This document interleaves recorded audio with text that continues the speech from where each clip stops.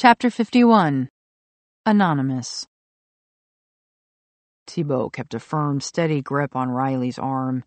She sat on the pavement, swaying, head in hands. Anon, she murmured again. Still here. Riley's connections were always hard to read. Other people's were mostly single strand visual threads, but all of Riley's senses played a part in hers. Right now, her attention was all around him, a shimmer in the dark alley, like oil rainbows in the air. She lifted her face, pale behind dark glasses. Ugh, wow, too many people, too much everything. There's a bench over there. He pointed, then realized the gesture was useless back near Ivy. The ground is fine for now, Riley said, pulling her arm free and taking his hand. Whenever you're ready. At the mouth of the alley, the crowd milled past, as if they hadn't been rioting a minute ago, or brawling, or dancing, whatever the hell that had been. Would have thought a handful of money would drive people so crazy? Kelsie had, apparently, and now she and Ethan had disappeared into one of the clubs, probably. It would take him all night to search every place on the strip. But he couldn't even start, with Riley sick like this. She leaned against him. This is so weird. It's like I've stepped into one of Lily's stories. Lily, her twin sister. But what stories? Um, maybe you hit your head. You sound a little concussed but her connection didn't feel concussed. It coiled and gleamed around him very intently. No, I just got spread out too far. It took Thibault a moment to process this. Your sight, you mean? It was such a big crowd and so frenzied, diving after that money. All those eyeballs got jumbled up, and her head dropped forward into one hand, and she took a few deep breaths. Maybe think about something else, Riley. Call me Flicker.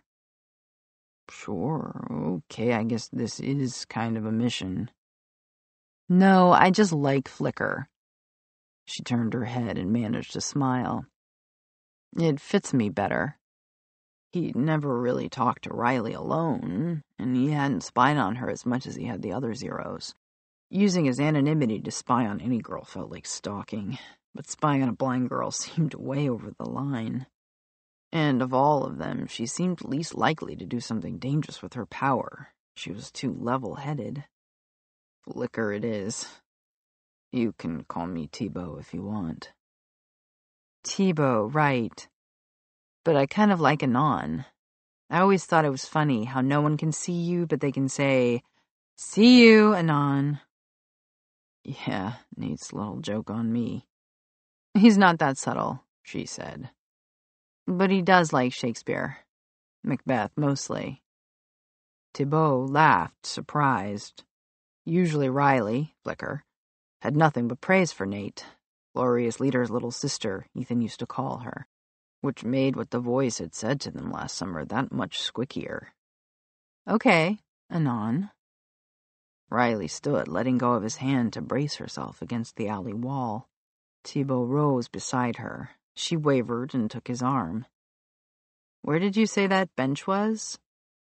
This way. Even with the riot finished, a lot of people were going by on Ivy, forming a glittering web of attention. Thibault waited for their signals to fray the bond between Flicker and him, but Flicker's awareness of him stayed bright, shifting on the air. It was so different from someone using their eyes. She was taking in messages with her whole body. Her hand shimmered in the crook of his arm, picking up the pressure of his elbow. When he nudged an empty beer can out of her path with his bare foot, filaments of her attention reached down toward the sound. He could feel it on his skin, the way she was listening to him breathe. When her knee brushed the bench, she let go of Thibault and sat down with a swirl of her long red skirt. She patted the seat beside her. Sit close, Anon, so I don't lose you. I'm used to people losing me, he said, obeying. Not me. She smiled past him toward Ivy Street. I found you in that stampede, after all. That was crazy, wasn't it? This girl who was with us started it on purpose. She threw a bunch of cash into the air. I saw her, Flicker said. In the shiny dress. Who the hell was she? Kelsie, the daughter of one of the bank robbers. Scam's voice mentioned her. You know about the bank video, right? So now she wants answers from Ethan. He shrugged. That's why she saved us, I guess. Just showed up and warned us about these goons who were coming for Ethan. The guys he stole money from. I saw them too, Flicker said. Of course, she wasn't really blind. Thankfully, she wasn't using her sight now. He hated to think what he looked like, sweaty and disheveled with dirty, bare feet. She threw money in the air to get Ethan away from them, he said. She knows how to make an exit all right. I've never seen a crowd go nuts like that, even over free cash. It wasn't just the money, Flicker said quietly. I saw something else at work. Nate saw it too. Nate was here? Something went off in Thibault's head and he pulled away from her. Wait a minute. What were you doing here? She turned to face him. I was kind of spying on you. Thibault swallowed. Spying? I was in the lobby of the Hotel Magnifique when all this started. I saw those guys come in, the ones all in black. I tried to warn you they were headed up to the penthouse. She knew about the penthouse? A hollowness opened up in his stomach. But then you got away, said Flicker. With that girl out the back, and when I saw where you were headed, I told Nate. Thibault stood up and took a few steps back from her. Flicker's senses reached after him, soft, bright tendrils. Her interest churned like liquid opal in the air. Broken glass glinted around his bare feet, but right now he hardly cared. So Nate knows about the Magnifique? Flicker shook her head. It's not in his file. You read his file on me, and he sent you to keep watch on us? That's not the way it was, Anon.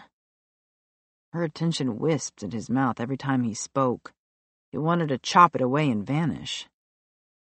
He's known since that camping trip, hasn't he? Gets me a little drunk, makes me drop hints. Bastard. No.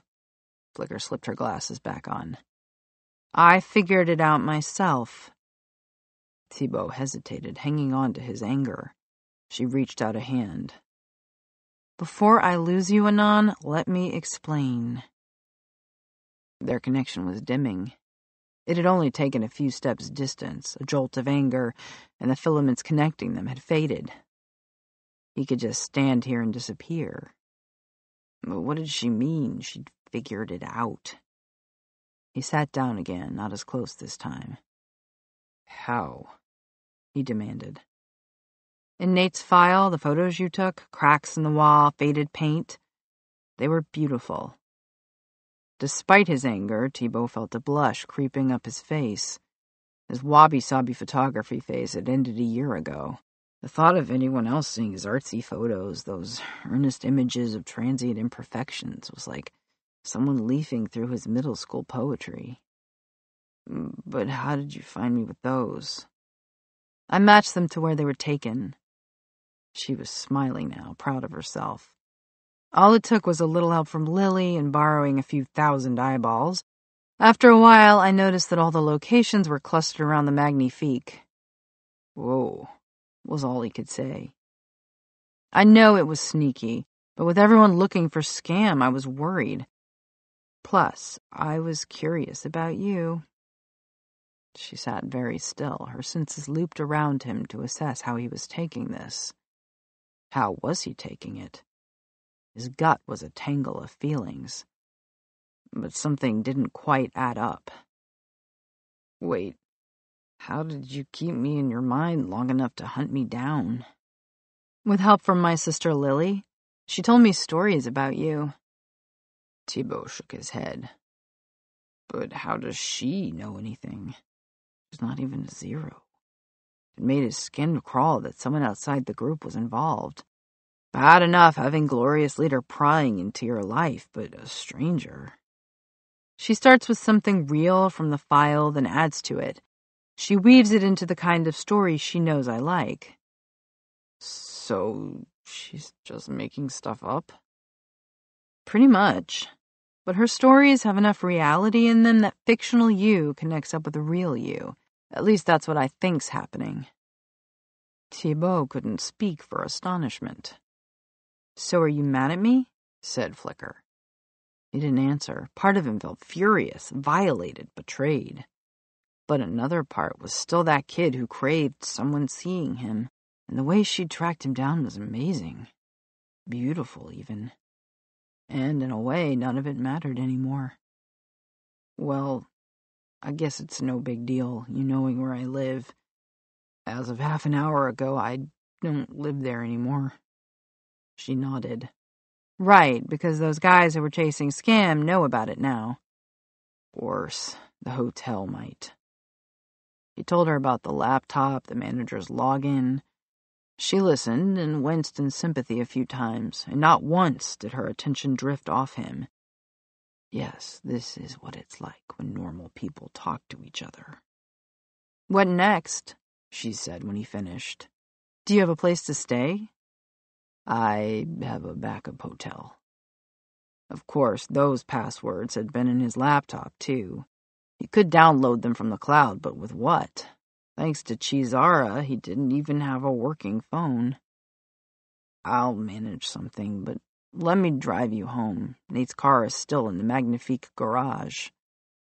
Thanks, Anon. I'm not really up to the bus. And hey, my mom keeps spare toothbrushes in our bathroom drawer. She smiled. I mean, assuming you don't have one on you. Um, no. It was starting to dawn on Thibault that he had nothing. It didn't get much more zen than this. I don't even have shoes. Yeah, I saw. Flicker shook her head. She was getting her color back, breathing easier. I doubt my mom has any spare shoes that fit you. Still, a toothbrush, he said. Every little bit helps. She lifted her face as if she were staring at him through the dark glasses. It was weird feeling such a strong connection to someone who couldn't even meet his eyes. Weird, but he liked it. Good then, she said. A ride home would be lovely, Anon. Chapter 52 Scam. Ethan stood on the roof of the boom room, gaping dumbly at Kelsie. He couldn't believe what had just happened. In all his years living with it, the voice had never outed itself. Your other what? Kelsie said. Ethan opened his mouth, waiting for the voice to jump into action again. Nothing. Great. Kelsie was expecting him to say something revealing, something honest, something that made sense and the voice had left the building. What the hell was it up to? Was the voice pulling some crazy mind judo because it thought this was the way for Ethan to get close to Kelsie? By talking for himself? no way. The voice was just dicking with him. Again. Ethan wanted so bad to connect with Kelsie. Sputtering in his usual half-assed way was not going to get that done. He thought once more. Whatever makes us closer. He opened his mouth again, not even a tickle in his throat. Screw it then. If the voice wanted to be outed, that's what it was going to get. It just talks. He finally managed.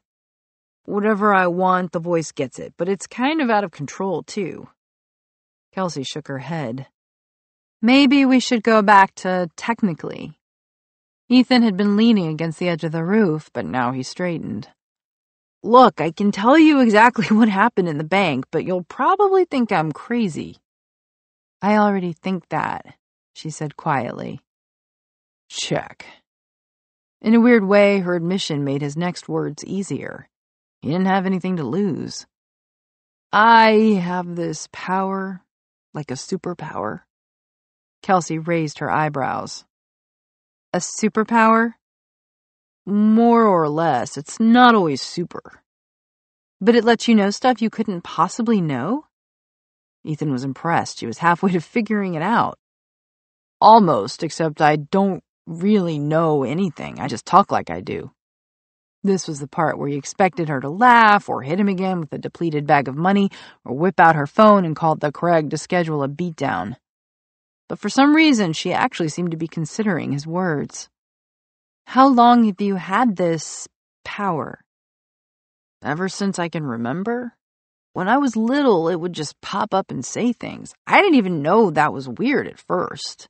I just figured that was how talking worked for everyone. You opened your mouth and words happened. Since you were little, Kelsie murmured, as if that part had scored a point in his favor. So, are you rich? I mean, if you can take money off a psycho like Craig that easy, you could get it off anyone. It wasn't easy, Ethan cried. He drove me out to this creepy house in the forest. I thought I was going to get shot. Getting out of there was mostly luck. She was staring at him, still suspicious, but at least she wasn't hitting him with the messenger bag. And she was still paying attention to him. Ethan wasn't used to this. Usually, when he told the truth, no one believed him. I just wanted a ride home, he went on. I didn't plan to steal anything. I only drove off to get away from the Craig and his boss, and that money was in the car. So, you don't use your powers for evil? She was mocking him again. I try not to make it hard on other people, like in that hotel room. I made sure not to mess it up too much. Ethan wasn't sure where those words had come from. They weren't quite his, but they weren't the voice either. Stray memories of something someone else had told him. Chop the wood or whatever, it's a Zen thing. You're weird, Kelsie said, a look of deep concentration on her face. You're like seriously strange and weird. Ethan nodded once, slowly. I can see how you might think that. So let's get this straight. Kelsie shook her head like she was wiping away a dream. In the bank, you use this so called power on my dad, right? I wanted him to leave my bag of money alone, Ethan said. So the voice started talking to him, saying whatever would make him focus on something else. The voice. That's what I call it. I have no idea where the voice gets its intel from. I don't understand half the stuff it says. It doesn't even work all the time because sometimes there's just nothing you can say. Like right now, when you were trying to explain a superpower to someone who thought you were crazy. There was no way he was going to bring up all the other zeroes and make his story even more confusing. One thing at a time. The weirdest thing of all was that Ethan's own words still seemed to be working. Kelsie's glare had softened. She looked suddenly small and sad. So it was just an accident? she said. You saying my name. Kind of. And you don't know anything that can help me with the mobsters who are after my dad? Ethan shook his head. I don't know anything about that. She seemed to take that in, but it didn't make her happy. I was just intel to you, something to use to get your way, nothing more than a. Scam, Ethan said quietly. Kelsie stared, her eyes had gone cold. Just a noise you made so you could score a free ticket out of the bank. Yeah, well, Ethan swallowed. It did have this huge gun pointed at me. Hank got killed because of what you said. He was a good guy. I'm really sorry. He meant it, too. Out of all the apologies he'd had to give in the last two days, this one felt the most real. Kelsie shivered, and Ethan realized it was getting cool. He reached for the pillowcase at his feet and dumped the minibar contents on the rooftop. He offered the pillowcase like a jacket, but she ignored it. She picked up one of the tiny bottles of vodka on the ground. Prove it. Say something right now with your superpower voice, something about me that no one else could possibly know. She twisted off the bottle cap and took a swig. Um, it's tricky. The last couple of days, every time I use the voice, bad things happen. Kelsie snorted. Like spending the night in the penthouse of the fanciest hotel in town? Sounds traumatic. Prove you're not lying, Ethan. Ethan closed his eyes. All he could think was that he really wanted this girl with the green eyes and windswept hair to believe him. And with that, the voice tap tapped on his throat. All he had to do was open his mouth and let it out. So he did. Your dad taught you to pick pockets when you were nine and how to cheat at poker. One time he won four thousand bucks on one hand, aces over jacks, and all you got was braces. When you were six, you walked out of your house alone and made it all the way to a football game. The home team won, and it was the best feeling you'd ever had. When a tooth falls into a metal sink, it goes tink. Whoa, Kelsie said. Then she finished the rest of the tiny bottle in one gulp. Ethan found himself smiling, feeling back in control, until the voice added, What, did you think you were the only superpower in town? Kelsie's eyes went wide, but she didn't argue. Ethan closed his mouth carefully. He had to replay the words in his mind a few times before they made any sense. Then he looked into Kelsie's unblinking gaze. She believed him now, really believed him, and Ethan suddenly knew why. In his own voice, he said, Holy shit, you have a power too. Chapter 53 Flicker It was one of those dreams that kept going after she woke up. Too many eyeballs, too much motion, her bed in a vortex, that vortex jammed inside another vortex, both of them spinning way too fast. Flicker searched for her sister's vision in the next room. Sometimes a dose of sight steadied bed spins, but Lily was still asleep. Same with the parents downstairs and out here in empty suburbia there were no other eyeballs in range. Flicker felt for her water glass. Her throat was dry, like she'd talked all night. But with who? Lily had been out when she'd gotten home from Ivy Street, and Nate hadn't come in after dropping her off. Wait. She hadn't seen Nate last night. Someone else had given her a ride. But she'd been in Glorious Leader's BMW. Flicker remembered that expensive smell. She hadn't drunk any alcohol. There was no explanation for this slice of missing time. Maybe coffee would help. Pulling on her pajamas, Flicker rewound her memories of the day before. She and Lily had spent the afternoon downtown, looking for the beautiful boy called Nothing. And they'd found his castle, hadn't they? She remembered staking out the lobby of the Magnifique, the thugs in black tees who'd been outwitted by the quick-fingered girl in the shiny dress. Then the chase across to Ivy Street and that maelstrom of money, bodies, eyeballs, and a new power at work, the sparkly girl. But then it all got fuzzy. She must have found him, the beautiful boy. That was why she couldn't remember. Only Anonymous was the right shape to fill her missing time. Flicker smiled because now that she knew what she was looking for, she glimpsed him among the whirling leftovers of her dream. Dark haired and handsome. She'd spotted him in the crowd, gone after him, and after that, she couldn't remember. Buttoning her pajama top, Flicker padded to her bedroom door and out into the hallway. But at the top of the stairs, her hand on the rail, she hesitated. If nothing had brought her home, where was he now? Back in his castle, probably. No, wait, headed off to some new hiding place because the thugs and black t shirts had found his old one. But another answer tugged at her brain, and Flicker didn't go down to the kitchen. As if drawn by a scent, she crept past Lily's room to the end of the hall. There she reached out into the air before her and found the dangling cord. She pulled it softly, slowly. The creaks of rusty springs and unpainted wood clamored in the Sunday morning calm. When the attic ladder was down, Flicker checked the eyeballs in the house again. Nothing but the pink of closed lids limned with slanted sunlight. She found the first step with a bare foot, ascended the ladder carefully. She was still dizzy from her dream, and there was no point rushing. There was probably nothing up here anyway. The smells of the attic drifted down to meet her the mustiness of old books, of boxes and papers, and the old leather chair Dad refused to throw away. Scents salted with memories of playing up here with Lily or listening to her stories. That's why Flicker had come here, something to do with stories. But at the top of the ladder, she found herself a little confused. Why exactly hadn't she gone downstairs for coffee first? It had slipped her mind again.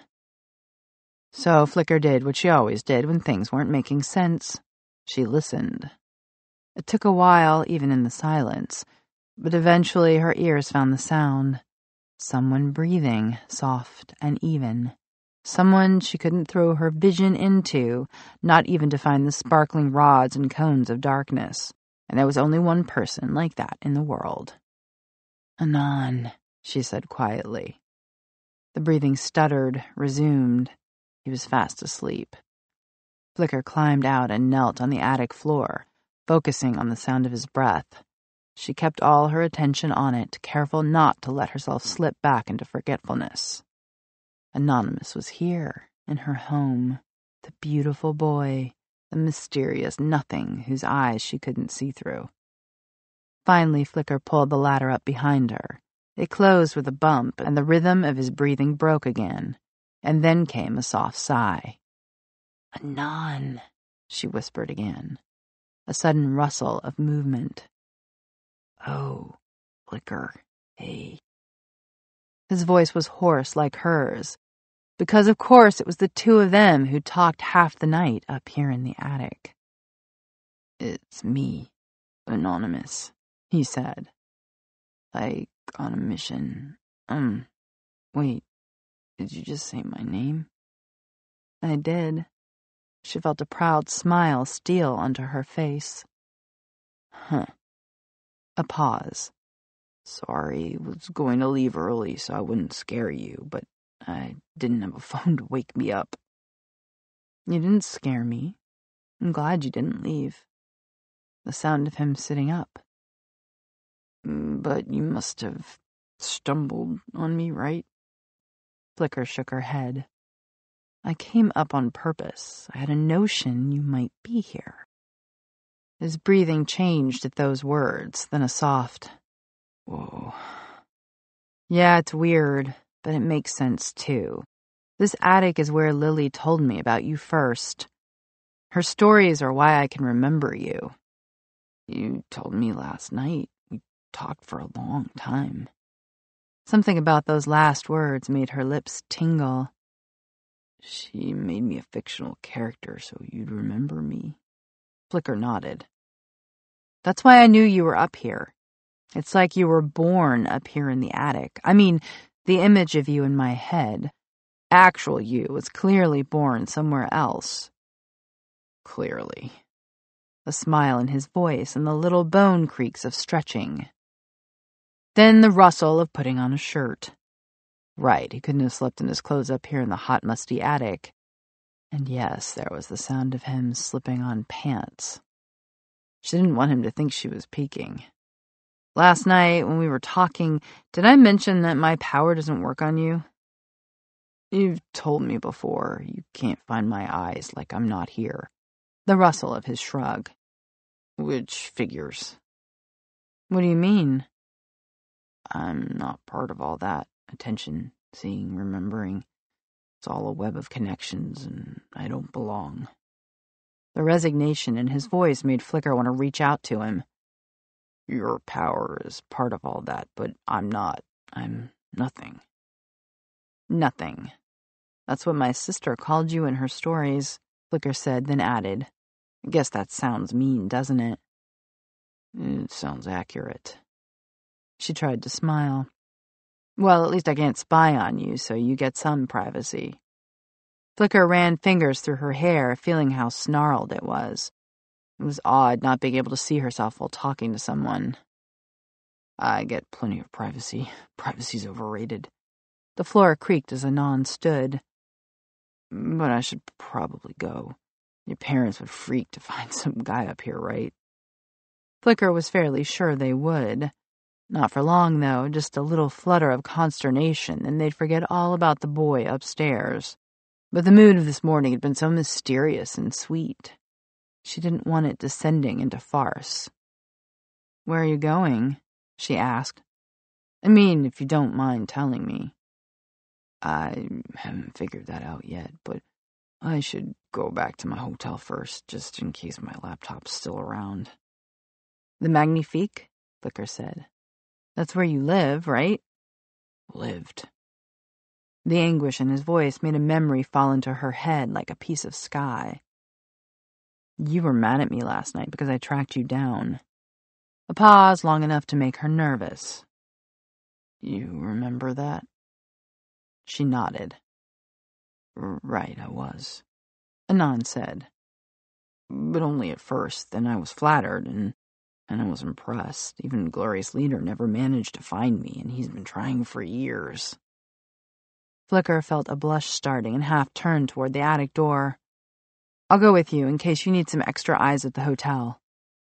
I'd like that. He sounded like he meant it. Um, do you have any shoes I can borrow? Another flash of memory, bare feet and broken glass. My dad keeps a pair of flip-flops by the pool. I'll get dressed and meet you downstairs.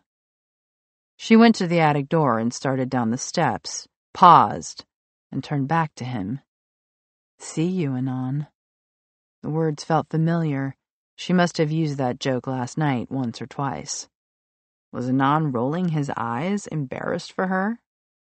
But his voice sounded steady and relaxed. See you, Flicker. He might even be smiling. Chapter 54 Mob Kelsie awoke with her phone buzzing on the bed beside her. It took a moment to recognize the slatted blinds and tasteful writing desk. She was in the spare room at Ling's place. A sputtering came from the floor. It was Ethan, snoring away in a borrowed pink sleeping bag that was too small for him. Confirmation that last night hadn't been a crazy dream or nightmare. They'd sat on the roof of the boom room half the night talking about their powers. She'd always believed her power was real, but meeting Ethan had turned it into a different thing entirely. Not just a weird fluke, maybe part of a bigger plan. Like the two of them were meant to find each other. She couldn't ignore that it had happened now, when she really needed help. Kelsie checked her phone, a message from Dad. Finally, an address. She leaned over the end of the bed and gave Ethan a shove. We have to go. He squinted up at her, his eyes thick with sleep. His clothes were crumpled, but his army haircut gave him a look of combat readiness. Go where? I'll tell you on the way, she said. Come on, before Ling's folks find you up here. They think all boys are after her. The night before, Kelsie had dreaded introducing Ethan to Ling. But instead of the usual preening guys did when they met her way more beautiful friend, Ethan had only given Ling a weary salute. He was sliding out of the sleeping bag. Um, you saw what happened last time I went outside, right? I'm like a celebrity now. We'll get you a disguise then, and if we get into trouble, you can always use your voice, right? Ethan grunted. One on one, yeah, but it's not much good in a crowd. Weird, she said. My thing only works in a crowd. He was on his feet and searching for his shoes. Maybe we're two halves of a whole, like we were meant to find each other. Kelsie stared at him. It was like an echo of what she'd been thinking a minute ago. But the words had sounded a little too smooth. Was that your voice talking? Kind of. Ethan looked away. I mean, yeah. She grinned at him. Finding someone with another power was a relief, even if it was the power of bullshitting. Two superheroes helping her dad was better than one. We could be a superpowered duo, she said shyly. Totally. That. Kelsie was still wearing the t-shirt and shorts Ling had given her to sleep in. Clean enough. She slipped into last night's high tops and grabbed the messenger bag, which maybe had a thousand bucks left in it. She led him out of the house without a word, careful not to wake Ling or her folks. They didn't talk much as they walked the dozen blocks to the bus stop. Kelsie kept looking over her shoulder in case the Bagrovs had sent someone to follow her and find her dad. Having an internet celebrity in tow didn't help the feeling of being watched. At a convenience store, Ethan pulled out a fat roll of 20s and bought a bottle of water, a baseball cap, and the biggest pair of sunglasses on the rack. Kelsie held the cold, sweating water bottle while he tried on the glasses. He grabbed a couple of chocolate bars and tried to offer one to her, but she waved it away. Not sure about that disguise, she said. You look like you're trying to be incognito. Anything so my mom doesn't find me. I should call her again, but not from your phone. She can track phones. He looked kind of proud as he finished the chocolate bar and started on the second. Where are we headed? To see my dad. Ethan balked. Great, another person who wants to kill me. He doesn't, Kelsie said. Ethan stared at her. I mean, your voice freaked him out, she said, but he's never been a killer. He wasn't a bank robber till Friday. Kelsie let the comments slide. There were lines her dad wouldn't cross. She had to keep believing that. And anyway, she'd tossed away most of her money saving Ethan. He owed her. On the bus, Ethan hunkered down with his head against the window. But Kelsie still had too many questions to let him sleep. Here's what I don't understand. Why us two? Out of all the people in the world, why do we get powers? Ethan slid his sunglasses down and gave her a careful look, like someone studying a poker hand. Were you born in the year 2000? Yeah, September. Me too. June could mean something. Kelsie shook her head. 2000's just a number. Yeah, but everybody made a big deal out of the new millennium. They thought all the computers would crash at midnight. But they didn't, and weren't millions of people born that year? Then it hit her. Wait, there could be others. I mean, if there's two of us in a little city like Cambria, there'd be tons of people in the whole world. Maybe, Ethan shrugged. But maybe it's just us, Kels, and we were put here to help each other no matter what. The words made something click inside Kelsie. The thought of an ally born to help her, who would never fail her like her father always did, sent something rushing into her, like a crowd spilling onto a dance floor when the perfect song played. That was what she'd always been missing. Someone special among the crowd. Then she realized that Ethan had called her Kels, which only her father did. Wait, was that your voice again? Ethan just shrugged, like he wanted to skip the whole subject. Like he didn't want to talk about superpowers, even though he just met the only person who shared this with him, which made no sense. Ethan pulled his cap down low, and Kelsie let the subject drop. For now. They changed buses twice before they reached the tenements on the outskirts of town.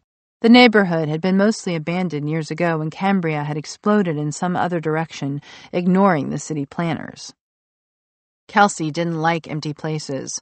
The broken windows and wide, still streets felt lifeless around her. Once the bus pulled away, it was like stepping into a painting. No car horns, no ringing phones or overheard conversations, no crowds, no energy, no pulse. This place sucks, she said. Ethan pulled off his hat. At least nobody's going to recognize me.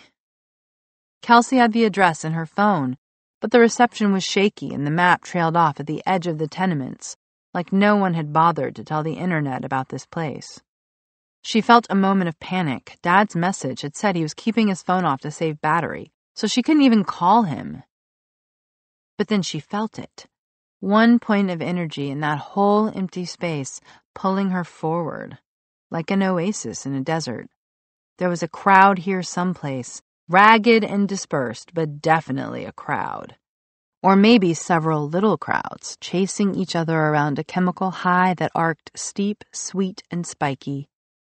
She felt herself, her power, reach out for it reach it and scale it until she was balanced on top of a bright pinnacle, too sudden and too steep, like when cheap ecstasy swept through the clubs on summer weekend nights. She let her power pull her forward, letting the synthetic elation fill her, becoming something genuine. This was something she could do that nobody else could. She could find people lost in this empty place. This was her power. Stay close, she told Ethan, but too soon the energy began to empty out from beneath her. Kelsie felt herself spinning down, dragged under. The quick, cheap high was wearing off. Soon the crowd wouldn't be a crowd anymore. They'd go back to their individual needs, and Kelsie would be lost again in the eerie quiet. She started to run, not caring whether Ethan kept up with her. She had to find her dad before the crowd's high gave out. Five blocks later, with the feeling almost faded, Kelsie had found the place. A building like all the others, a gray, two story apartment block with boarded up windows and doors. Broken beer bottles littered the long grass in front of it. How do we get in? Ethan said. Kelsie shook her head. Dad's text hadn't included instructions. Around the side of the building, they found a window where the boards flapped loose against the frame. It was too high for Kelsie to reach, so Ethan knelt and laced his fingers. She hesitated. The climax of a few moments ago was building again. It burst upward in a narrow geyser, like an icy cold bottle held against the space between Kelsie's eyebrows. It was strange, crisp, distorting. She steadied herself, placed a foot on Ethan's hands, and pushed. Scrambling under the loose plywood, she tumbled into blackness. Kelsie liked dark clubs just fine, but this place was different. Cave dark. The darkest dance floor was lit by a thousand stars compared to this. The air smelled sickly sour like fruit gone bad.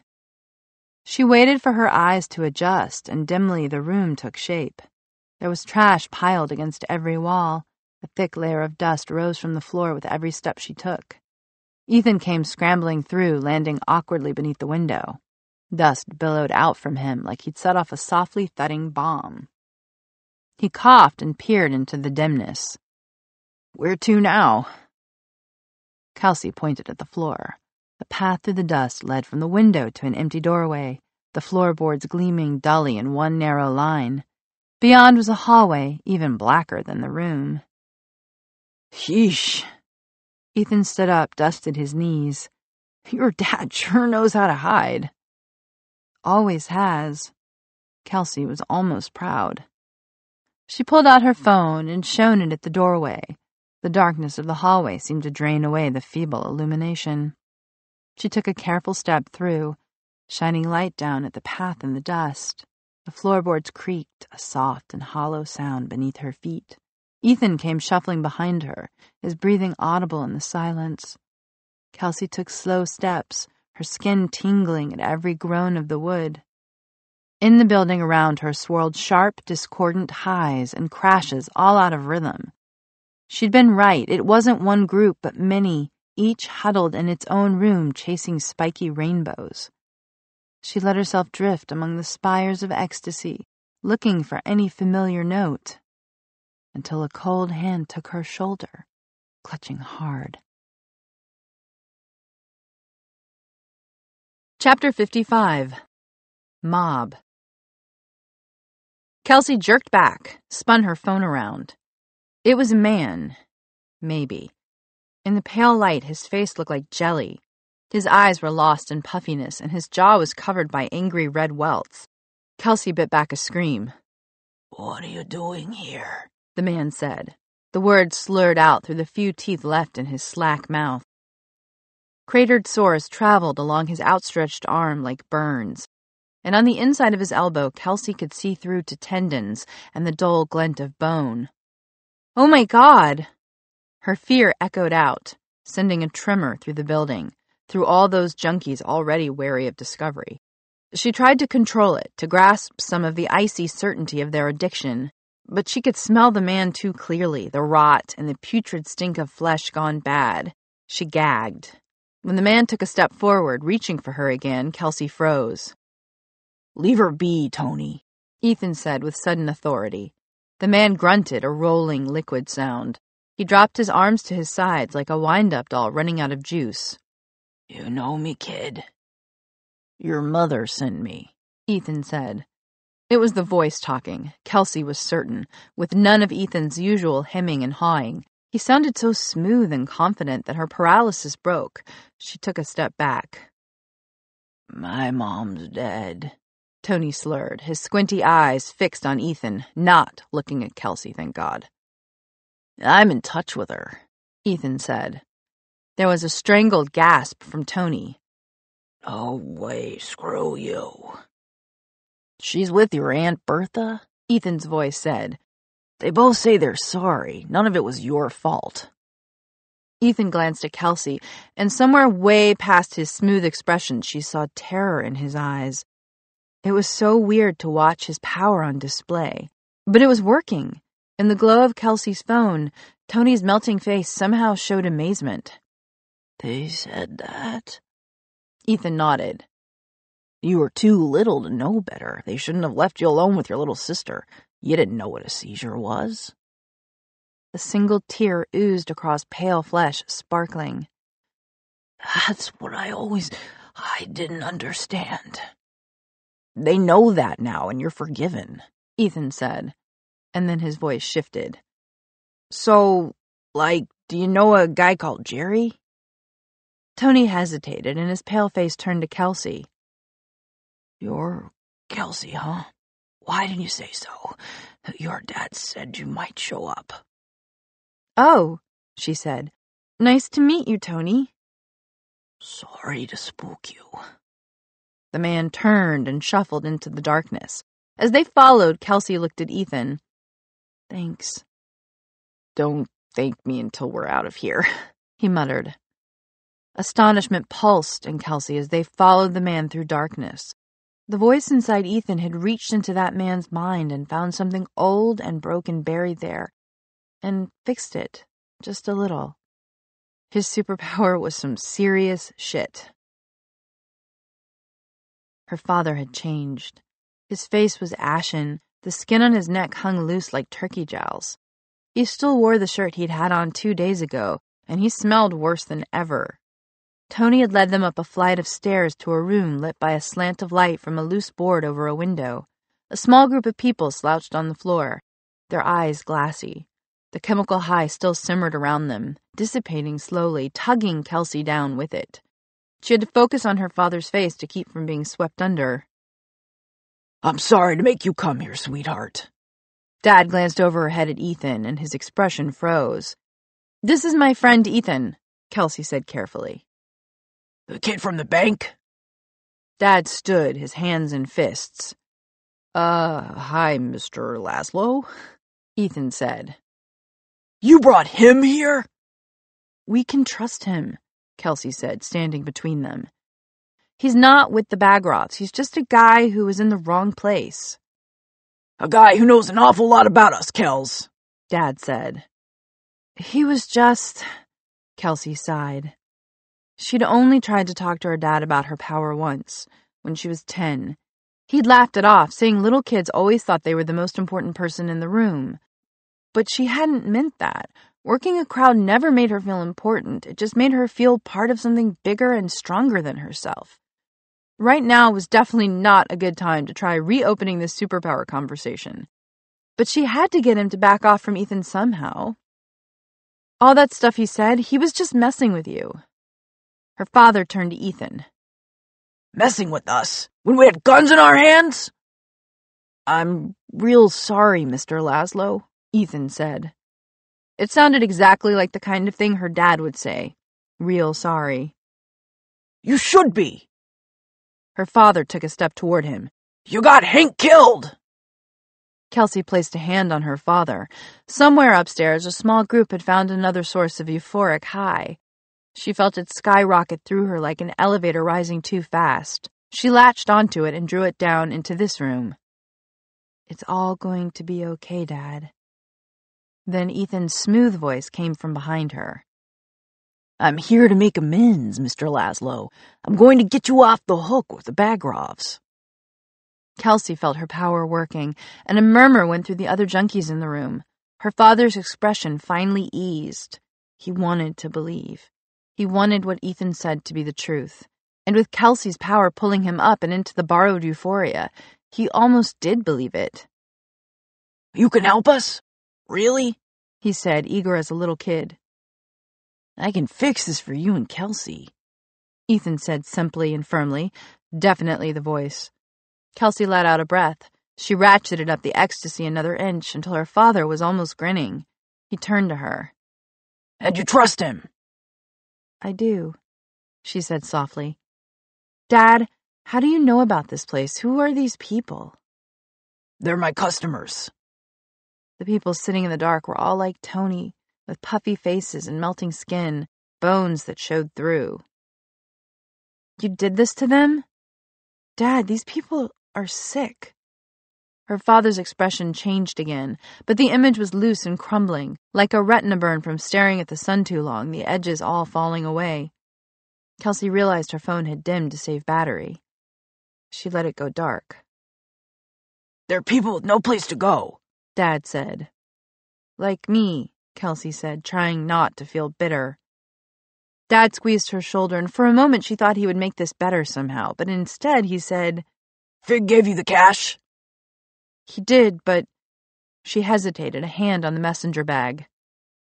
I had to use some of it. There's a thousand left, maybe less. A thousand. His voice had gone dry. I need more than that, sweetie. Maybe you can get it for me. Kelsie stared. Didn't he see what she'd been through already? What are you planning to do with it? You're not going to buy more crocodile, are you? Dad's eyes narrowed. What do you know about croc? Fig told me you were selling it for the Bagrovs, and that it kills people. I take care of my customers, Dad said stubbornly. I'm not Alexei Bagrov. Oh my god, Dad. Her eyes went to Tony. There was no way she was going to help her dad sell anything that melted people like plastic dolls. She felt the crash of a nearby crowd as another high wore off. It reached out, swiped her, and rebounded, soured by her own anguish. They would be scrabbling for more drugs right away, trying to fill the void she was reflecting at them. She tried to pull herself back inside her own skin. Kels, I'm in a lot of trouble here. I need enough money to make my own product. Then I can get right with the Bagrovs. Dad adjusted the collar of his shirt. That was his tell. It meant he was about to grift her, to bluff and she'd seen the dark smear beneath his collar.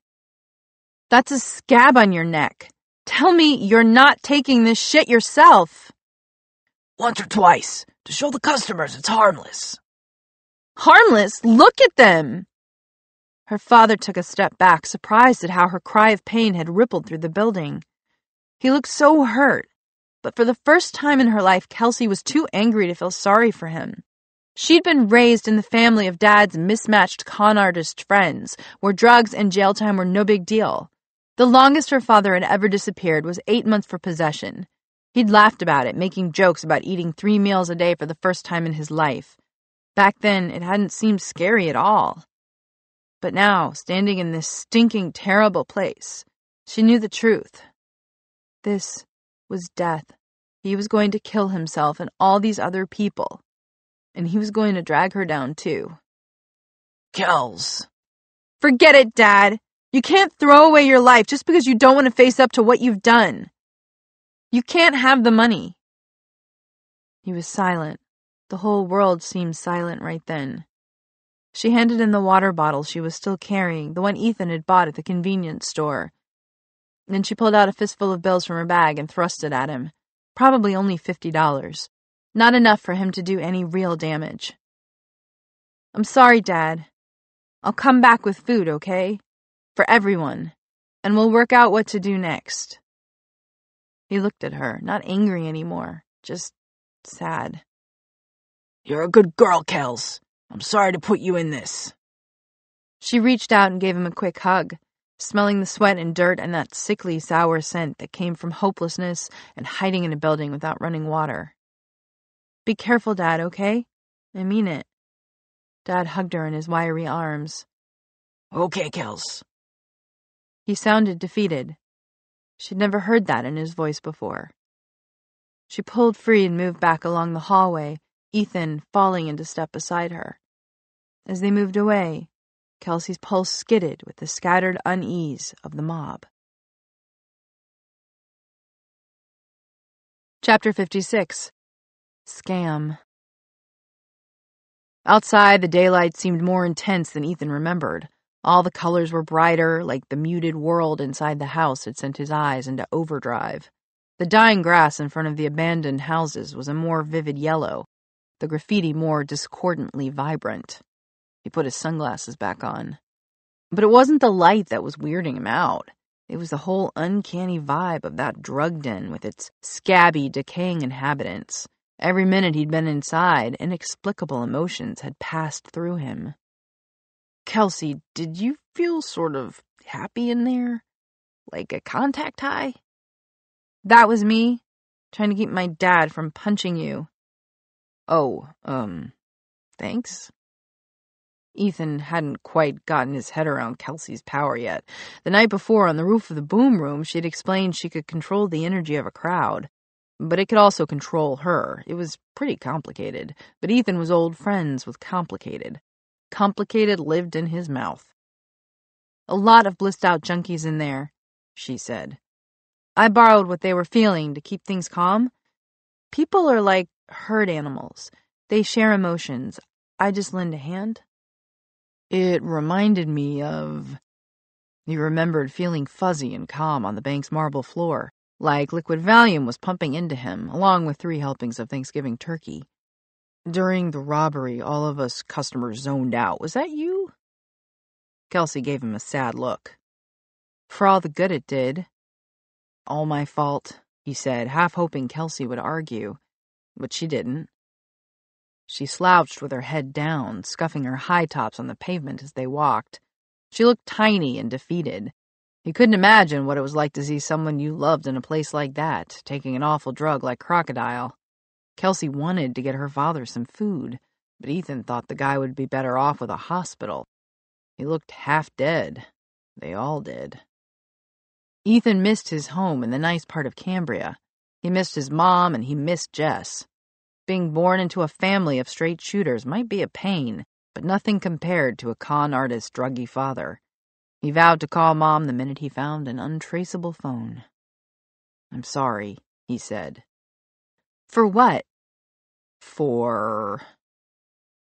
For being anywhere near that bank on Friday, for needing a ride home, for stealing a bag full of money that put him right in the way of a desperate Jerry Laszlo. But without that crazy roller coaster of events, he never would have met Kelsie. He liked Kelsie a lot. Probably more than she liked him, and that still didn't stop him liking her in a big way. She'd saved him from the Craig. She'd thrown thousands of bucks into the air, and she'd hidden him from various interested parties overnight. Which made not telling her about the other zeroes totally selfish. But she'd been so fascinated when he'd told her about the voice, like his power was something amazing and cool instead of this awful hijacker in his body. In all that glory, Ethan had missed the opportunity to mention he wasn't the only other person with the power. And leaving out the truth was like any scam. If you wrote it long enough, you couldn't get off. I'm just sorry I can't help you more. Hey, she said. It was pretty handy what you said to that guy Tony about his mom and his aunt. I think you really helped him. Ethan smiled. The voice had done him proud in there. First with Scary Tony, and then with Kelsie's dad. Maybe his stupid voice was getting better. Maybe it was developing beyond its usual short term thinking. The weird thing was that it felt good to use the voice again, like shaking hands with an old friend. You think I was right, not giving my dad the money? Kelsie asked. I feel like I let him down. Your dad let you down, not the other way around. Kelsie gave him a lopsided smile. Is that your voice talking? I don't need the voice for this. Trust me, I'm a world class expert in letting people down. She smiled at him gratefully. Ethan beamed in return. Every time Kelsie looked at him, it was like a light turned on. A black sedan went by, out of place in this part of town. It reminded Ethan of the Craig's advice about never driving anything fancy, though maybe this guy wasn't trying to lie low. The driver was a man in a suit with pale skin and thick black hair. Beside him was another guy in a suit. Dad has nothing, Kelsie was saying to herself. No food, no clothes. I had all his money and I threw it away last night. That was my fault, Ethan said. Then he realized something. When it came to money, he could help Kelsie out. Money was something he could manage. But it would mean telling her about the other zeroes. I should just tell the police where he is, Kelsie said. I mean, what's worse, being in prison or winding up dead? Ethan reached out clumsily to rest a hand on her shoulder. I think I can help. There's something I haven't. Kelsie froze. You see that car? Ethan glanced up. Yeah, it went past before. Last time I saw a car circling the block, it was really bad news. It's probably just. Ethan's words faded as the car drifted to a halt beside them. The two men got out. The driver came right over toward them, a tall hook of a man with a bend in his spine. The other guy stayed by the car like he was ready to take off. Like this was a robbery. Ethan was all set to offer them the roll of twenties in his pocket, but he didn't get the chance. Kelsie Laszlo? The driver said with some crazy kind of accent. Nope, Ethan said right away. The guy's eyes flicked once toward Ethan and then back to Kelsie. We're looking for your father. There's a price on his head. Any idea where I can find him? Ethan looked at Kelsie, who gave him a beseeching look. Ethan realized, with something like pride, she wanted him to use the voice. Ethan willed it to take over his throat. Anything to make these guys believe he and Kelsie had nothing to do with Jerry Laszlo. Anything to help Kelsie. But the voice had nothing to say which probably meant they already knew exactly who Kelsie was and that her father was hiding nearby. Like, we don't know what you mean, Ethan tried in his own voice. It cracked on the last word. The guy finally gave him a solid look. Huh, the boy from the bank video. Um, what video? The guy laughed. And here with Jerry Laszlo's little girl. I believe this is called a two for one. How lucky can a guy be? Okay, these guys knew everything. The voice couldn't unwind that, so Ethan had to want something simpler. This guy needs to leave us alone. Ethan sent the thought spiraling out, and there it was at last, the wonderful feeling of the voice pulling upward toward his throat and jaw, full of certainty. Come on, voice, just like in the tenements, win this thing. The voice said, My friend, what did you say your name was? I didn't. The man's smile was coldly polite. I'm going to call you. The voice seemed to hesitate, but of course the voice knew exactly what to say next. I'm going to call you Misha. Misha started, which filled Ethan with happiness. Yeah, I know who you are, Misha, the voice went on. You'd be surprised what I know, like how Alexei doesn't think much of you. Misha shook his head. You don't know Mr. Bagrov. You don't know shit. What I know is he told everyone important not to mess with Kelsie. The voice continued breezily. Because Ms. Laszlo here is doing business with him, so how come Mr. Bagrov didn't bother to tell you that? Misha gave a dry laugh. He's doing business with kids like you?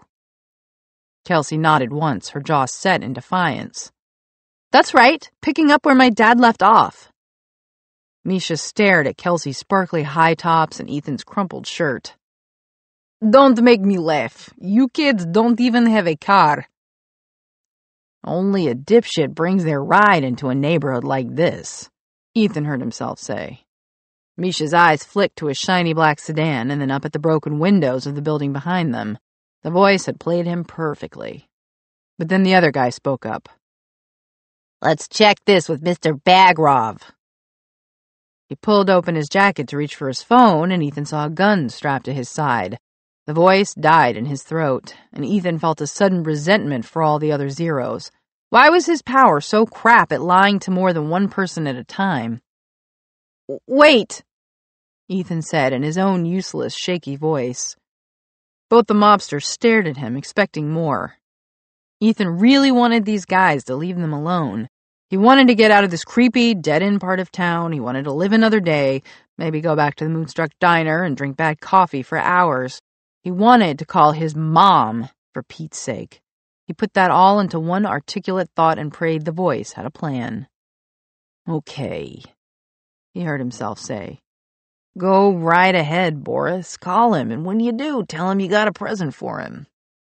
Misha smiled. You mean your two kids? Nope.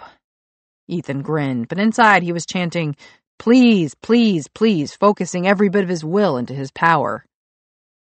Jerry's three blocks that way, in the tenement with the broken bottles on the lawn, second floor. But move fast, he won't be there long. Beside him, Kelsie gasped. You! Ethan felt his stomach leap into his throat, pushing the voice out of the way. Oh, crap! Misha's expression changed to one of pure greed. Both of the men slipped back into the car. Thank you, my friend! And just like that, the voice had done it again. Chapter 57 Mob Kelsie ran, heading after the fancy car, but half a block later, Ethan was grabbing her, dragging her to a halt. Kelsie, wait! She pushed him off, swung a fist at him. Oh my god, Ethan, why did you do that? Ethan looked stunned, like he couldn't believe what was happening either. It's too late, he said. I screwed up, but we can't beat them there. She spun away from him. The car was three blocks away, already in front of the building full of junkies. The Bagrov men were out front, banging on the boarded up door. She started running again, outpacing Ethan, shouting as she got closer. In the empty suburb, her voice rolled and rolled. At last, she felt an answering spark of anxiety from inside the tenement. People had heard her. But Ethan grabbed her again, bringing her to a skidding stop. We can't, Kelsie. Those guys have guns. The crack of wood came from down the street, and both of them spun to face it. A board came tumbling down the tenement's front steps, and the two men disappeared through the doorway. Dad! Kelsie couldn't escape Ethan's grasp, so she dragged his weight behind her, his sneakers skidding on asphalt. She could feel the people inside the tenement bonded in fear. But the mob only lasted seconds. They thought it was the cops coming in and scattered in all directions. Run! she cried. Ethan was in front of her now. He looked scared, his freckles standing out on his pale skin. Why did you do that? She screamed at him. I'm sorry, Ethan said. The world was spinning, smears of color dancing across her eyes. First, she didn't give her dad the money, and now this. Kelsie tried to pull away, but she was weak with exhaustion. She couldn't remember the last meal she'd eaten, the last decent night's sleep she'd had. You could have told him another building, any building. You sent him right to my dad. I wanted us to be safe, Ethan said numbly. I forgot about keeping your father safe, too. My voice didn't understand. You kept saying you wanted to help. I do, Ethan cried but I don't know what the voice is going to say. It's out of my control. Then you shouldn't use it at all, she yelled, turning to the building again. Help me fight them. What are you going to do against mobsters with guns? They'll just take us too. We have to get out of here. She flinched as the fear inside the building shifted to hard panic. Misha and his pal must have stumbled into a room full of junkies, guns waving. My dad's gonna think I led them right here. Listen, Jerry owes them money, you said. That's what this is all about. I can get money. She stared at him. He had scammed a free room at the Magnifique and stolen a bag of cash from Craig. But what if the Bagrovs wanted blood?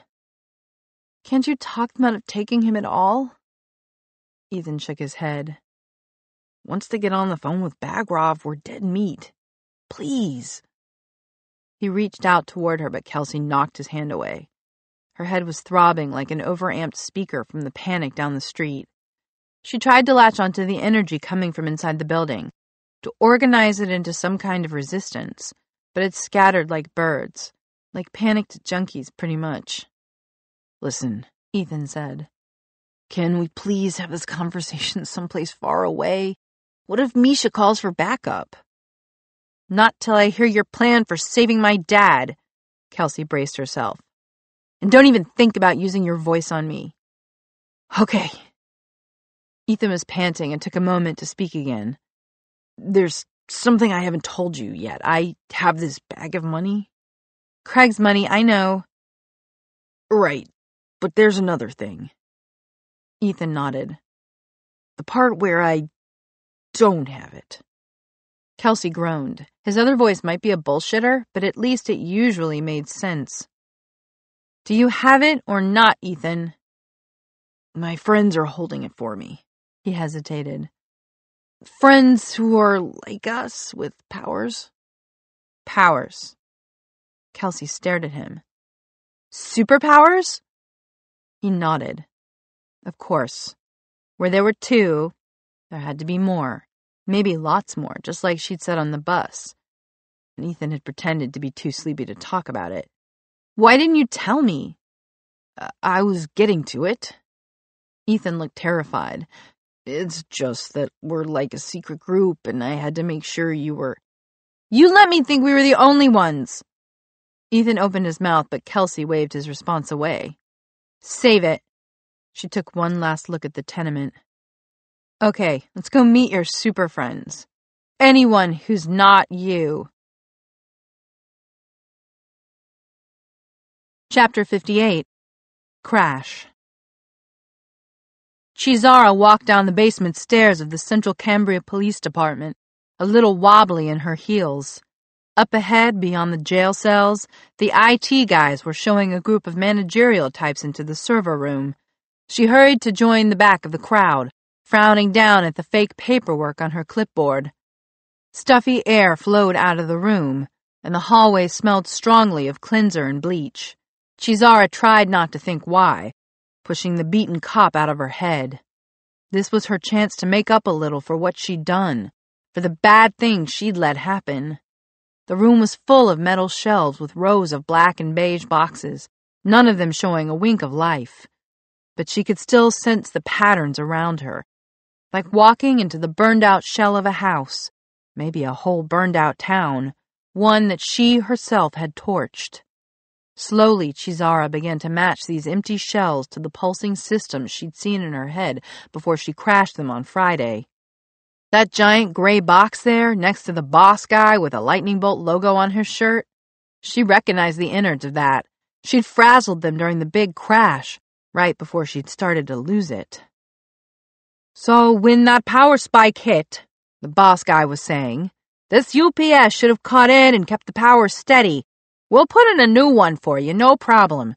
But the weird thing is why the mains relay is stuck, so first we're gonna run some tests. A woman in a gray suit spoke up. You been keeping up the quarterly maintenance? Right on schedule, said the guy.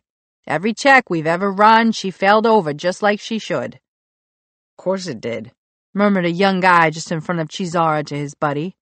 Guy knows how to cover his ass, doesn't he? His buddy nodded, then glanced over his shoulder, registered Chizara as a stranger, looked her up and down. She was every inch the serious young assistant with her clipboard and the navy blue skirt suit she'd begged Mom to buy her so she could look like an American girl at church on Sundays. It had been easy sneaking into the CCPD, there were so many groups here tech people, insurance adjusters, police brass, a big enough crowd to lose track of whose assistant was whose. Chizara smiled back at the guy, her mind reaching through into the server room, trying to see exactly what she'd done. The UPS was the least of it, just a giant switch that she'd stopped from doing its automated rescue. Littered around it were caramelized circuit boards, burned out fibers, and blasted switches. It should have been a beehive in there, hundreds of buzzing insects stinging her brain. She should be curled up in a corner from the pain. But everything that could hurt her had been annihilated. A nano tornado had ripped through these intricate, delicate machines, leaving every connection broken. She was ashamed of herself. She'd lost control in a big way. But whoa, it had been sweet. Chizara's mental fingers extended to cover the multiple failures she'd caused, every single bee she'd killed. It shouldn't be too hard to fix, right? It was just a matter of opening her mind to all those tiny thwarted connections, feeling around the shadowy map of the dead network for its arteries, its nerves, the filaments that poured the power through. If she could just reset that pulse and push it smoothly back into the tangled microthreads of metal, there. With a lurch inside her, the UPS came to life. The people at the door jerked back all at once, like a field of grain socked by a gust of wind. What the hell? Did you do that, Roger?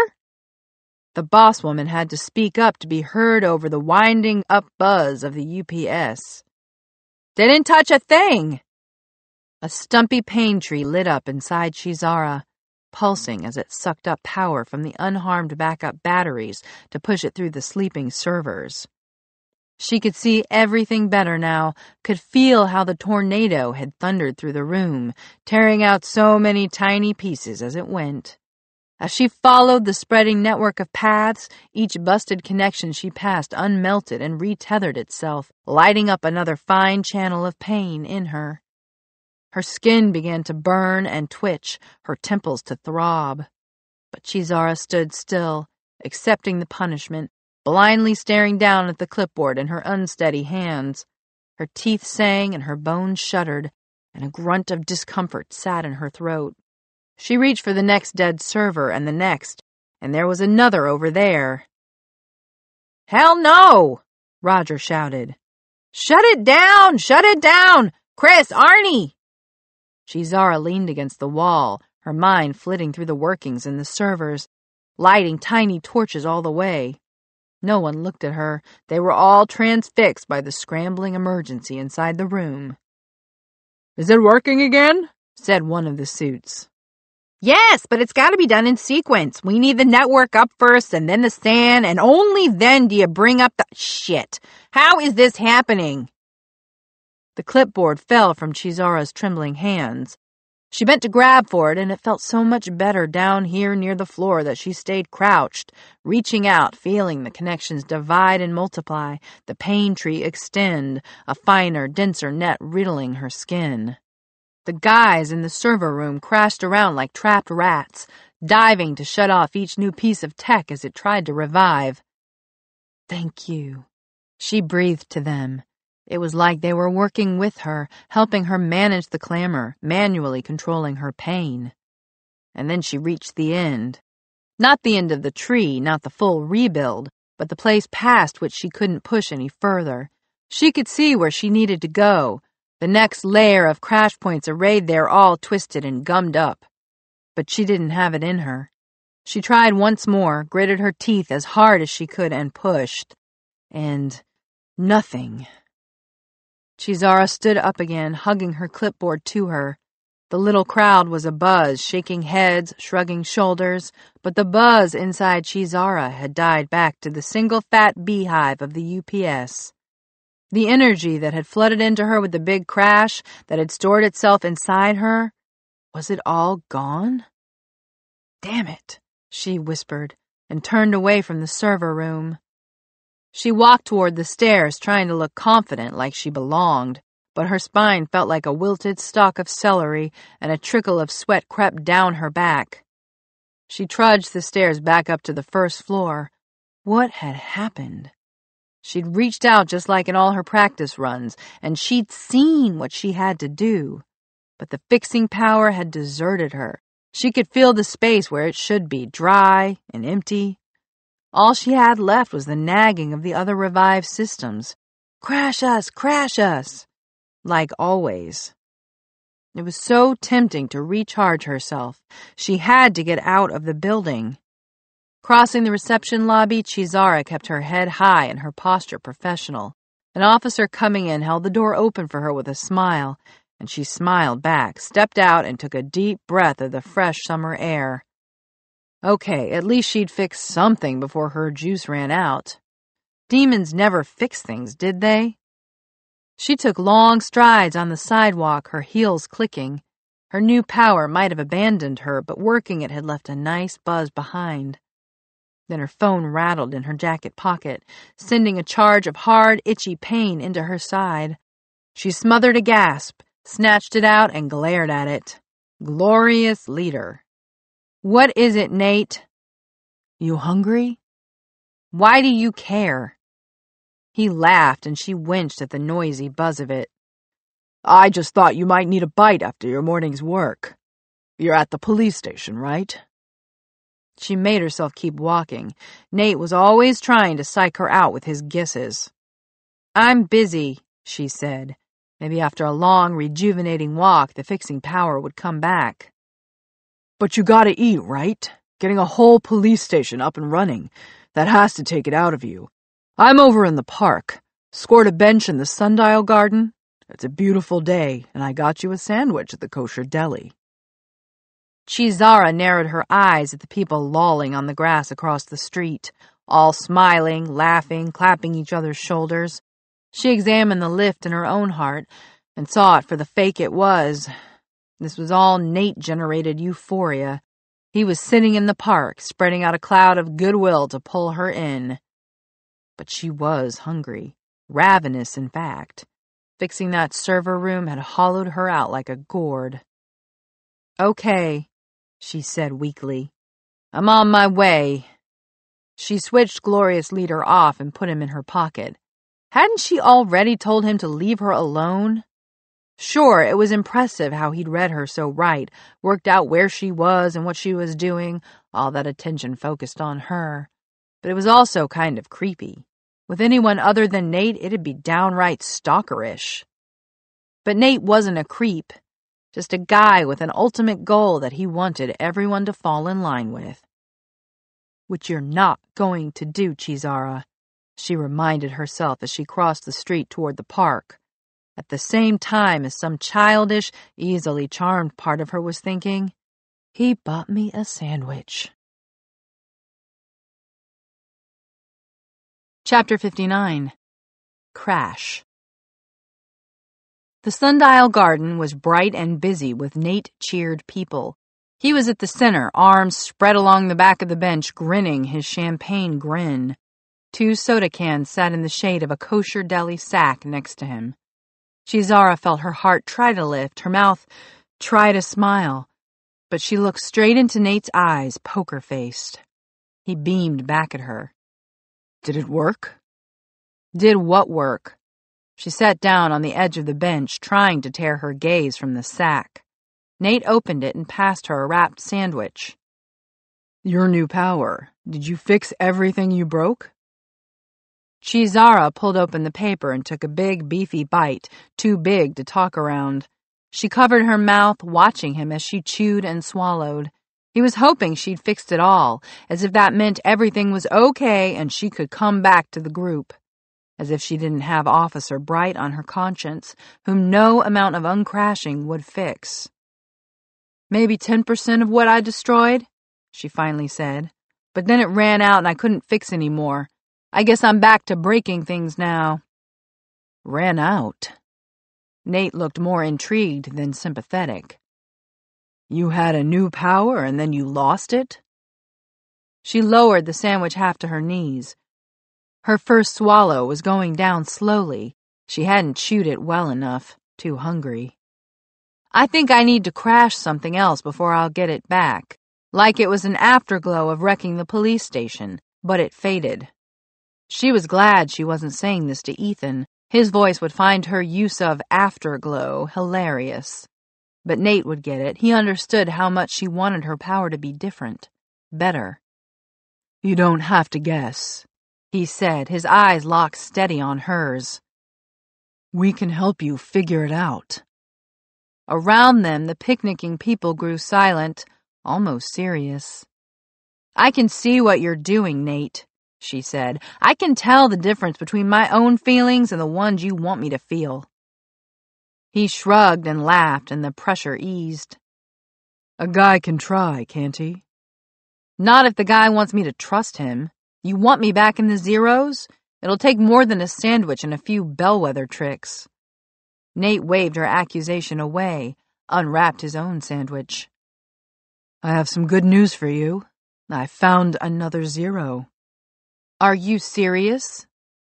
Chizara kept her voice neutral, waiting to see what she really felt about this in her deepest, most Nate-proof heart. And she took a second bite. She could forgive Nate a lot if he would just let her eat. What if all it took to get her fixing power back was a few hundred calories? Last night, he said, during the mission I called you about, something weird happened.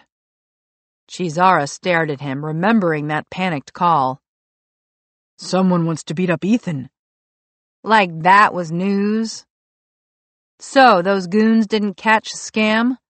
Otherwise, you would have started with that. Yeah, he just called me. Another wave of his hand. But that's getting ahead of ourselves. It all went down on Ivy Street last night. Ethan was running from the guys he stole that duffel bag from, and there was this girl helping him. The bad guys were closing in, and this girl did something with the crowd. She pushed it into a frenzy to help Ethan get away. Nate's eyes were wide, his sandwich forgotten. You should have seen it. A pulse of horror went through Chizara. You mean she's like you? Two glorious leaders? Just no. But Nate was shaking his head. It was different. She didn't focus them on herself. She didn't lead them. She brought them together and made some kind of organism, something that had its own agenda. Chizara didn't know what to make of this. Creating a crowd organism and setting it loose didn't sound responsible exactly. And what did this thing want to do? Just pick up money at first, and then it pretty much decided to dance. Nate smiled like he wanted to jump up and show his own moves on the grass right now. Chizara glowered at him, biting the mood that flooded into her like the sunshine amplified by the picnicking Sunday crowds. Well, it's good you found someone, she said carefully. You've got a replacement for me already. No, don't you see? There are six of us now. Uh, five. Oh, Right, but there's that other guy. She snapped her fingers, trying to remember his name. Anonymous, and with six of us, we're a crowd all on our own. A self-contained curve. We won't need anyone else around to get stuff done. Slowly, she raised her eyes. Nate was aglow with excitement and certainty. Beyond him, a dozen people's faces floated out of focus, smiling too, each a sunflower following the sun. She felt the pressure of his warmth, his pleasure. It would be so easy to cave in. Great, so what'll we do now that we're a complete team? Except that was the problem. Once they were a crowd on their own, the Zeroes would fall in line behind Glorious Leader. Nate's spell would be just that crucial little bit stronger. Who'd be able to resist him?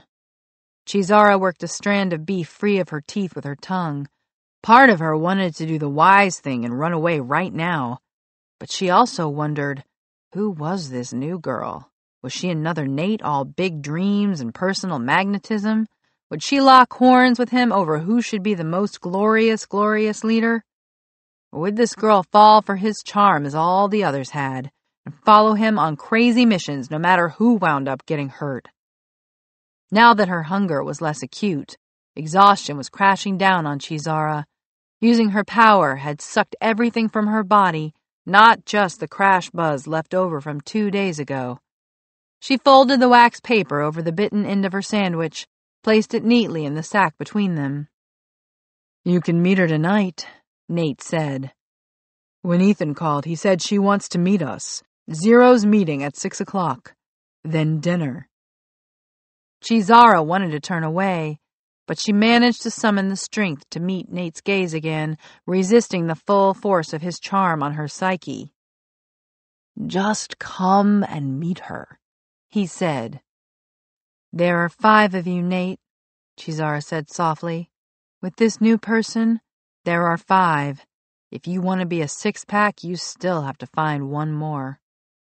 She had time to see his face fall before she stood up and walked away. For a few seconds, it was like wading through oncoming water, all the attention, all the woeful looks on everyone's faces. But then Nate relaxed his hold on the crowd, and they became themselves again, their separate groups, their own unhindered, unexaggerated personalities. They didn't care who she was anymore as she stalked across the sundial garden to the gate. Nate had let her go without a fight. He knew, as she knew, that she'd be too curious about this new power to sit at home while the rest of them got together. And more important than mere curiosity, Chizara needed to warn this new girl. that no power came without a cost. Chapter 60 Anonymous When Thibault and Flicker rounded the corner, the Hotel Magnifique towered ahead. For the first time ever, the sight made Thibault's heart sink. He'd been an idiot for risking his home to help that little weasel scam. Best friends, right. The guy had probably forgotten all about him by now. He was glad for Flicker's arm hooked through his, her sight lines pinging from strangers on the street to keep him in view. Otherwise, he couldn't face this. At the main doors of the hotel, Tom Creasy greeted them with a professional smile. Thibault might be in yesterday's crumpled shirt, but at least he had shoes on, lifted from Sack's shoe barn next door. Inside, staff were coming and going behind the reservation desk. Thibault had timed this perfectly for the shift change. He slipped in, taking a blank key card from the drawer and waking up a computer. You know how all this works? Flicker asked, leaning against the desk in front of him like a guest. Three years of practice. Thibault said glumly. He typed in Katie Chirico's ID and password, hit enter, and gave a little grunt of surprise. What's up? Flicker asked. Changed her password. I'll try someone else's. Flicker looked thoughtful, then drifted away down the long desk, the tendrils of her listening settling over the assembled staff. Thibault decided to go straight to the top, trying the hotel manager's login. This account has been suspended. Please consult the personnel manager. Suspended? Charlie Pinka's account? That made no sense. He retyped the crazy check password. This account has been suspended. What the hell? Are you hearing this? Flicker was back, nodding at a gathering of staff at the other end of the desk. Everyone's supposed to change their passwords. Thibault looked. The staff were tautly wired together with bright connections. Something big was up. The news about changing passwords had just reached the afternoon shift. Mm, but maybe the graveyard shift didn't know yet. If he used one of their logins. There, he was in. He rattled in the details and dipped the card. Also, Flicker said quietly, Does Penthouse 2 ring any bells? Thibault groaned. Yup. Some guys are working up there, she said. From Vanetti's? Vanetti's. They're industrial cleaners, not a good sign. Thibault logged off and walked out from behind the desk. He led Flicker across the lobby so fast that a few barbs of notice stuck to them, which Thibault swiped away. The elevator took forever to come, then stopped for no apparent reason at the seventh floor cafe while he quietly seethed. Finally, they reached the penthouse level. A cleaning cart was parked outside his old suite, full of mops and steam vacuums and bottles of bleach. The door was propped open, and Thibault leaned forward and looked in. The coffee table was in splinters, the TV cracked, shards of glass littered the floor. After three years of chopping the wood and carrying the water, of his trying so hard to keep this room looking vacant, the dismal sight was a punch in the gut. It was almost impressive how much damage Craig's thugs had done in the minutes before they'd followed him and Scam and Kelsie out into the night. And he had to admit, Kelsie had really saved them from a serious beatdown. If he ever saw her again, he'd apologize for doubting her. One of the guys in coveralls looked up from scrubbing the carpet. His gaze slipped from Thibault to Flicker. Did something happen last night? She asked. We're in the other penthouse and we heard some noise. He took in her dark glasses and cane, decided she was harmless. Bunch of kids got in, been living here a while by the look of it. Clothes and video games and stuff. Thibault walked in past her, chopping away any interest from the Finetti's guys. His clothes were in a pile, torn and glittering with broken glass, his books ripped in half with a tattered copy of Zen for Beginners in a dozen pieces, as if the goons had given it special attention. But far worse, his laptop was gone from its place on the desk. No shards of plastic anywhere, so either the hotel or Craig's gang had taken it intact. Don't envy you guys your job today, Flicker said. Her sight lines were hopping around the room, taking it all in. It filled Thibault with shame for her to see his home looking like a disaster zone. Sorry, ma'am. The work crew boss was approaching the door, ready to close it and enforce Finetti's famous discretion. We've got work to do. Thibault slipped past just in time. The door closed with a firm click, shutting him out of his home, and he had no idea where to go next. You okay? Flicker asked, a hand on his shoulder. I'm fine. His voice was hoarse again. Those were just things. Yeah, but they were your things. Flicker moved closer, leaned against him. It seemed like a really nice room. He nodded. It was. I mean, that view, she said. Those workmen couldn't keep their eyes off it. He should have taken a last look instead of mourning his broken junk. But yes, the view was gone as well. No one owns the sunset, he said, and walked toward the elevator. As they rode down, Thibault asked without much hope, Did you see a laptop anywhere? No. Flicker still stood close.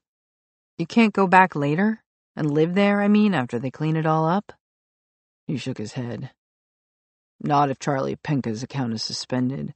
The hotel knows someone was hacking the system. They'll redo their security, start over from scratch.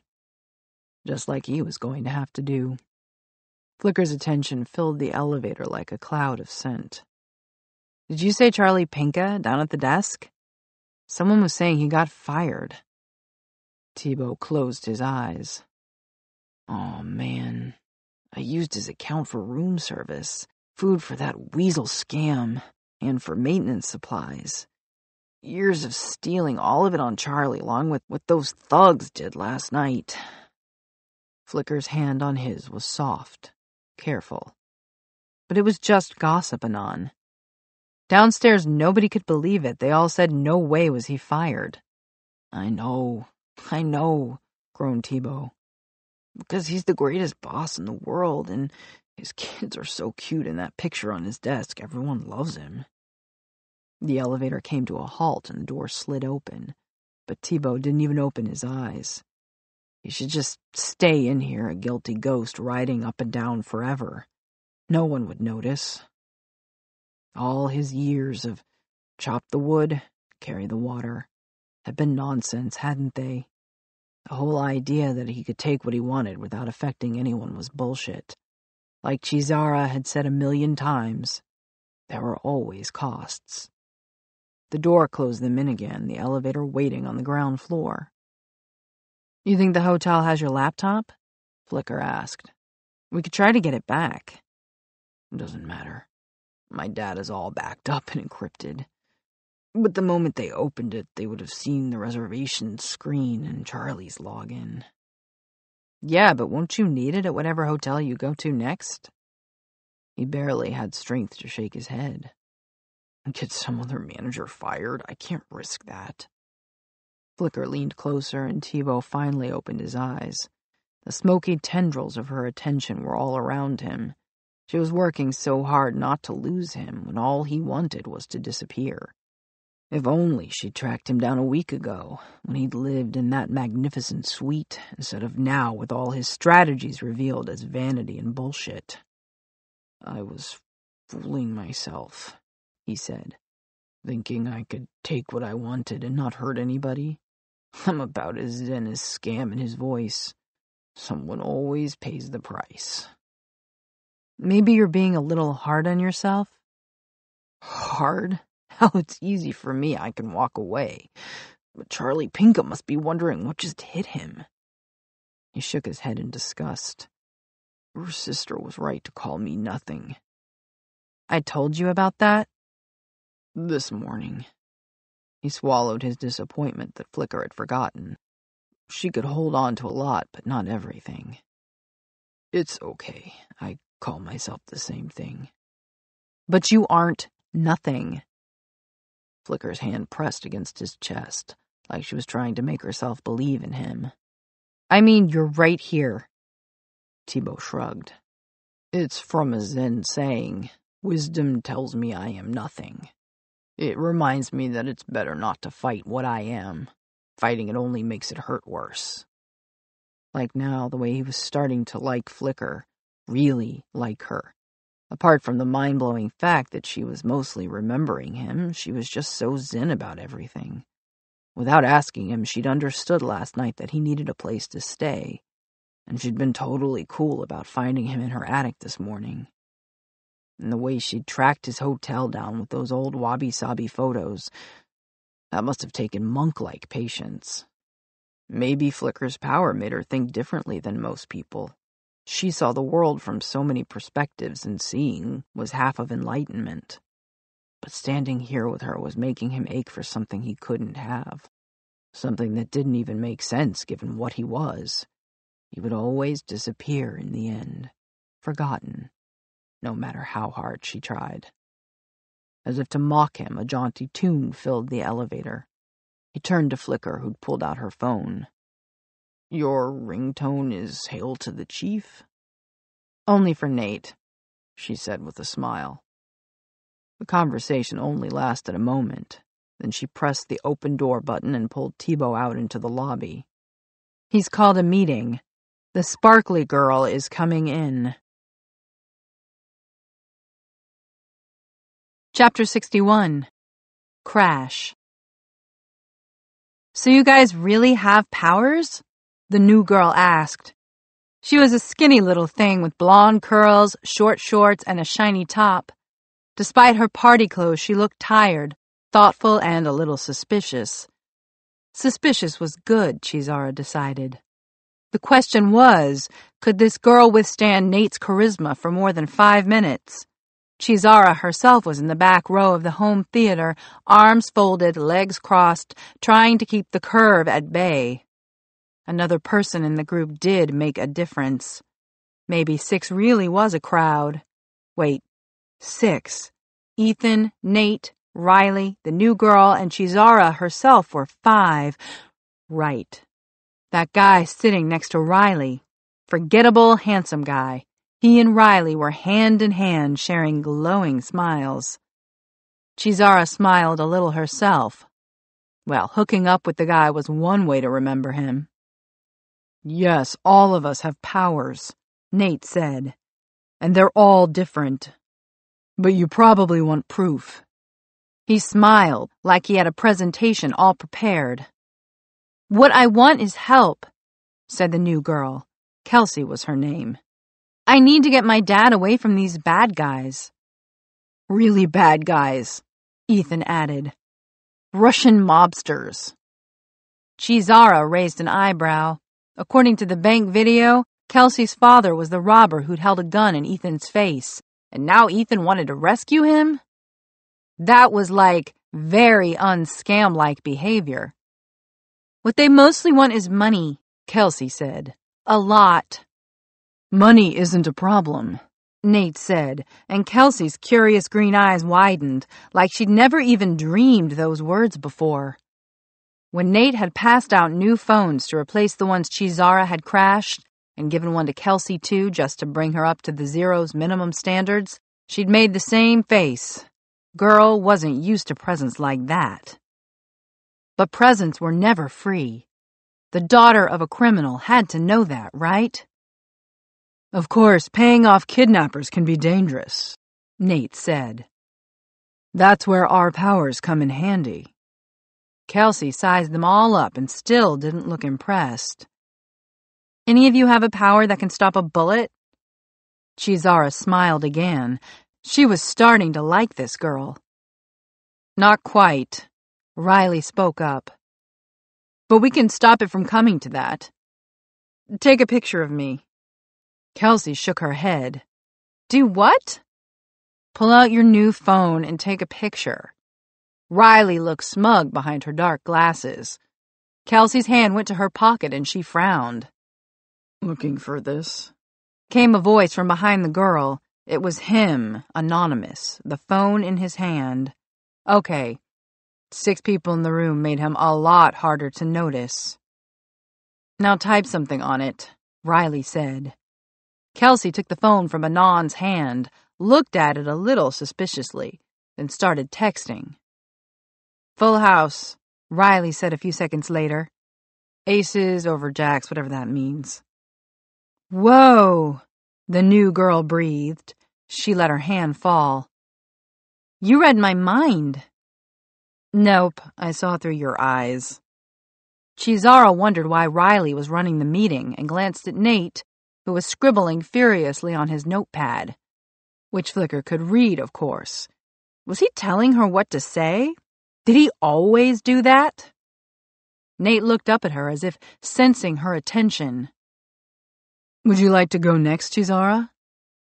What do you want me to crash, Nate? Your fancy theater? Everyone's new phones? Maybe this.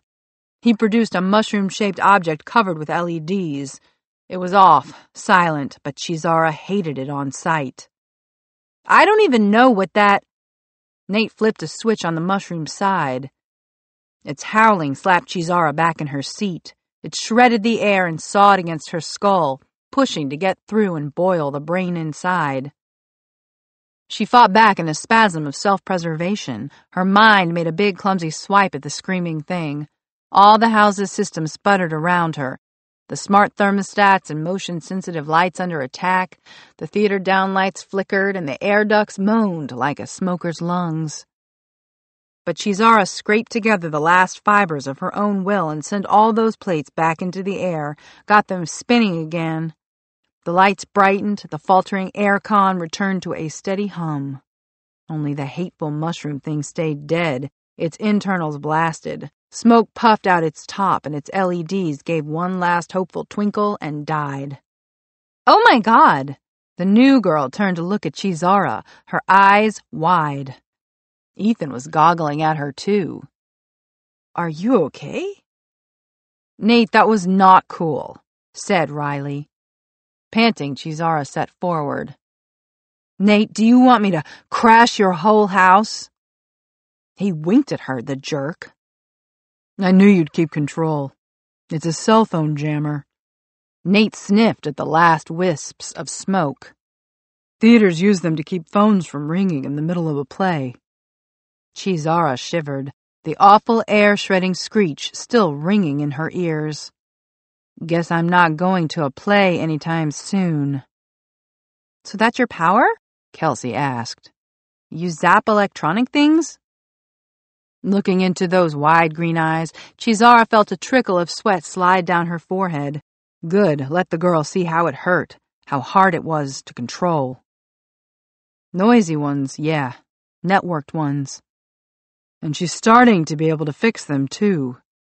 Nate's pride radiated out into the room, a warm, soothing wrap around Chizara's raw nerves. She tried to ignore how good it felt. That was just human experimentation, what Nate had done. Cool, said Kelsie in an odd voice. Nate set down the toasted jammer. So when we pay your dad's ransom, Flicker can see what's going on from every angle. Anon can step in if he needs to, out of nowhere, and Crash shuts it all down if things go wrong. We'll keep those mobsters honest, I promise you. Kelsie nodded, like she believed for the first time that the Zeroes were up to this. So you guys are a team? Like real superheroes? How did you all meet up? Flicker and I go back a long ways, Nate said. I can see people's awareness in the air. Hers looks different. Riley shone her best little sister smile straight at him, and Chizara wondered whose eyes she was using. But Thibault brought the rest of us together. Nate looked a little pained to admit it. His power makes him a keen observer. He can tell when people don't fit in. Sure, Anon said because leading a hundred bicyclists across town is totally subtle. Right, Nate? It worked out exactly as I hoped. Nate focused his smile back on the new girl. Of course, as Thibault's power also makes him the wrong choice as a leader. I stepped in. Kelsie's eyes managed to hold on to Anon for a moment, then slid back to Nate. I guess you guys weren't looking on my side of town. I don't like nightclubs, Anon said. People tend to step on my feet in crowds. But at least we finally found you, Nate cut in.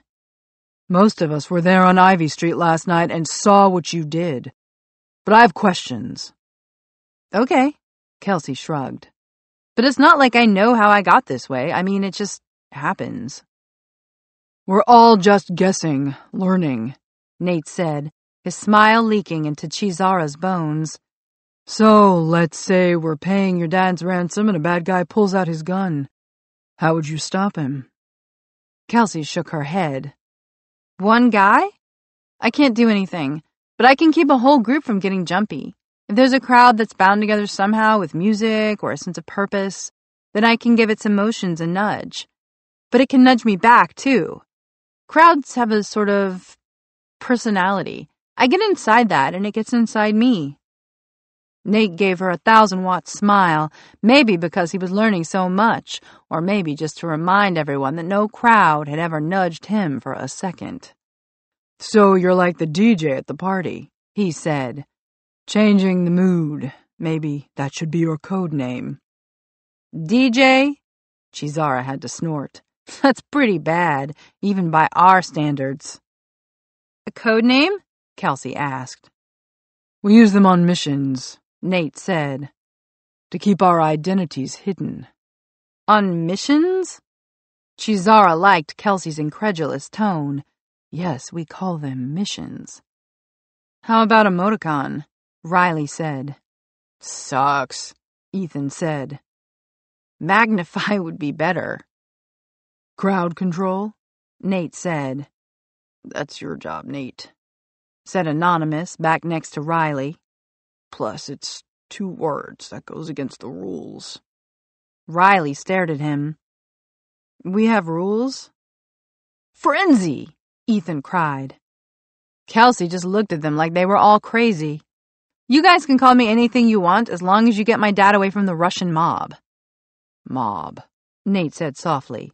A crowd that has a personality, that wants something. We'll call you Mob. Kelsie groaned like she was losing hope fast. Chizara felt sorry for her. Kelsie, she said in her best mom voice, maybe instead of relying on a bunch of teenagers, you should call the police. But they'll put him in jail. He's a bank robber, Chizara reasoned. Someone died in that robbery. Am I the only one here who remembers that? Tears began to well up in Kelsie's eyes, and Chizara felt something fill the room. A sadness that ached down in her muscles, worse than all the fancy tech in Nate's house. For a moment, she thought they all might see sense, might give up this crazy ransom plan and let adults handle it. But then Nate stood, spreading his hands out. If that's what you want, Kelsie, we can always call the police, but first, let me show you my power. And something else filled the room, pushing out the despair, a focus, a seriousness that Chizara had never felt among them all before, and a hopeful feeling, like they could get through anything together. Of course, Nate had five, six with Anonymous, zeroes to work with. He was really glorious leader now and Kelsie must have wanted what he was giving her, because as her face brightened, the sense of purpose in the room redoubled. Nate pulled them all in tight until Chizara was practically leaning forward in her chair, ready to work, to concentrate, to give every scrap of her attention to the ultimate goal. But she knew it was a lie. She had to fight this. Nate stood happily at the center of it all. Before you decide, Kelsie, Let's just see if we can come up with the plan, okay? Not me, Chizara said, and it took every ounce of her willpower to stand up and walk to the door. Crash, Nate called softly. Where are you going? She ignored him, but turned just outside the door and said, Be careful, Kelsie. People get hurt when we use our powers. In the middle of a police station, people get hurt bad. Imagine how it'll go in a room full of gangsters. They all looked at her, and for a brief moment she had them. But then Nate drew his hands through the air toward himself, like a puppeteer gathering all his strings, and their heads turned back to face him, eager to hear more good news. Chizara turned and walked down the hallway, her legs wobbly from the struggle. She might have lost, but at least she could rob Glorious Leader of one last measure of the curve. Chapter 62 Scam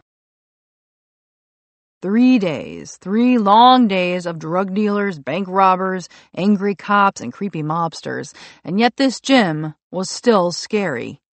Ethan figured this was the kind of gym where people worked out for the purposes of secret and highly illegal fight clubs. The woman at the front desk looked like she could pummel Ethan with her little toe. Even the voice was intimidated, lurking deep in his larynx like a mouse. It didn't help that the sweat stink was so bad, like it was pumped into the place. Ethan dipped his nose into the collar of his shirt, which also hid his face from anyone who might recognize him as the bank video guy. Creepy clientele, he muttered through his shirt.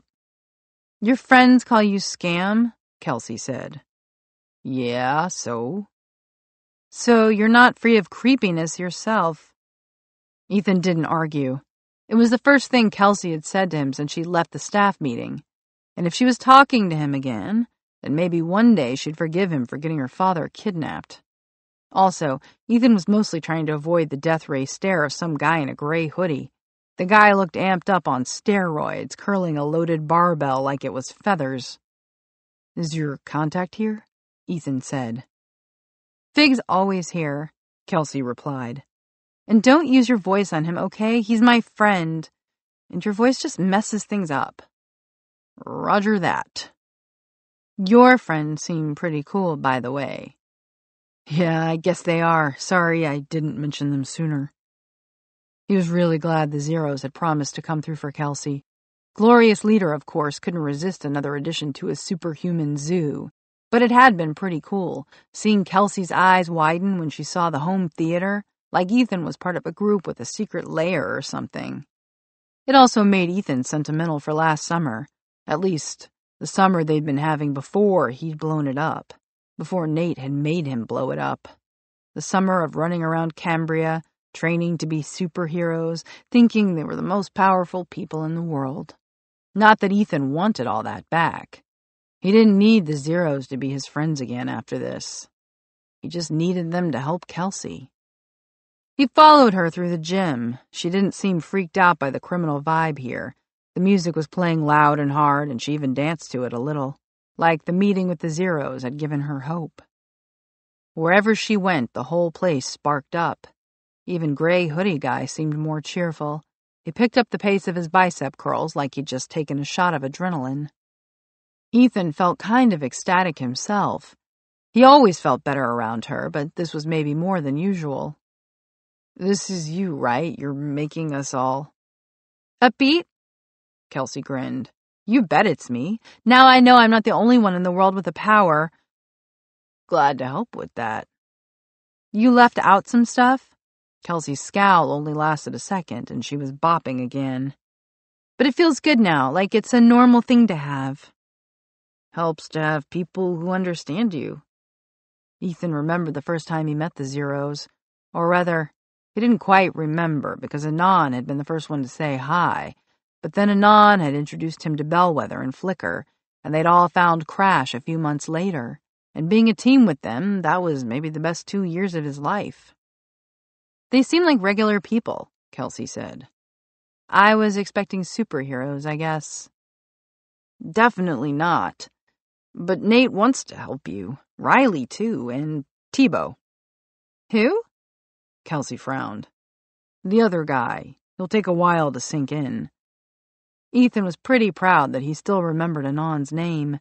The memories had faded while he'd been running around with Kelsie because she was so sparkly and distracting but seeing T at the meeting had recharged his memories of the penthouse. Chizara's not into the whole group thing, is she? Kelsie said. Ethan shook his head. She thinks we're kind of careless. Gee, wonder where she got that idea. He shrugged. We don't need her for Nate's plan. They did a circuit of the weight room, Kelsie dancing ahead while Ethan followed. The sweat smell was even sharper in here. Most of the bodybuilders nodded or smiled as Kelsie passed, feeling that rush of energy that swirled around her. When they reached a room with aerobic equipment lined up like machines of war, Kelsie made a beeline for the treadmills. A short guy in a tight shirt was in full sprint, sweat flying off his face. Hey, Fig, Kelsie said. Fig heaved himself up with both hands to the rails of the treadmill, letting the mat spin beneath him. Hey, Kels, he gasped. Who's your friend? He's gonna help me get my dad out of trouble. Fig gave Ethan a once over. He looked unimpressed, but hit the treadmill stop button with his knee and leaped lightly from the machine. Any friend of Kelsie's? Likewise. Ethan shook the guy's incredibly sweaty hand then wondered if it was okay to wipe his palm on a trouser leg. Somewhere private? Kelsie asked. Fig grabbed a towel and led them through a doorway and out to a small, empty courtyard. Sunlight glinted on the circumference of glass windows. It felt like the inside of a fishbowl. Fig mopped his face with the towel. So is there a plan? Kelsie said. I need to get in touch with the Bagrovs. They'll eat you alive. I want to pay back my dad's debt. We've got money. Thirty grand, Ethan said proudly. Fig cast a dubious look at Ethan. What's your interest? Ethan had seen that look before. It was paternal, like Fig was saying, Make sure you have my little girl back by ten. Ethan stood a little straighter. He kind of liked that Fig thought he might be boyfriend material. Maybe even dangerous boyfriend material. Kelsie had told him not to use the voice, so there was no point trying to lie. It's my fault Jerry's in trouble. I want to fix it. Fig raised an eyebrow. So you're that bank video kid? Thought so. Yep, Ethan said. Fig chewed his lip as if this didn't make any sense. Sounds like both you kids got good reason to steer clear of the Bagrovs. Do you know anything about these guys? I know I can't give up on my dad, Kelsie said softly. We take care of each other, we always have. Fig sighed like he was having a hard time working out how to explain something really complicated. Ethan hated that look. His mother used it on him all the time. He'd left his mother another message that morning, saying that he was okay and would be home soon. Ethan knew he had to face the music once Kelsie's dad was safe. If you've got money, Fig was saying. The best thing you can do is take it and get out of Cambria, at least until summer's over. Maybe by then the Bagrovs will find a new town to pick on. Ethan figured that wasn't a bad idea. He wished he'd done that when he'd stolen the Craig's car. He could have kept driving until he hit L.A. or Mexico. But then he wouldn't have met Kelsie. These Bagrov guys, Fig said, they'll take your money and still do what they want with Jerry. I mean, if they haven't already. He let the sentence trail away. Kelsie took a step forward. What? Come on, Kelsie, you know. Fig pulled his towel off one shoulder and flicked it onto the other. Your dad was in deep. Don't talk like that, Fig, she pleaded. We've got money. That's all they want, right? You have to understand. Fig dropped his volume from a booming baritone to something a little softer. Jerry's not coming back from this one, and I'm not going to let you wind up in the same place. Kelsie glanced over at Ethan in mute appeal. Without Fig's help, the money was useless. Ethan didn't have the first idea about how to get in touch with gangsters, and he was glad to see that Kelsie didn't either. She gave him one small nod, and Ethan let it happen. He focused on how much he wanted to put things right with Kelsie. He hadn't wanted anything this much in a long time. It practically hurt to want something this much. Get it right, voice. Get Fig on our side. Jerry told you a week ago, Fig, that if anything happened to him, he wanted you to take care of his little girl. Fig shook his head. You knew Jerry? I wasn't in that bank for my suntan. Ethan heard himself say. I was there because Jerry wanted me to be. Fig was staring at him now. Yeah, we set the whole thing up. It was supposed to go down different, with the Bagrov guy getting shot instead of Hank. More money for Jerry so he could leave town, and a video to prove that Nick was a fink. That's right, Sonia Sonic was in on it too. Ethan's mind reeled as he listened. Man, the voice was outdoing itself this time. I told Jerry it might not work, and he said, You fix it if it doesn't. Buy me out. Fig'll help you. Just tell him everything. The voice took a break for a second, barely long enough for Ethan to swallow. So I'm telling you everything, Fig. You going to come through or not? Fig gave him an astonished look. Jerry thought all that up? Yep. Fig blinked once, slow as a lizard, then nodded. You wait right here. Ethan watched him stride through the gym and straight to the guy in the gray hoodie of all people. After a brief conversation, the guy pulled out his phone. Okay, Kelsie said. That was impressive, but I can't help but remember how things worked out last time you used the voice. Ethan had been thinking the same thing. What had Fig said the Bagrovs would do to him and Kelsie? Eat them alive? Fig returned to the courtyard. They want double what Jerry owed. Twenty-five grand. We've got it, Kelsie said. Head out to Hurricane Hauling and Demolition. Their office is out on Memorial Drive. Some guy called Misha will be there. Ethan sighed. Great, that guy. When? Kelsie asked. In three days, Fig replied. Fourth of July at 7 p.m., unmarked cash. Thanks, Fig. Kelsie said. She gave him a light punch on his overdeveloped upper arm. Her mood was infectious, spilling across the gym and making Ethan smile. Don't thank me, Kelsie. Somehow Fig wasn't included in Kelsie's ramped up optimism. Just promise me, anything goes wrong, you get the hell out of there. Let Jerry fix it himself. It's okay, Fig, she said. I've got new friends, friends who can help. Fig turned his narrow glare upon Ethan. We'll look after her, Ethan confirmed. Fig looked like he didn't believe it. Ethan couldn't blame the guy. Chapter 63 Flicker Sometimes when they were alone like this, it felt like the attic was breathing. Maybe it was how close they were, legs entwined on the old couch, her hand resting on his knee, the rustle of his clothing in her ears. Or maybe it was the summer heat, which carried every tremor of motion through the still, almost liquid attic air. When Flicker had come to the attic, she'd curled up with him straight away, as if her body knew that this was how they'd wound up last time, whenever that was. It was tricky keeping track of everything. She repeated her jokes a lot, and he kidded her about it, which seemed unfair. But other memories were easy, always at her fingertips.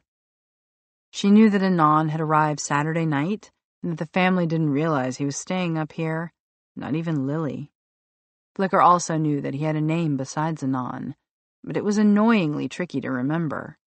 She also recognized his scent, his touch, and the sound of his breathing, as if her senses had their own private stash of memory, immune to his power. Or maybe, after all those stories, the attic was magic. Do you ever go see your family? She asked that afternoon. That's a new question, right? Yeah, it is. And I go there once a year to my youngest brother's birthday party. Flicker asked carefully. Do your parents recognize you? Mm, sort of. When my mom looks straight at me, she gets this smile like I'm her kid off at college and she forgot I was coming, but she's glad to see me. Until she looks away. A pause, and then his voice was softer. It's harder since my grandma moved in. The house is too crowded, but they've still got my picture up everywhere. Flicker pulled him closer. They must miss you then. I guess. He shifted beside her, maybe a shrug. But they must wonder where I am when they look at those pictures, and I guess their friends ask.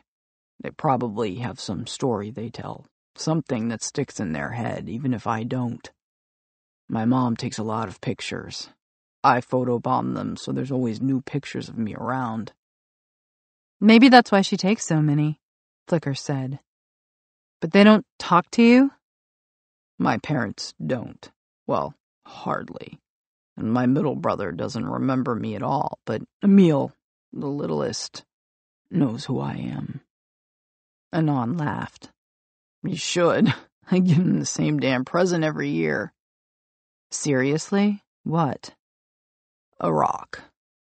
Flicker laughed. Gee, I never get rocks for my birthday. Me neither. Last year I got him a red almandine garnet. Wait, you're serious? Like a gem? It's a crystal, made of iron and aluminum. He had all the other species of garnet, so now he's got a full set. Anon sounded proud of his work, and Flicker smiled. I didn't even know rocks had species, she said. Emil says they're alive. Just very slow. The ache in his voice sent a flash of anger through Flicker. Your mom and dad, they shouldn't have left you in that hospital. They should have remembered. The moment she said the words, she regretted them. Anon's breathing hitched, a tremor moving through his body next to hers. Sorry, she said. Shouldn't bring that up. I'm an idiot. No. He took her hand, that perfect fit. It's just. I told you about the hospital the first night I was here. Three days ago. And you still remember. Flicker shrugged. Who could forget a little kid getting left alone in a hospital? Well, you all forgot it the first time you heard it, when Scam's voice said it last summer. Oh. She shuddered. It was hard recalling that day, after what Scam had said to her and Nate. You want to bang your little sister, don't you? Flicker had already known Nate was in love with her, but hearing it out loud, that way, in front of all of them, had changed their friendship forever. Nate's power was tangled up with his ego in messy ways, and Flicker knew she was a walking reminder for him that charm had its limits. Anon felt the shudder and squeezed her tighter. It's okay. I'm glad you forgot what Scam said, but I'm also glad you remember when I told you. I do. Perfectly. She even remembered Anon's voice as he told her the story, hoarse and dry, like he was still in that hospital bed, sick and thirsty and alone. When I told Lily about it, she added a whole chapter to the story of nothing. Great, he said, like maybe it wasn't. Sorry to spill your secrets, Anon, but Lily's stories are how I remember you, just like your mom and her photos. Lily can't forget you because you're just a fairy tale to her. She's my extra brain, sort of. So you keep telling me, he said, then laughed. Secret twin powers activate. Okay, I can see how it's weird. She felt him shrug, and he said, I'm just worried you'll get disappointed by the reality. Instead of a prince, I'm a guy whose parents forgot him. Instead of a castle, I have a stolen hotel room. Had one, anyway. Now I'm basically homeless. He deflated with a sigh. Haven't slain any dragons lately either. She laughed. It's not like you slayed. Slew? Any dragons in Lily's stories either. That's not really her kind of thing. No? He sounded disappointed. So I slew giants? Vampires, maybe? What is her thing exactly? Flicker felt a squirm starting inside of her, but didn't let it come to the surface. With Anon lying this close to her, he would feel it if she cringed. Lily thinks you're my fictional boyfriend. Your what? Haven't you ever read a book? Her voice dropped a little. Or you're watching a movie or whatever, and there's a hot girl in it, so you pretend she's your girlfriend, you know? Sure he said, but from the sound of it, he didn't know. She tried again. They weren't really stories per se, with bad guys and quests and plots and stuff. I mean, they'd start off that way, but they always wind up drifting into, um, boyfriend stuff. His body trembled. He was either having a stroke or he was at the edge of laughing. Yeah, I know it sounds silly, Flicker said, especially compared to you and Ethan being really mature and killing tree sprites and Red Spectre or whatever. Whoa, that memory had come out of nowhere just in time. It's Red Scepter, not Spectre, Anon said. And I killed no tree sprites. I was a tree sprite, totally different. Yes, I can see the distinction. Being a fictional tree sprite is way less silly than having a fictional boyfriend. One key difference is there are no real tree sprites. Fictional is the only kind of sprite there is, but there are real boys. He slid his hand from her shoulder down to her waist, tracing every inch between. It sent a shiver through her, and she turned to face him. Yeah, okay. That is different. Flicker was pretty sure they'd never had this particular conversation before. Tell me more. Mm, there's not a lot to tell, he said except that real is better. This sounds doubtful. I've had some awesome fictional boyfriends. He drew her closer, spoke softer. Yeah, but real is real. Their lips met and the shiver came again. It traveled deep inside her, reaching all the places where she was pressed against Anon. Her legs, her lips and tongue, her skin, even her breath trembled in her mouth. When they pulled apart, it took a moment to speak again. Whoa, she finally said. Was that the first time? Our first kiss? I mean, the first one like that, he said, sounding breathless and a little amazed. She smiled.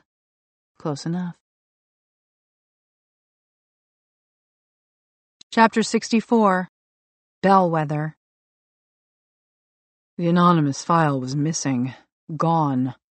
Nate stared at the space where it should have been, the compartment in the home theater riser where all the wires and cable were stuffed out of sight. He couldn't remember putting it back here after the last meeting, or even taking it out in the first place. There'd been a lot going on, with Mob joining the group and a mission to plan, and anything that had to do with Anonymous could slip your mind. Nate looked underneath the seats. Nada. What if he'd left it somewhere around the house?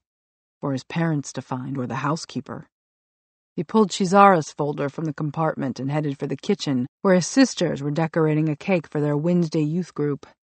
Gabby had drawn a sacred heart and icing, which looked more like a strawberry wearing a crown of thorns. I need you three to look for something. Gabby didn't look up. We're making a cake, Hermano. I can see that, but it's twenty bucks for whoever finds what I'm missing. That got their attention, and he held up his file on Crash. Like this, but much thicker. They looked down at the half decorated cake, then back at him. He gave himself to greed, thoughts of candy, of dolls, of everything twenty dollars could buy, and that little nudge broke the stalemate. They were off in a flurry of shouts. In the afterglow of using his power, Nate wondered if Kelsie could have managed a trick like that. Did she command the crowd, or did it command her? Was she like a rider on a horse guiding a more powerful creature with the cut of spurs? It occurred to him that it was time to start another file. On the way to his room, he was distracted again. The doorbell. Nate checked through the living room windows and swore. DDA Cooper was outside. Detectives King and Fuentes weren't with her. So she was here as Ethan's mother, not as a district attorney. Letting her in was a bad idea, but she would only come back again later, and maybe next time his parents would be home. Nate opened the door. They settled in the living room, just the two of them. The girls were still searching the house, so gathering any sort of crowd was impossible. One on one would have to do. How can I help you, DDA Cooper?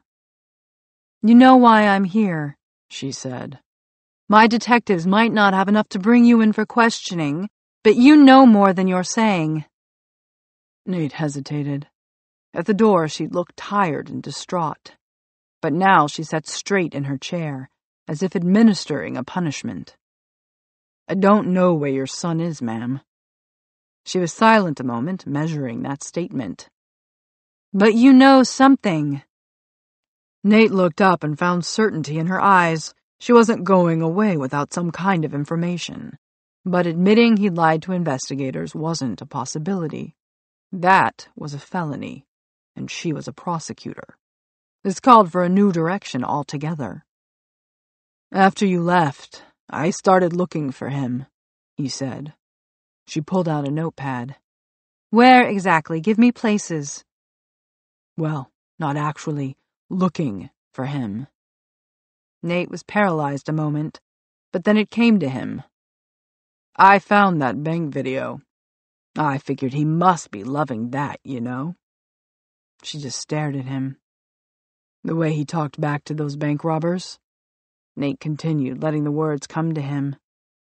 Everyone in the world seeing how clever he was, how he always knows exactly what to say. Her cool expression faltered a little. The video must have been baffling, her son knowing the name of a bank robber's daughter, but also weirdly familiar. Surely she'd heard Scam's spout inexplicable knowledge before. You still haven't told me where you looked for him, she said. Online. There were thousands of comments on that video. Nate never read comments, which were pointless, leaderless babble, but he was certain there was no shortage of them under Sonia's video. All those people saying, with cojones on that little. Oh, sorry. DDA Cooper gave a shake of her head.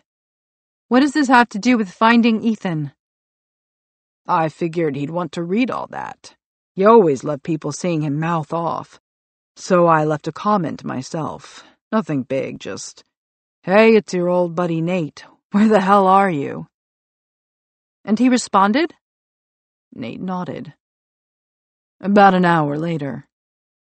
This was on Sonia Sonic's blog, she asked, pulling out a notepad. No, that would be too easy to check. One of the sites that linked to it. DDA Cooper was uncertain whether to believe him, but she wanted to. He left a message on my phone saying he'd be home soon. Did he mention that or say where he was? Nate sighed. No, he said the whole bank thing was a joke of some kind, and how he was scared because of those criminals escaping. He figured the bank robbers were looking for him. He didn't think it was smart to come home yet. Nate realized he was practically telling the truth. What site was this? Maybe we can trace him. I really don't remember. And his comments disappeared the next day. He must have gotten scared and deleted them. He shrugged. So I deleted mine, too. I didn't want to get him in trouble. DDA Cooper was staring now, as if the proof of Nate's story had disappeared a bit too conveniently. Which was fine, as long as she had a glimmer of hope that it might be true. As long as she spent the next few days scouring blogs instead of showing up at Nate's house again. If you're lying about this, she began. I think he wants to come home, he interrupted, letting the truth fill his words. The truth that Ethan would be home eventually, and that he, Nate, felt sorry for her. When? Soon, Nate said. Then he made a decision. More truth. This weekend, in fact. He said there was something he had to do first to put all this video nonsense to rest. Put it to rest? She shook her head. What kind of joke was it, anyway? I mean, the way he was talking in that bank, like he knew those men. He used their names. My detectives think he must have been in on it. Nate shook his head. I've watched that video a hundred times, trying to figure it out. He must have heard the robbers talking to each other, and then he decided to be a smart aleck. Something in those words clicked An exhausted smile came over her face. That sounds like Ethan. He's always pulling things out of thin air. Nate stared at her, wondering what it was like to raise Scam. Did his parents think he was a genius, a psychopath, possessed? It couldn't have been much fun. Ethan always refused to talk about his power's first appearance. He would say weird stuff to us, too, Nate said. Like he knew things about us that he couldn't have. DDA Cooper's gaze was fixed on some distant point. She looked more exhausted every minute. When he was little, we thought he was a genius. He spoke in complete sentences at two. Nate nodded attentively. Two years old. Flicker had been almost eight when she'd started seeing through her sister's eyes, and Thibault had managed to live with his family until three years ago. Nate wondered if DDA Cooper would mind him taking notes. Probably. But then it changed, he asked, giving her the full wattage of his attention, wishing there were a crowd here to focus it. Right when he turned four, he started to have episodes. One moment he was his usual self, smart, articulate. But then he'd try to repeat the same words and he would babble them like a toddler again. Did he seem different? I mean, when he was stumbling for words, like he was a different person. She looked up at him, the spell broken by the oddness of the question. Or perhaps because the answer was yes. Sorry, someone's calling, Nate said, before she could ask what exactly he meant. He pulled out his phone, set it to record audio, and laid it face down beside him. No one important. She leaned forward. I need to find my son. He's been missing for days. If there's anything you can do. I'll try to find that blog again and leave more comments. This time I'll let you know the moment I hear from him, I promise. She stared at him, mistrust warring with hope, but she pulled out a business card and handed it to him. Call me right away. Nate accepted the card, then gave her his most solemn expression. Is it okay if I mention you, to remind him that he has a home to go to? She sighed. Things haven't always been perfect at home. His father left us when he was little. Nate wondered if Scam's voice was responsible for that, spouting the wrong truth in the middle of some tantrum, a childhood version of last summer. He knew he should send Ethan's mother on her way now. It would be too easy to slip up, to give himself away to make her want too much from him. But this was a golden opportunity to find out more about Ethan's upbringing and how his power had manifested. Maybe if I mentioned his sister, Nate said. Seems like he misses her a lot. Is she deployed right now? DDA Cooper nodded, still unsure about opening up. But Nate was a connection to her son, a lifeline for her hope and she had nowhere else to turn. He worships Jessie, she said softly. Since they were little, she's the only one that can ever make him tell the truth. Nate glanced at his phone, hoping the battery would hold. Then he leaned forward and listened, a list of questions already forming in his mind. Chapter 65 Crash are you sure about this? Ekem asked. Chizara and her little brother stared up at the main entrance to Cambria County General Hospital. Chizara's head was already aching from all the tech. She hadn't been inside a hospital since she was born.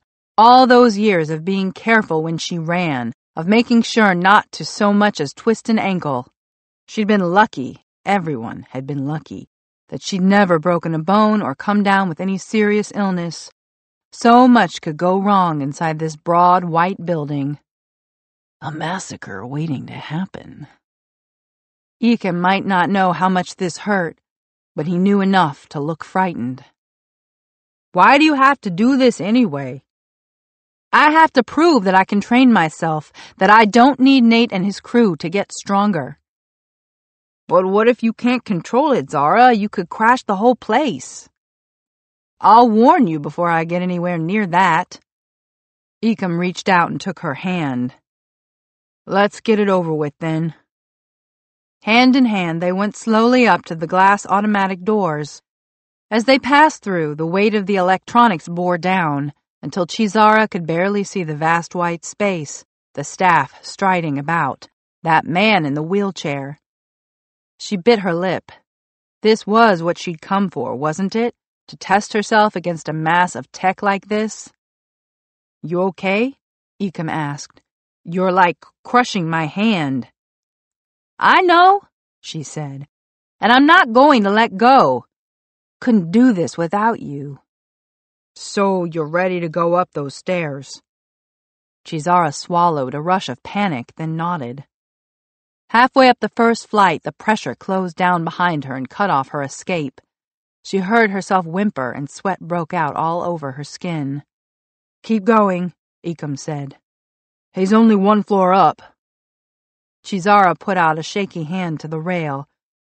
Uh-huh, I remember. He helped her creep up to the landing, make the turn. A patient and an orderly on the way down stopped and stared. It's her therapy, Chizara heard Ekem say. She's scared of people. You're doing great, the orderly said, peering over her spectacles. Chizara managed a smile that practically creaked. It was like all the plates from all the restaurants in the whole world were stacked up, really badly, on top of her and if she wobbled even the littlest bit. When they were alone again, Ekem said, You look terrible, Zara. Let's get out of here. No, I'm holding it all. There's just so much. She probed the labyrinth around her the sensors, the diagnostic machinery, the forests of surgical aids in the operating rooms downstairs, the miniature pumps shunting fluids into and out of people's bodies. So many machines, all talking to each other. You sound like a stoner, Ekem hissed. She straightened up and he grabbed her hand again. He was a good brother, she thought sloppily, sentimentally, before her mind rushed back to coping with the onslaught of intricate pain, elaborate light, filigreed power. She was so close to buckling and letting the whole massive weight come crashing down around her. But it wasn't going to happen. Yes, she was in the middle of a major hospital. Yes, she was about to break every bone in her brother's hand. Yes, she could hardly see straight, but she was still walking, could still read the signs. Pediatrics, pulmonary, endoscopy. There it is, she muttered. Intensive care unit. So many flowers, Ekem whispered. Like a funeral, Chizara said. A policeman stood outside the double doors, beside the mountain of flowers piled across two tables. Beyond him, a hundred machines beat and blinked in the ICU. The pain felt like it would melt Chizara's bones. Her voice came out soft, but steady. Are these all for Officer Bright? The officer took in her trembling hands her sweaty skin and nodded. Did they run out of room inside? said Ekem in an awed voice. Can't put flowers in the ICU, the man said. Germs breed in the water. Chizara nodded, then led Ekem to the glass doors. Peering through, all she could see was a nurse passing, blinking equipment, a man with a tube running into the back of his hand. Chizara reached her mind out to all the glowing machines clustered around each ICU bed. The monitors and drips, the pumps and ventilators and dialysis machines. All the equipment was running perfectly, but none of it could heal cells, could mend organs. The most she could do was not interfere, just sweat and tremble, and not let a single chip blink out, a single power carrying filament fail. But she was tiring. She could feel it. She didn't have much longer. In a little room off to one side, a woman sat dazed, tearless. A policewoman was holding her hand and talking to her. Through everything else, Chizara felt those needles of guilt. She took a deep breath, trying not to get distracted. But then she saw them. On a couch opposite their mother sat three children in a row. A realization slipped into Chizara the finest, sharpest blade skipping across the tendons of her will. Officer Bright's kids weren't out exploring the hospital corridors, entertaining themselves, getting up to mischief. They were sitting there staring at nothing, hoping their father would come back to them. Through the blur of welling tears, the lights in the ICU flickered. Her bleak thoughts shook all those delicate systems, and two small, sharp alarms went off on the other side of the doors. Here in the corridor, the air conditioning coughed and struggled. Zara! hissed Ekem at her ear. Chizara blinked hard. Her brain began to scramble. A tsunami built on the horizon. A nurse ran past. Someone shouted, Officer Bright's wife woke from her daze and the kids looked around frightened. No, Chizara whispered. Not this. Stepping away from the door, she reached deep, deeper than she ever had before, groping for resources she wasn't sure she had. She all but flattened herself, forcing her mind under the great teetering weight of the tech. She spread herself out in a million directions and lifted, everything straining nearly to snapping, from her core out to her fingertips. She pushed back the swelling wave of disaster, pushed herself up into the pain until she nearly howled with it. But she didn't howl. Just hold up, Chizara. Hold it all up for as long as it damn well takes. One of the alarms shut off. Then, at last, the other. The air conditioning recovered its rhythm and purred on. Chizara took Ekem's elbow, spoke low. Get me out of here. Should we run? Slow and steady so I don't lose my grip. As they walked back into fresh air, the load lifted off Chizara, transforming from ravening demons to a massed choir behind her. She let go of Ekem's hand and put her face up to the breeze. I am never, ever doing anything like that again. Ekem backed away ahead of her. I thought you were going to die or break that whole building. She glanced over her shoulder at the hospital. It still pulsed with a thousand machines. But it didn't hurt any more, at least not from out here. You think you were scared? she asked, but Ekem had already turned and bounded down the footpath toward the street. She turned and followed him down the street toward the strip mall. She'd promised him ice cream after this. The hospital visit had been painful and dangerous, but now she knew. The big crash at the CCPD had made her stronger. Maybe her fixing power had faded in the end but her willpower had grown. A week ago, she couldn't have set foot inside that hospital.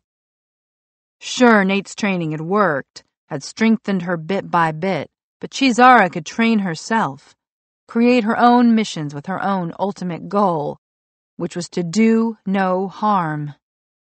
She didn't need the other zeroes around, complicating things, distracting her using her for their own selfish ends, making her destroy property and put people's lives in danger. And she didn't need to be part of some plan to pay ransom for a bank robber. If someone was kidnapped, you called the police, not a bunch of teenagers with powers they didn't understand. Too bad Kelsie didn't see that, but that was her choice. Come on, Zara, Ekem danced back to her. Aren't you starving? She was, Chizara realized as she pushed open the door into the ice cream joint. She was hungry and exhausted from fighting against her power. She couldn't stop Nate from playing with other people's lives, but she could walk away. She could nurture her power her own way. And if he came around to charm her again, well, that was fine too. She would test her will against glorious leaders any day. Chapter 66 Anonymous So the fictional boyfriend is real, Lily said. Thibault smiled, resisting the urge to snip her gaze and disappear into the shadows of the attic. He had promised Flicker to make this meeting work.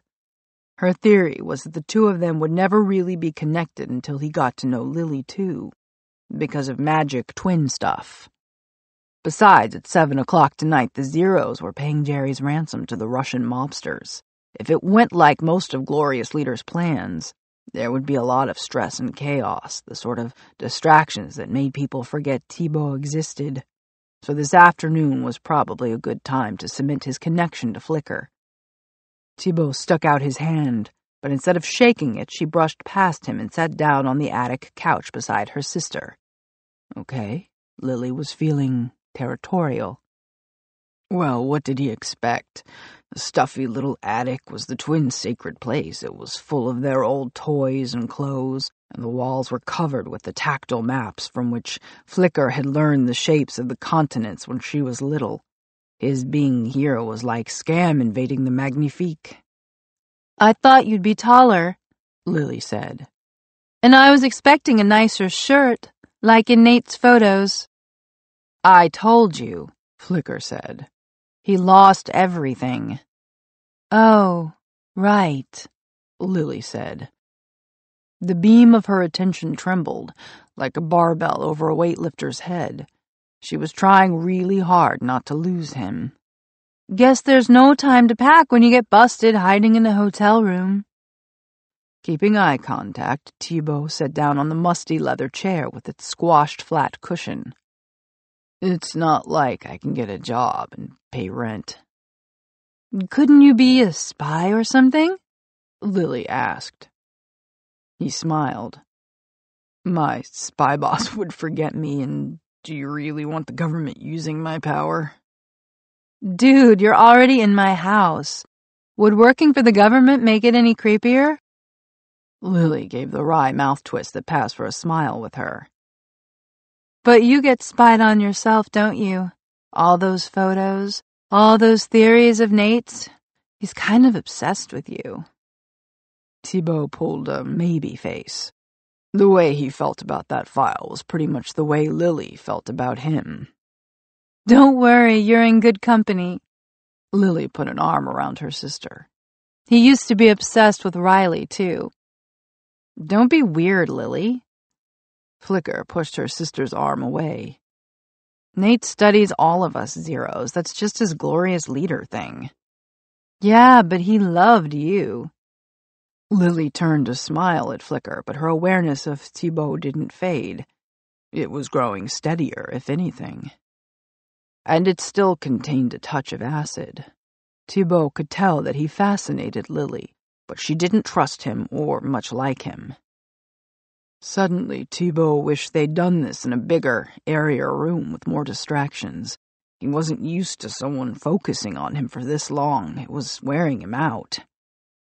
Maybe if he lightened the mood. I should thank you, Lily, for helping Riley remember me. Yeah, you owe me.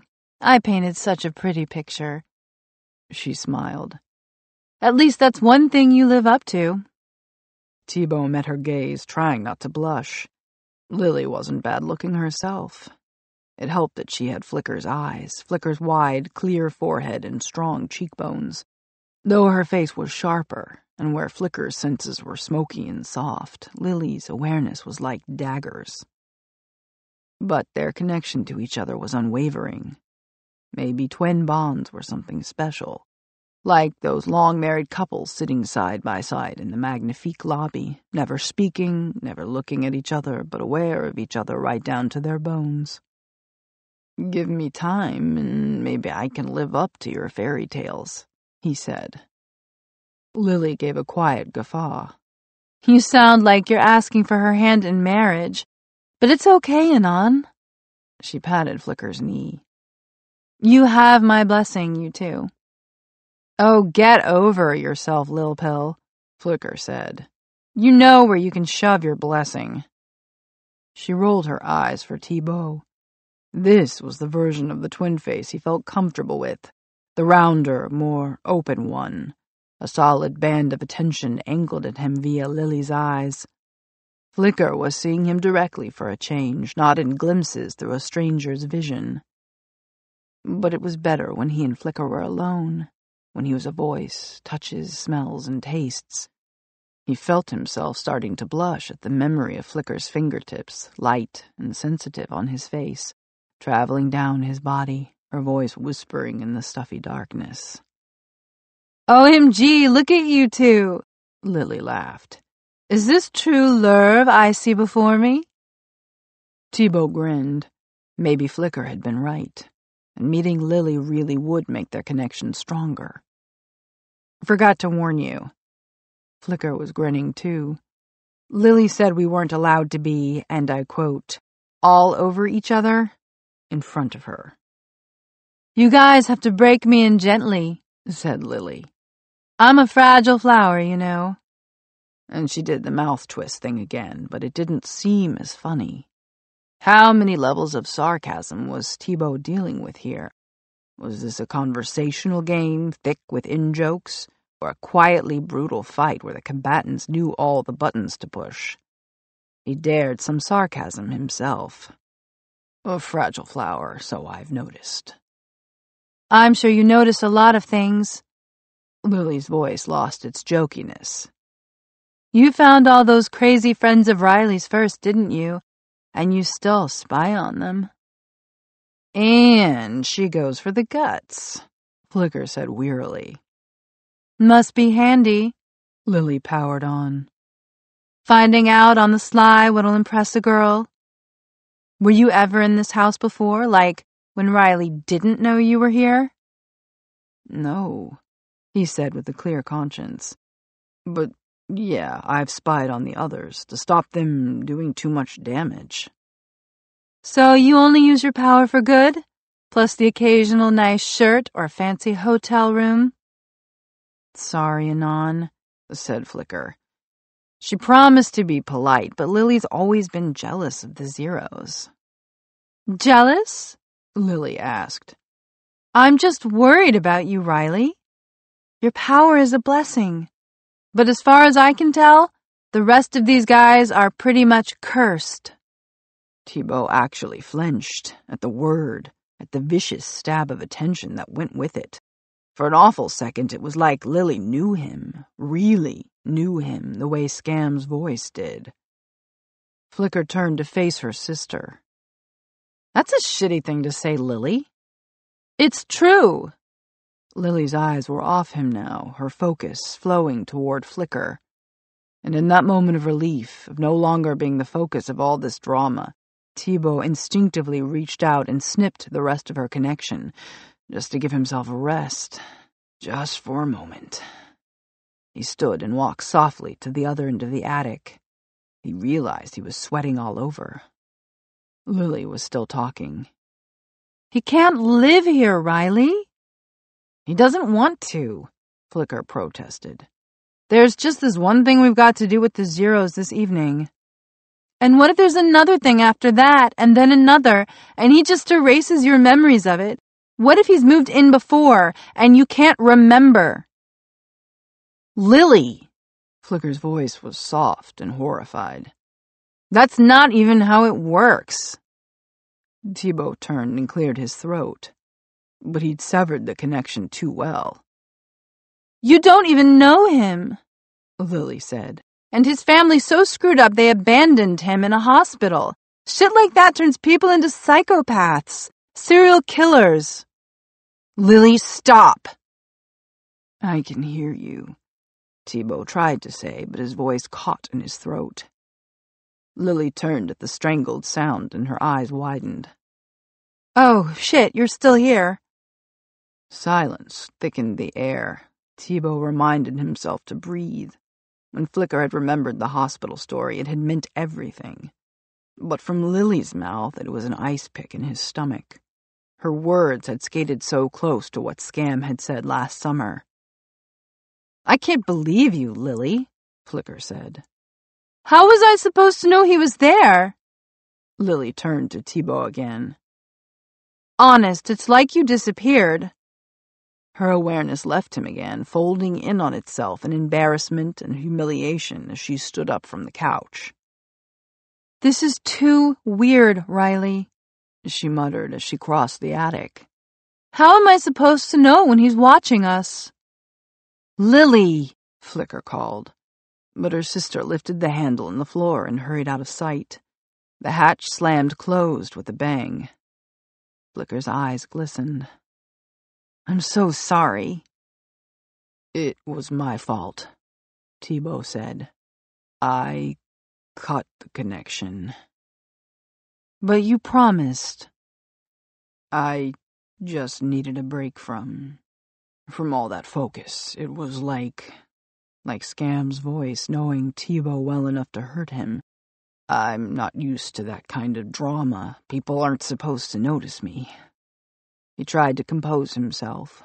Without Lily's eyes to use, Flicker couldn't see him anymore, but he felt utterly revealed before her.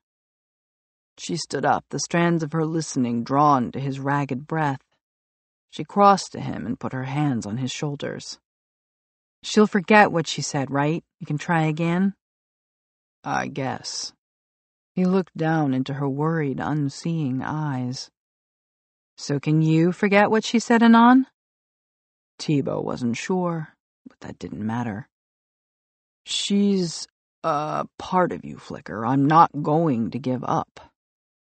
And it's not like she really thinks you're a serial killer, Flicker said. This is just weird, that's all. Finding out a stranger's in your house.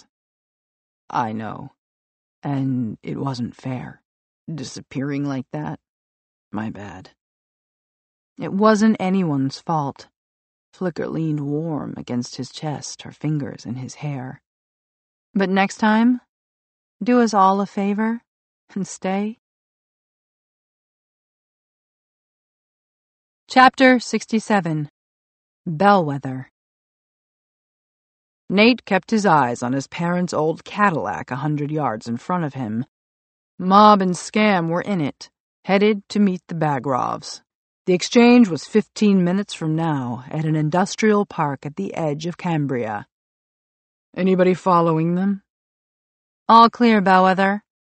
Flicker sat next to him in the front, scanning the cars ahead for anyone showing too much interest in the Cadillac. If the Bagrovs had someone watching Mob and Scam, then that someone might be trailing the two of them right now so Nate was staying a hundred yards back, careful not to be spotted bringing in backup. Which was just him and Flicker, because Crash had remained obstinate about not coming along. Oh, and also, Nate glanced up, and there, sitting in the middle of his rearview mirror, was Anonymous. Oh, hey, he said. Hello again, Anon said. Nate sighed. Could you guys, like, talk or something? The two had been holding hands at the meeting at Nate's on Sunday, but now there was a heavy silence between them. I need to focus on driving, not on remembering you exist. Okay, here's some small talk, Anon said. After we get Mob's father out of danger, I'm finding a new place. Right, Nate said. So that was the reason for the silence. Hiding in Flick's attic wasn't working out. He didn't feel any hostility in the car, but Nate knew better than anyone that loving someone left you vulnerable. A lot of things could go wrong with an anonymous boyfriend. You don't need to know where I live, Bellwether. If for some reason email and phones aren't working, you can always ask Flicker. What he means is, don't try to find him. Flicker smiled at Nate as if she were a reluctant bearer of this message. Nate raised his hands from the wheel in surrender. He was just glad that Anon was connected to someone in the group. He'd always been worried by how isolated the guy was. Ten minutes, he said, eyes on the car's GPS. It's all under control. Okay, this is weird, Flicker said. The driver behind us just checked out your license plate. Nate took a slow breath, easing off on the pedal a little. The Cadillac with Scam and Mob in it drifted a little farther ahead. Maybe he's looking for a letter, Anon said. Like that game people play on road trips? Flicker shook her head. The passenger's watching us, too. Nate swore. If it's the Russians, we're screwed. It's only supposed to be Scam and Mob at the meetup. They're not looking at the Cadillac. Flicker's finger drummed the armrest between them. Just us. Nate stared at his rearview mirror. The car was too far back to tell anything. What do they look like, Flick? I don't have eyeballs on them, she said. I got it. Came a voice from the back seat. Nate told himself to focus. Anonymous was here, of course, and he could turn around and stare straight at them without being noticed. A moment later, he said, The passenger is a big guy wearing a hat. The woman driving is almost as dark as Chizara, not exactly Russians. Worse, Nate said. Cops. Anonymous leaned forward between the front seats, making his presence felt. So you know them? Detectives King and Fuentes, Nate sighed. He'd connected too well with Ethan's mother, so she'd put out an APB on his car in case he went to meet Scam. Some cop along the way had spotted him and alerted the detectives. They still haven't noticed Scam, Flicker said. That's because they're following me, Nate said, slowing a little more to let the Cadillac get still farther ahead. Short version, I was stupid and let my research get in the way of the goal. We can't lead them to the industrial park, Anon said. If the Bagrovs smell cops, everything goes to shit. And if those detectives see Scam, they'll pull him over, Nate said. And he's in a car with the bank robber's daughter and thirty grand. Even the voice won't be able to explain that. Can you lose them? Flicker asked. Eventually. Nate gripped the steering wheel. He could gather a posse of truckers around him the way he used to do with the bicycles, then slip away down an exit ramp. And if he couldn't find any truckers, there was the traffic coming into town for the big Fourth of July display tonight. But it'll take a lot longer than ten minutes. Anon pulled out his phone. So we call it off, right? No, Nate said. They needed to help Mob rescue her father, or she'd never trust them again. You two go in just like we planned. You keep watch, Flick, and anon you slip in and do whatever needs to be done. You can do this without me, right? There was a moment of hesitation from them both, but then Flicker reached her hand back and took Anon's. Nate could feel the pulse between them. Whatever had gone wrong at home, Flick Anonymous was still happening. But how do we get there without bringing the cops along? Flicker asked. It's me they're following. They don't even know who you guys are. I'll let you off as close as possible. I'll cut off their attention, Anon said. And once Flicker whips out the cane, they won't think twice about her. Screw you, she said and reached back to smack his knee. Cops fear me. Nate's eyes dropped to his GPS map. The sooner he veered away from Memorial Drive, the less chance the detectives would have of spotting Scam. He could let Flicker and Anon off on the far side of the industrial park, maybe ten minutes' run to the hurricane hauling and demolition building. The plan was sound, even without Nate there to guide them. That was real leadership, after all, making your people strong enough to stand without you. But it had never quite worked that way with the Zeroes. Text, scam, and mob that you'll be a few minutes late, and that I probably won't get there at all. Chapter 68 Mob Kelsie let Ethan drive. She was too nervous to do anything but stare out the window and the Cadillac they'd borrowed from Nate felt too fancy for her to be in charge of. They were on Memorial, headed east toward hurricane hauling and demolition. It was quiet out here. Not as quiet as the tenements had been, but empty enough that her crowd power felt hollow in her ribs. Her phone buzzed. Kelsie pulled it from a pocket. That's funny. Ethan gave her an anxious look. What's up? The caller ID says anonymous, she said. It usually says unknown.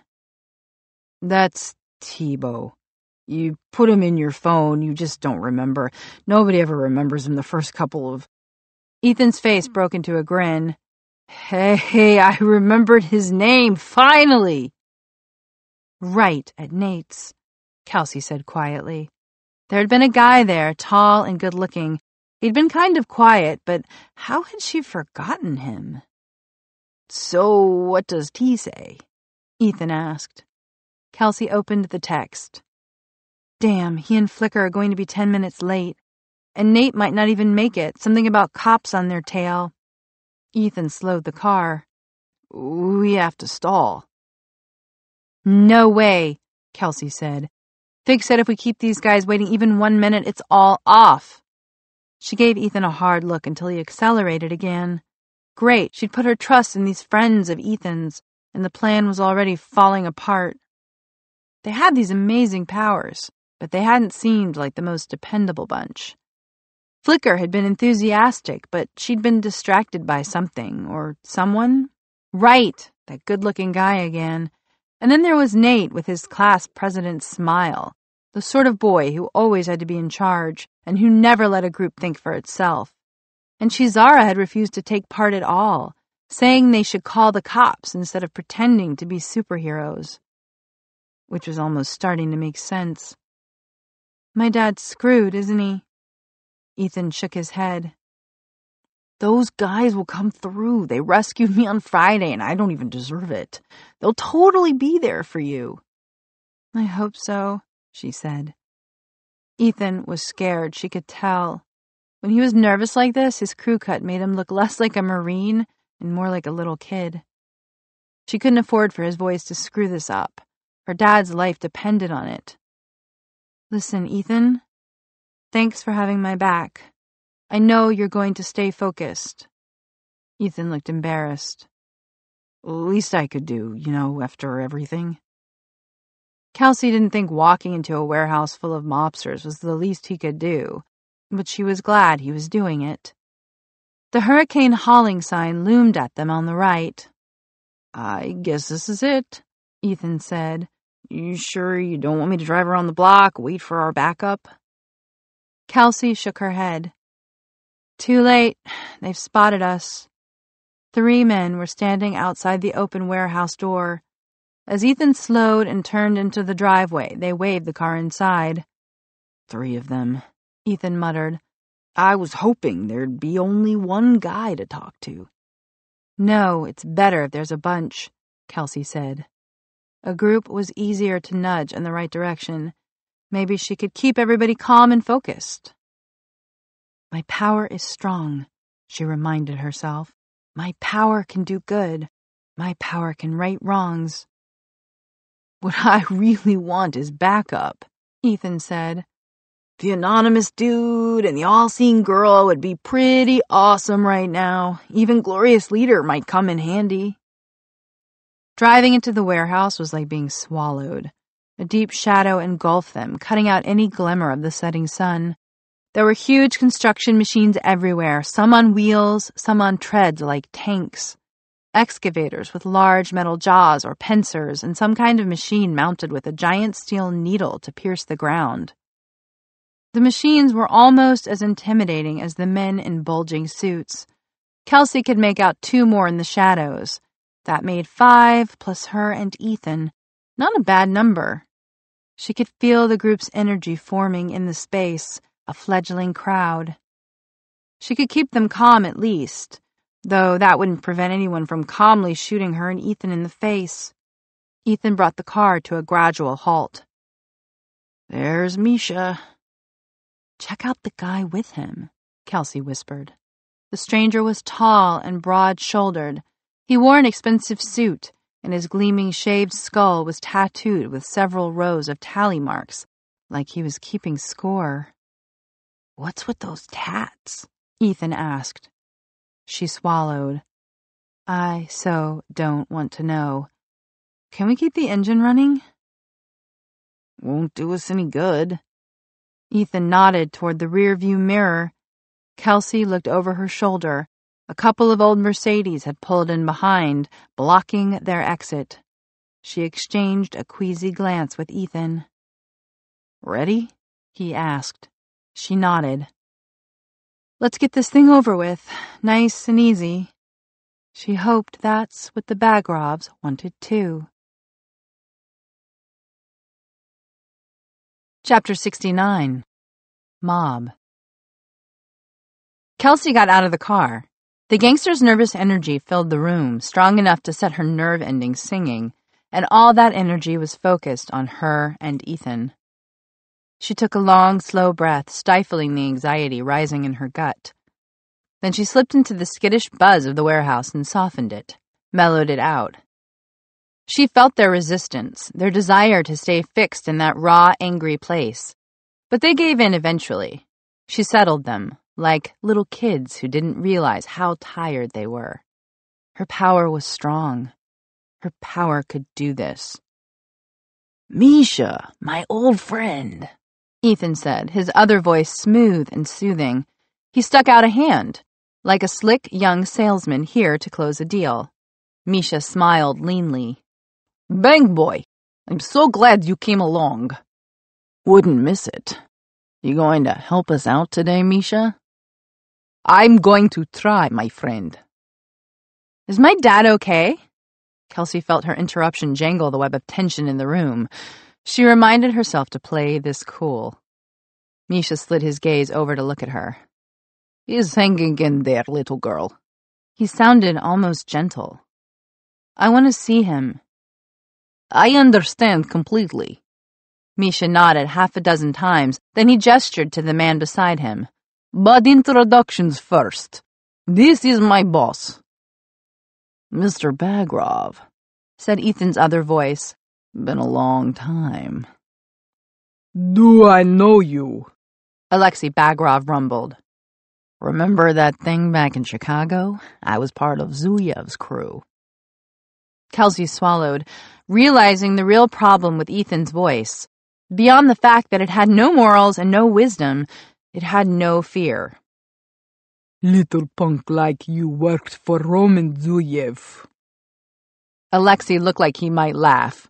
You don't mind if I call him right now. I can confirm.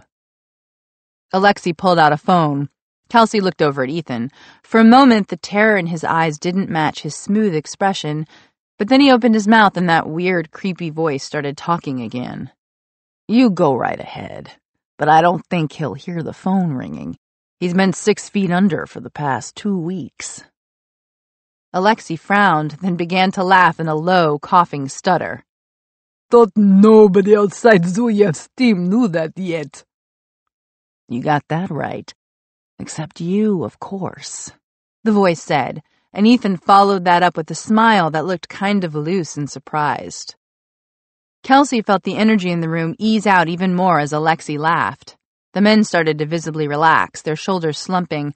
They grinned like this was the best joke they'd ever heard. She spoke into those shreds of goodwill. Mr. Bagrov, when can I see my dad? Alexei turned to her, his laughter still in his eyes. There really was something wholly creepy about Alexei Bagrov, and she didn't need a superpower to spot it. Some people had a vibe, one that trickled out into whatever group they were part of. Alexei's energy was practically bouncing off the warehouse walls, as if he was eager for some kind of sick thrill. On the other side of Alexei, Ethan looked unhappy, but his voice said, You understand the lady wants to check the quality of what she's paying for. Of course, Alexei replied. But first I'll check the money. Make sure it's not traceable. It's definitely not that, Ethan assured him. He reached into the driver's side to pop the trunk of the car, and Kelsie showed them the duffel bag. When Alexei gestured for her to open it, she unzipped the bag to reveal the thirty grand in cash. And now you take the bag out of the trunk, please. Alexei took a step back, as if he thought it might explode. Let me do that, Ms. Laszlo, Ethan's voice said. She stepped away automatically. It was hard not to obey those firm, confident commands. Ethan came around, pulled the duffel bag out, and dropped it at Misha's feet. When a few bundles of money rolled out, Alexei nodded in satisfaction. So far, so good. Kelsie let out a breath. She prayed that Ethan's voice was going to stay on target, that Ethan wouldn't slip up and forget that they were here to save her dad as well as themselves. And show us nothing else inside? Misha continued. Ethan squatted and rummaged through the open bag, stirring the wads of rolled up cash. Nothing but dollars in here, the voice said. We've got no reason to put a tracker in. We just want Jerry Laszlo back. Ethan held up a wad of the stuff, but Alexei gestured it away like it was dirty. He indicated for one of his colleagues to step in. The man took the cash from Ethan, slipped off the rubber band, and started flicking through it. It's non-sequential used, Ethan said with that preternatural calm. From a small-time operation on Ivy Street. Drug money? Misha asked. Is that a problem? The voice said, like it knew it wasn't. Not for us, Alexei confirmed. Kelsie was glad Ethan was there, and his voice. She couldn't imagine trying to get through this on her own. She worked to stay on top of her fear so it didn't bounce around the room. The men around them seemed content to watch and wait while the one guy counted. It's $30,000 in change, she said. Thirty. Alexei looked pleased. The price was twenty-five. Ethan's voice said, Consider that interest an investment in a beautiful new business association. Kelsie tried to smile. Every time it spoke, the voice ratcheted up the stakes just a little, like a mark at a poker table. It couldn't resist pushing its luck. So here's my question, Alexei said.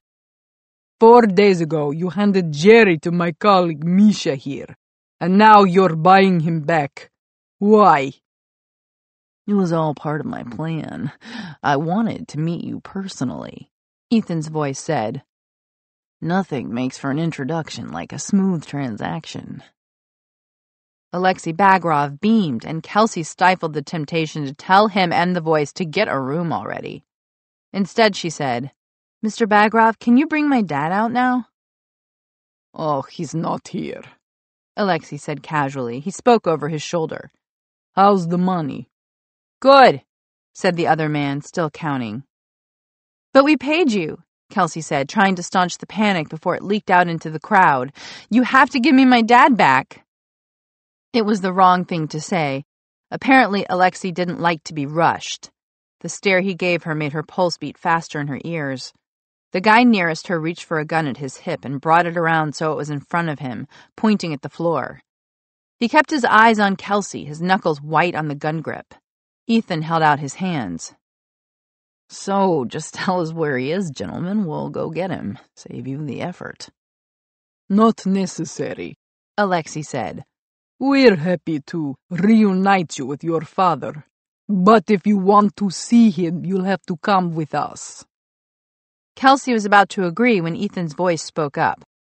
Now, wait a minute, gentlemen. You're changing the rules. What rules? Alexei smiled. Tie their hands. Misha looked surprised, but hesitated only momentarily. Then he came toward them. Wait, Ethan said in his real voice, the fear evident. Kelsie watched Ethan open his mouth like he was about to say something else, but nothing came out. Ethan? she said. He was still silent. One of Alexei's men grabbed her wrists, pulling her arms behind her. Scam?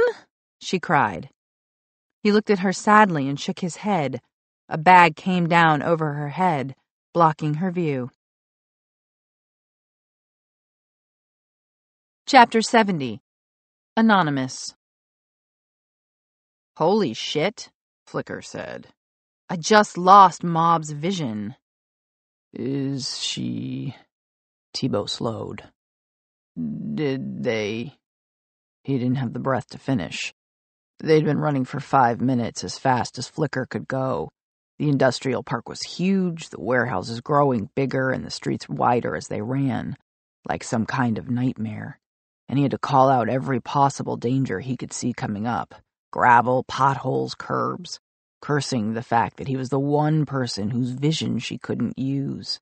Flicker's expression shivered, changing as she switched to viewpoints. No, but they put a bag over her head. Scams, too. The guy whose eyes I'm in, he just shoved them into a trunk. A Mercedes. Black. Thibault stared at the warehouse across the parking lot. Hurricane Hauling and Demolition was painted in giant letters on the side. So near, but too late. Let's get closer, he said. Maybe I can get in there before they drive away. I don't know, Flicker said. Those guys look pretty scary, like you could punch one in the face and he'd just laugh it off. How many? Her face did that thing again, shifting moment by moment as she cycled through every viewpoint in the warehouse. He could see why Nate had named her Flicker.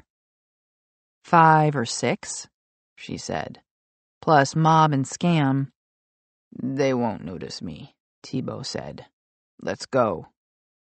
They ran again. Flicker was off in her own headspace, her eyes inside the warehouse, so he had to lead her along flat ground, avoiding curbs and concrete parking barriers. As they neared the building, Thibault felt a glimmer of the people inside. All that focus leaked through the walls like when Glorious Leader was working a room. Someone big was in charge there. There was a side door, but a chain link fence stood between them and it. He laid Flicker's hand against the metal. Can you climb this? Riley hooked her fingers through the links, frowning at the sky. Thibault tried to sense more from the arcing signals in the building, but he only knew that the people in there were focusing hard. They're getting into cars, Riley said. Thibault started to climb the fence, but then something buzzed up along the road beside the warehouse. He jumped down and spun around, ready to fight but it was a delivery scooter. Pizza to go was written on the insulated box behind the rider. It zipped past and into the driveway next door. The cars are moving, Riley said, clambering up the fence. Thibault's mind went numb with panic. Taking on a half dozen gangsters was crazy enough, but there was no way for him to stop cars in motion. In front of the next warehouse, the pizza guy switched off the scooter and stuffed the key into his jacket pocket. He took a stack of pizzas out of the insulated box. Sunlight spilling in, Flicker cried from the top of the fence. The doors are opening up. They're leaving. Thibault reached up and took her arm. It's too late to get inside. So what are we supposed to do? Thibault had recovered and was back in mission mode, where you just had to grab the solution at hand. I have to leave you here, Flicker. I'm going to follow them. Will you be okay? She jumped back to the ground, took his shoulder to steady herself. I'll be fine. Move it. They're turning a car around, but they'll be gone any second. And you can make it back on your. She grabbed his other shoulder, pulled him close, and kissed him. I'll be fine. Now go. She blew another kiss at him two handed, as if she were throwing him away. He stumbled backward, then spun around and sprinted across the next parking lot. Up ahead, the pizza guy was being waved in by a girl in coveralls. A tight little connection shone between them, either a mutual crush or a bad case of pizza hunger on her part. He ran harder, wishing he was wearing broken in sneakers instead of shiny new shoes.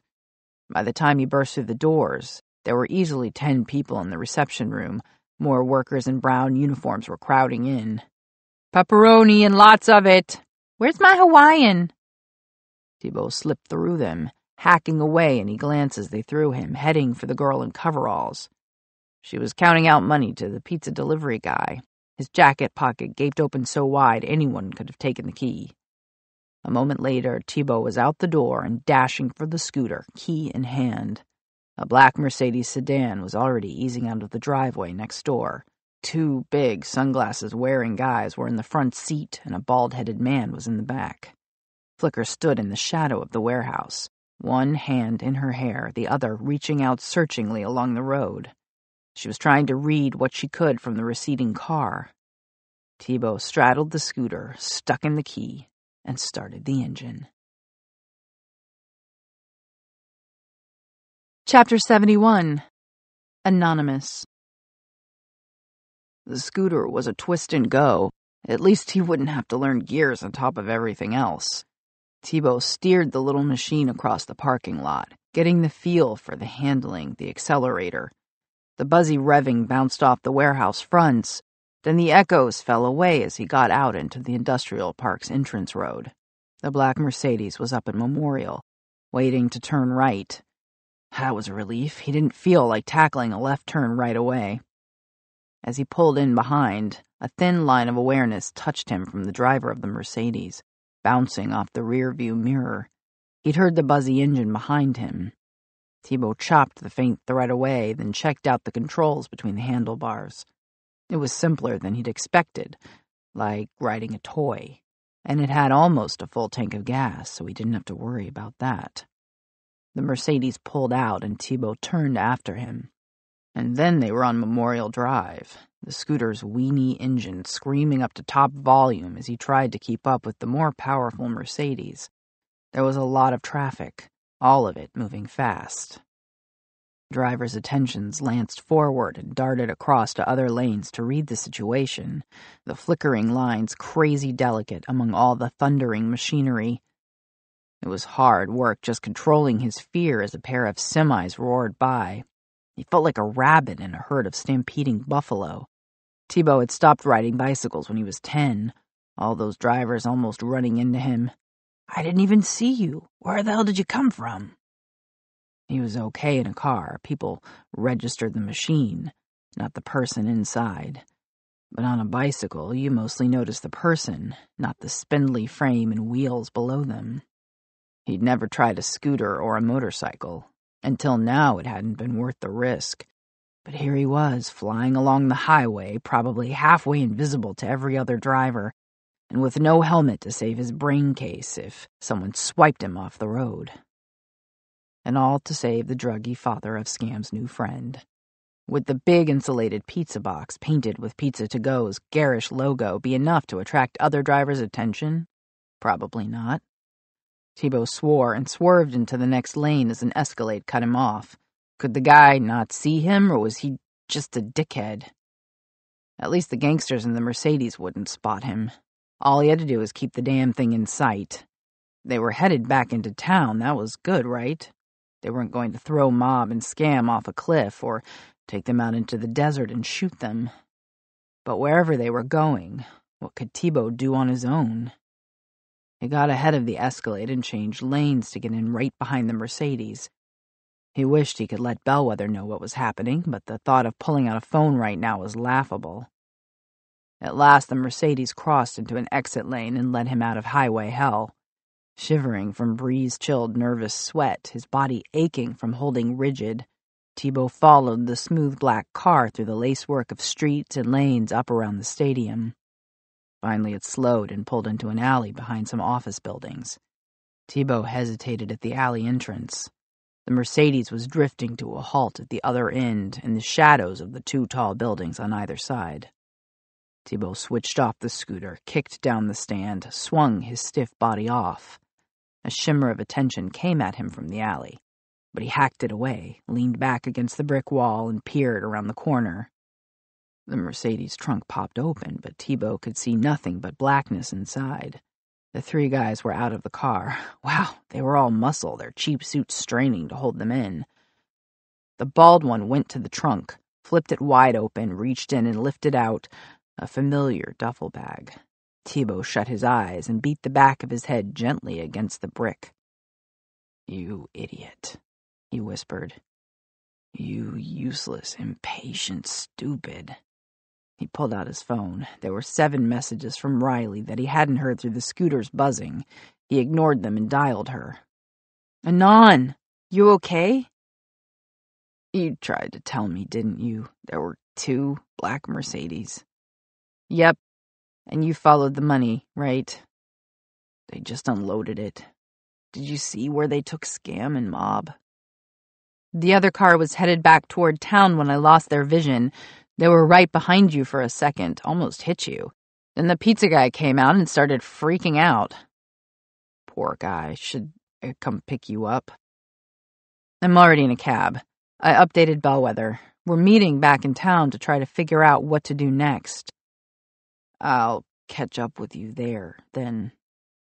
I guess, but you might want to uh, liberate a certain duffel bag on your way here. Maybe we can get them to try this again from the top and not screw us this time. Good idea. But Anon? Riley's voice softened. If you have to choose between getting the thirty grand and coming back in one piece, I hear you. I'll be careful. Make sure you are, she said. Chapter 72 Scam Ethan had been rolling around in the trunk of a car for God only knew how long. Then he'd been hauled up countless flights of stairs by thugs who thought it was funny every time he tripped or staggered. His knee throbbed from where he'd fallen on it, the exact same spot, twice. Then he'd been shoved against a rough concrete pole. And all this with a bag over his head that smelled of diesel and grease. He hoped it was diesel and grease anyhow, and not the panic-breathed saliva of the last guy the Bagrovs had kidnapped. Right now they were tying his hands behind him with enough rope to harness two ships. Ethan released his voice. It was easy. He wanted to be free. He'd never wanted anything so badly. Misha, the voice said through the bag, you don't want to do this. The bag was pulled from his head. It was dark, wherever they were. I'm sorry, my friend. Misha sounded genuinely sad. But Mr. Bagrov... Alexei's never gonna take care of you, Misha. Look what he did with our deal. The voice went on talking, but Ethan was barely listening. He was looking around the large, empty room they'd been brought to. Like a hotel conference room, but dusty and abandoned looking, missing furniture and light fixtures. Just four thugs with flashlights. A bank of windows had a view onto the setting sun, and Ethan was sure he could hear something outside. A megaphone, maybe? Couldn't make out the words. The speech ended and distant music started. Across from Ethan was another man, also tied up. His head lifted and caught a beam of flashlight. Whoa, it was Jerry Laszlo. Probably. His face was bloodied and bruised. Blood had dried into the gray whiskers on his cheeks and dripped all over his dark shirt. Blood caked his nose so hard he was breathing through his mouth. You're right, my friend. We had a deal, Misha was saying mournfully. But Jerry here made us all very angry, and whatever you were pulling at the bank, Mr. Bagrov didn't find it amusing. Your deal was with me, not Laszlo, the voice said. Are you a man of honor? I am, my friend, but I am also a loyal man, and orders are orders. Ethan stopped listening to the conversation. Kelsie had come stumbling into the room, a greasy bag over her head, too. Two of the gangsters sat her down and tied her to a pole a few yards away. When the bag came off, she looked scared. Ethan felt his heart lurch as her fear pulsed through the room. Ethan? She said, blinking. Where are we? He shook his head. No! came a cracked, thin voice from across the room. Kelsie turned. Dad? Oh my god, what have they done to you? Jerry looked at them glassily, like he couldn't quite see that far through his blackened eyes. Kelsie! Jerry tried to say more, but he was wheezing and coughing so hard he couldn't get it out. That was probably for the best, Ethan figured. After everything they'd been through, Kelsie was finally reunited with her dad, but not in any kind of way she would have hoped. Kelsie was talking softly to her father, pulling at the ropes that bound her to the concrete pole. Ethan turned back to Misha. He couldn't remember the last time he'd been this scared. Not even a road trip with the Craig had scared him like being tied to a pole in an empty building by a bunch of treacherous gangsters. Based on what they'd already done to Jerry, whatever happened next was going to be bad. The voice felt his fear, his rank desire to escape from this place, and turned it into words. Misha, you listen to me. Alexei is a psycho. You really going to let him abandon a couple of kids? Here, of all places? Misha checked his watch with his flashlight. We must go now. Sorry, kid. I liked you. Ethan swallowed. Liked? Liked? That was past tense. He took a deep breath and let his voice loose. His good old, faithful, reliable best friend, the voice. You can't leave us here to die. Oh, crap. The voice knew what they were planning. It always knew the score. Ethan? Kelsie said. What's happening? The voice didn't answer her. It was still working on Misha. Did your father raise you like this? Is this what he meant when he told you about honor? Doing something like this to a couple of teenagers? Misha looked sickened, which didn't make Ethan feel any better. There was a sound from Jerry then, a kind of wet, gurgling cough. Don't leave my little girl here. Please. What did she ever do to you? Ethan turned to Misha in one last desperate attempt to understand what was going on. He tried to use his real voice just to ask Misha how they were going to die, but his real voice wouldn't work at all. He was too freaking scared. Dad, Kelsie said softly, I'm sorry I failed you. And then Ethan realized what he really wanted for Kelsie to live, even if he didn't make it himself, which was totally unexpected and really kind of selfless. Man, what a stupid time to realize he felt this way about her. He summoned every shred of the voice, the all knowing, uncaring voice, the voice like a perverse genie always trying to please him. He wanted money, the voice got him money. He wanted girls to talk to him. It said the right thing to hold their interest. And now all he wanted was for Kelsie to be okay. Think of your little cousin. Think of Natalia. Kelsie's only a few months older than her. You can't do this. Misha took a step back. It was working. Think of someone leaving Nata tied up in a place like this with only a few hours left. Think of her crushed inside a mountain of concrete and steel, smeared out of existence, turned to pink jelly. As Ethan realized what it was saying, the voice sputtered out. It couldn't talk for one simple reason. Ethan was so afraid that he could no longer breathe. Kelsie blinked. What did you just say?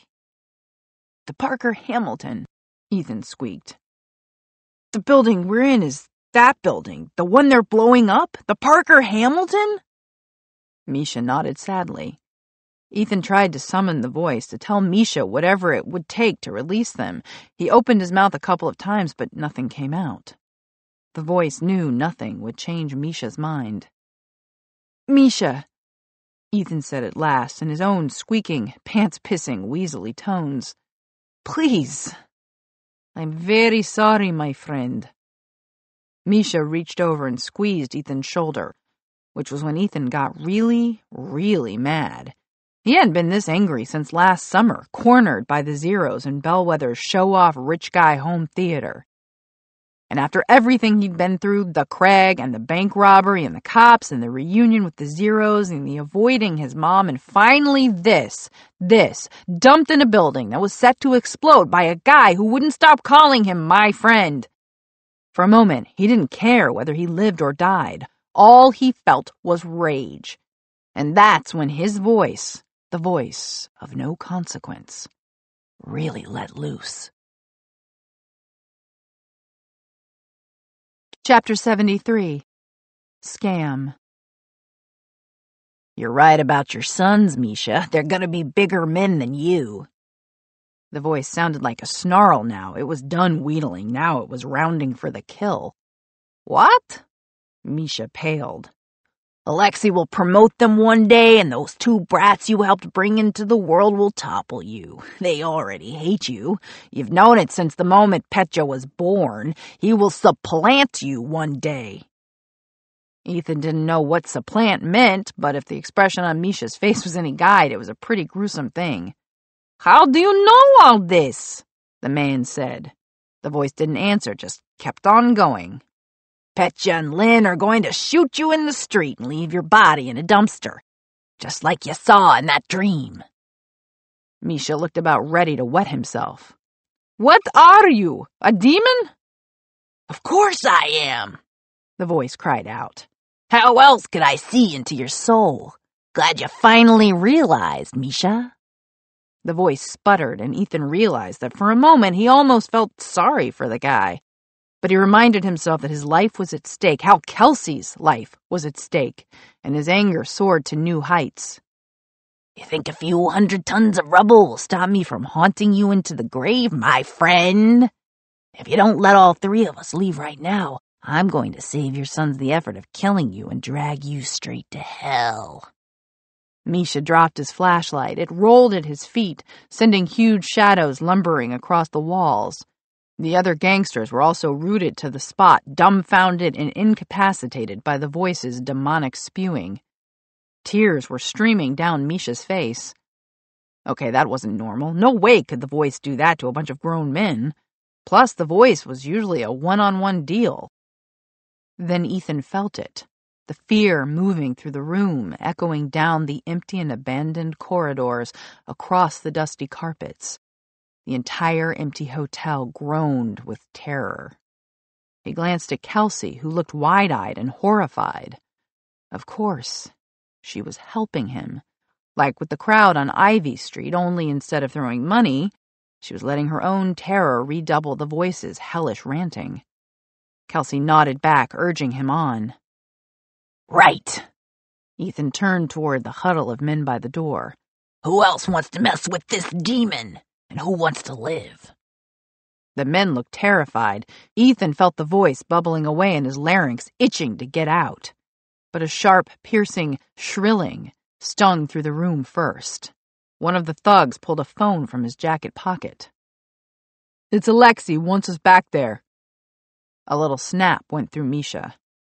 Alexei would kill me if I let you go, and not just me, my whole family, little Natalia, too. You think I can't come for Natalia? The voice roared. Misha thought for a moment, then said, My cousin has never wronged you, and I think you are a demon of honor. And he walked out the door. Misha was gone, the thugs were gone, and all the flashlights were gone. The only light that remained was the hard streaks of sunset from the windows.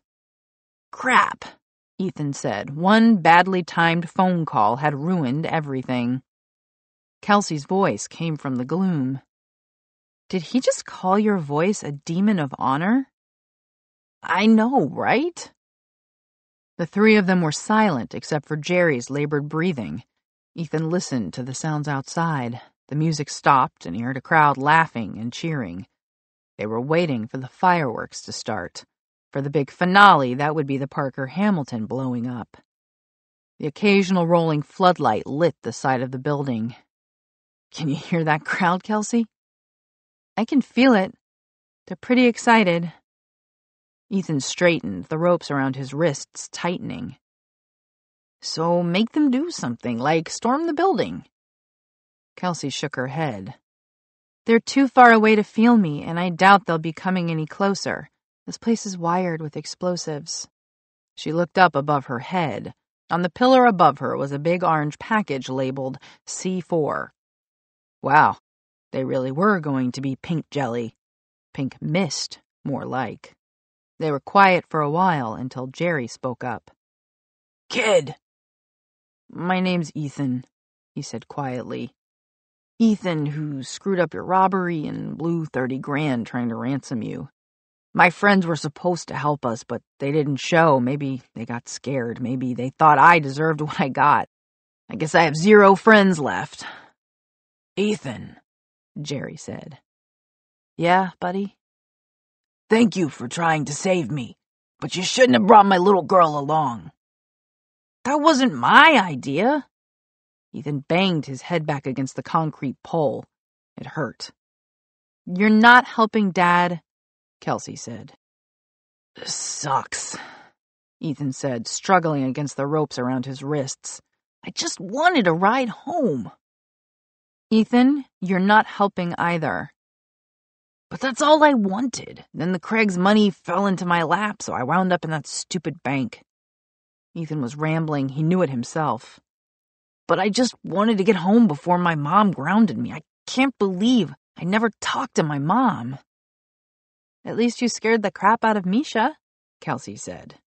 Ethan stared at her, wondering how she could be so calm. Maybe channeling all that terror through the room had left her numb. He wished it had done the same for him. He was feeling every moment of this, plus his head still hurt from banging it on the column. Maybe your friends will save us, Kelsie said. Ethan shook his aching head. How would they even find us? Besides, they bailed on me, Kelsie. They hate me. I don't think they do, Kelsie said. I was in that room with you all, and what they feel for you isn't hatred. Ethan groaned. I have this feeling you're going to tell me what they do feel, and it's going to be even worse, like contempt or pity or some word I don't even know. Maybe individually they're still mad at you, she said, her voice softer as the last light of sunset faded in the room. But groups are bigger than their members. Sometimes they're a little wiser. So, yeah, together I think they feel. Ethan waited, trying not to listen to Jerry breathe but Kelsie had stalled. For Pete's sake, what? he asked. It turned out he really wanted to know what the Zeroes thought of him. What do they feel about me? Hopeful, she said. They have hope for you. Ethan closed his eyes, and a pain that had been burning inside him since last summer lifted just a little. He realized something that he'd hidden from himself since then.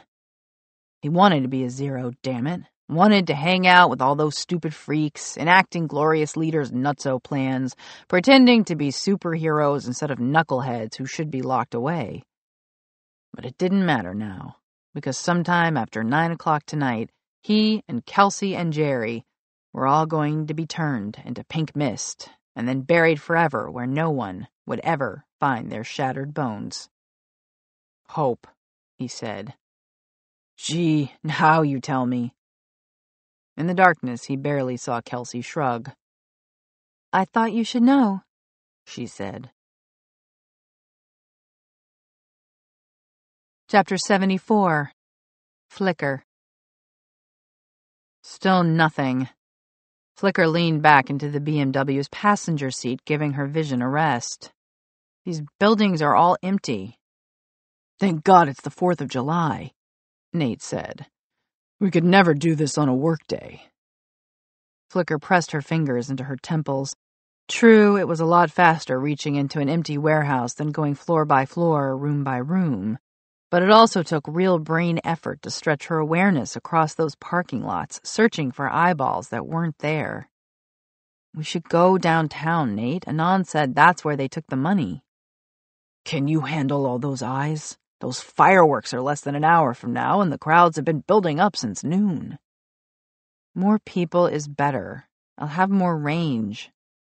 Yeah, but Ivy Street on a Saturday night overloaded you. What will half a million people do? Flicker shrugged. They were drunk and going crazy thanks to Mob and her bag of cash. I'll be fine. She heard his fingers drumming on the steering wheel. Look at it this way she said. I'm not lying in the trunk of a mobster's car with who knows what about to happen to me. Worst I can get is a headache. We don't know that. I don't want you to break yourself. The concern in his voice made her smile. If it were anybody else, Ethan, Anon, even Chizara, he'd be telling her to push her power to the limit, damn the torpedoes, and bring on the human test subjects. You're sweet, glorious leader, but we need to find Scam and Mob. Okay, I'll head into town. Just take one more look, Flick. I don't want to miss anything out here. Flicker let her vision loose again, searching for eyes. The drivers were easy to ignore, whipping past much faster than Nate's crawl, their eyes on the road. She didn't find anyone in the darkness of a trunk, or with a hood over their head. Out this far, there were almost no pedestrians, and the factories, warehouses, and auto repair places were all closed for the 4th. No one but security guards watching TV and homeless people. Nada, she said. Let's move, Bellwether. The car's acceleration pressed Flicker back into her seat, and a tremor of excitement started to build in her stomach. Finally, she was going to see what happened with a real crowd around her. You'll tell me if it gets too much, Nate asked. I'll be okay. The day I found Anon's hotel, I was smack in the middle of downtown, flitting all over the place. Right. About that. Nate's voice shifted. He'd turned to face her. You never told me how you found him. Nope, and I'm not giving you ideas about how to find his next place either. Just drive. I'm driving. Fast, Nate said, and she felt a swerve as he changed lanes. But I'm impressed that you found him when I never did. I assume your power had something to do with it. She laughed. Not telling. Boyfriends beat bellwethers. Boyfriend. Nate's voice was steady, hard to read. So, this is serious. Yeah, it is. I mean, a glimmer of vision flashed past on the roof of a nearby building, but it was just someone with a six pack who'd found a distant view of the fireworks. It's hard to tell how serious exactly, because I'm never quite sure how things are progressing. An awkward silence. That thing Ethan had always said about Nate being like her big brother was sometimes way too true. And the much worse thing, the one the voice had said last summer, was always lurking around the corner, if only because the voice had said it out loud. For a distraction, Flicker put herself in Nate's eyes. Whoa, this was much faster than she'd ever seen him drive before. It was nice to know the mob and scam were more important than Glorious Leader's spotless record. Must be weird, forgetting, Nate said. He'll always know more about you than you know about him. It's not his fault. He's not trying to keep things from me. Sure, but if he wanted to, he could tell you one thing one day, something completely different the next. Nate's voice grew softer. Depends on whether he's a good guy. Flicker reached out and took Nate's right arm. He's a good guy. I wouldn't feel this way otherwise. So you trust your heart? Nate's voice was raspy, but his gaze was steady on the road, and the spires of downtown were rising up before them. This wasn't jealousy, Flicker was almost certain. This was concern. Not just my heart, she said. I trust him. The car was slowing. In Nate's vision, a river of brake lights streamed away, a titanic traffic jam of people headed in to see the show. Hold on to something, he said. It's about to get bumpy. Wait, what? She started to say, but the BMW was already leaving the highway. The car slipped past the shoulder and went skidding down the highway embankment. Flicker found herself clinging to the dashboard, her teeth rattling in her head. Nate's vision was too shaky to hold, and she let herself go blind for a moment. A smack went through the whole car. What the hell was that? she cried. One of those barriers, he said, just as the Beamer's tires hit pavement again. Those things that discourage you from doing what I just did. She went back into his eyes. They were down on the old service road, zooming along much faster than the cars above them on the highway. Whoa, Nate. She was seriously impressed. He was driving like a maniac, even though the cops were looking for his car. Get ready, Nate said. Your head's going to be busy soon. But Flicker had already felt it. The edges of the crowd, the host of vision, that ocean of eyes. It swept closer, and her mind began to sizzle. She squeezed his arm tighter. Let me know if it's too much he said. I'm good. It was better than good. It was swimming in omniscience, and an all-seeing buzz of overloaded vision. Her mind was full of bright shimmers, people staring at the city lights, the sunset, the glowing screens of their phones, kids waving sparklers and glow sticks in front of their eyes. But even in these great numbers, the crowd didn't have the wild, convulsive intensity that had infected Ivy Street. Maybe this crowd was more sober, or maybe, without mob to turn them into a mad, pulsating gyre, it wasn't going to be so dizzying. Get as close as you want, she whispered, letting her vision flit and dart. The mobsters wouldn't be holding prisoners in the street, so she shot up into the skyline. The windows were full of eyes. Offices with views of the fireworks were throwing parties tonight, and of course the hotels were all full.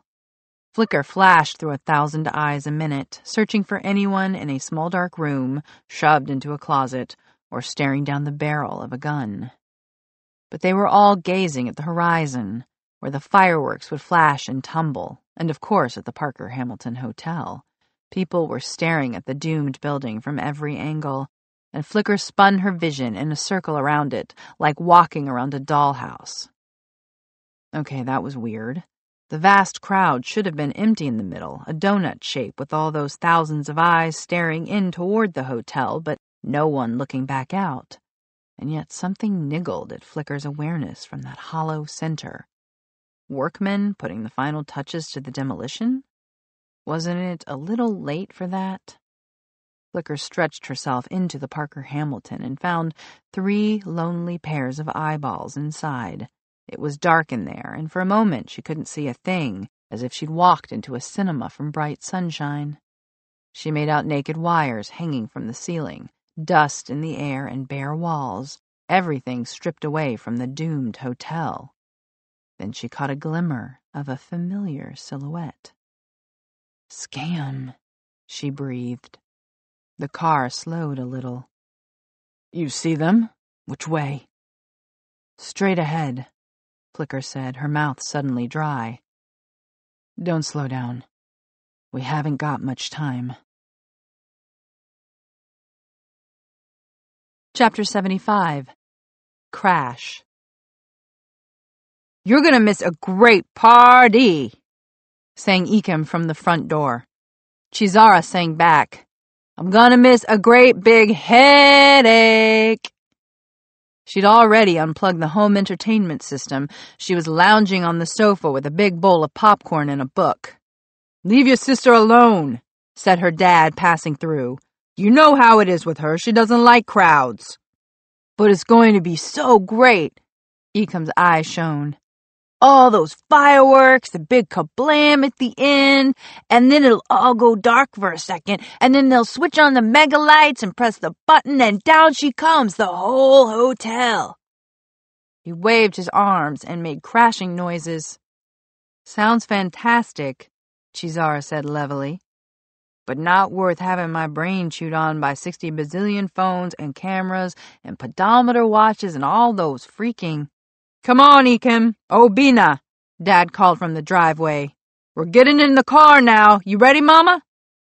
I'm coming, I'm coming. Mom, dressed up American for this family outing, hurried into the living room, fastening an earring. She swooped on Chizara and kissed her. Don't open the door to any crazy Fourth of July party people, all right? Have a great time. Enjoy all the splody things. Oh, I can hardly wait. Good night! The car started up with a painful tweak of electronics, then pulled out the carport and drove away. Chizara breathed a sigh of relief and reached out into the house. Damn, Ekem had left that game on upstairs. Should she just put up with that little itch, or should she go up and turn it off and make the house as perfect as possible? She went back to her book. It was a good book. She kept getting lost in it and forgetting the popcorn was there. Half an hour later, she'd only grazed through half the bowl. In the boys' room, the game lay calling out to connect with another console. It was fully charged, so she pulled the plug on it and powered it down. There. If only it could always be this easy. Nothing but a few of the neighbors' e-things beeping and bopping off in the distance. She ambled back toward the stairs, past her own room. Her phone lay switched off on her bedside table just inside the door, and the sight of the little black rectangle made her pause. How had the exchange gone this afternoon? Did Kelsie have her father back? Chizara hoped so. She hoped nobody'd gotten hurt. She gave a shiver, remembering the hospital groaning with tech, the piles of flowers, Officer Bright's children staring at nothing. She picked up the phone and walked on to the top of the stairs.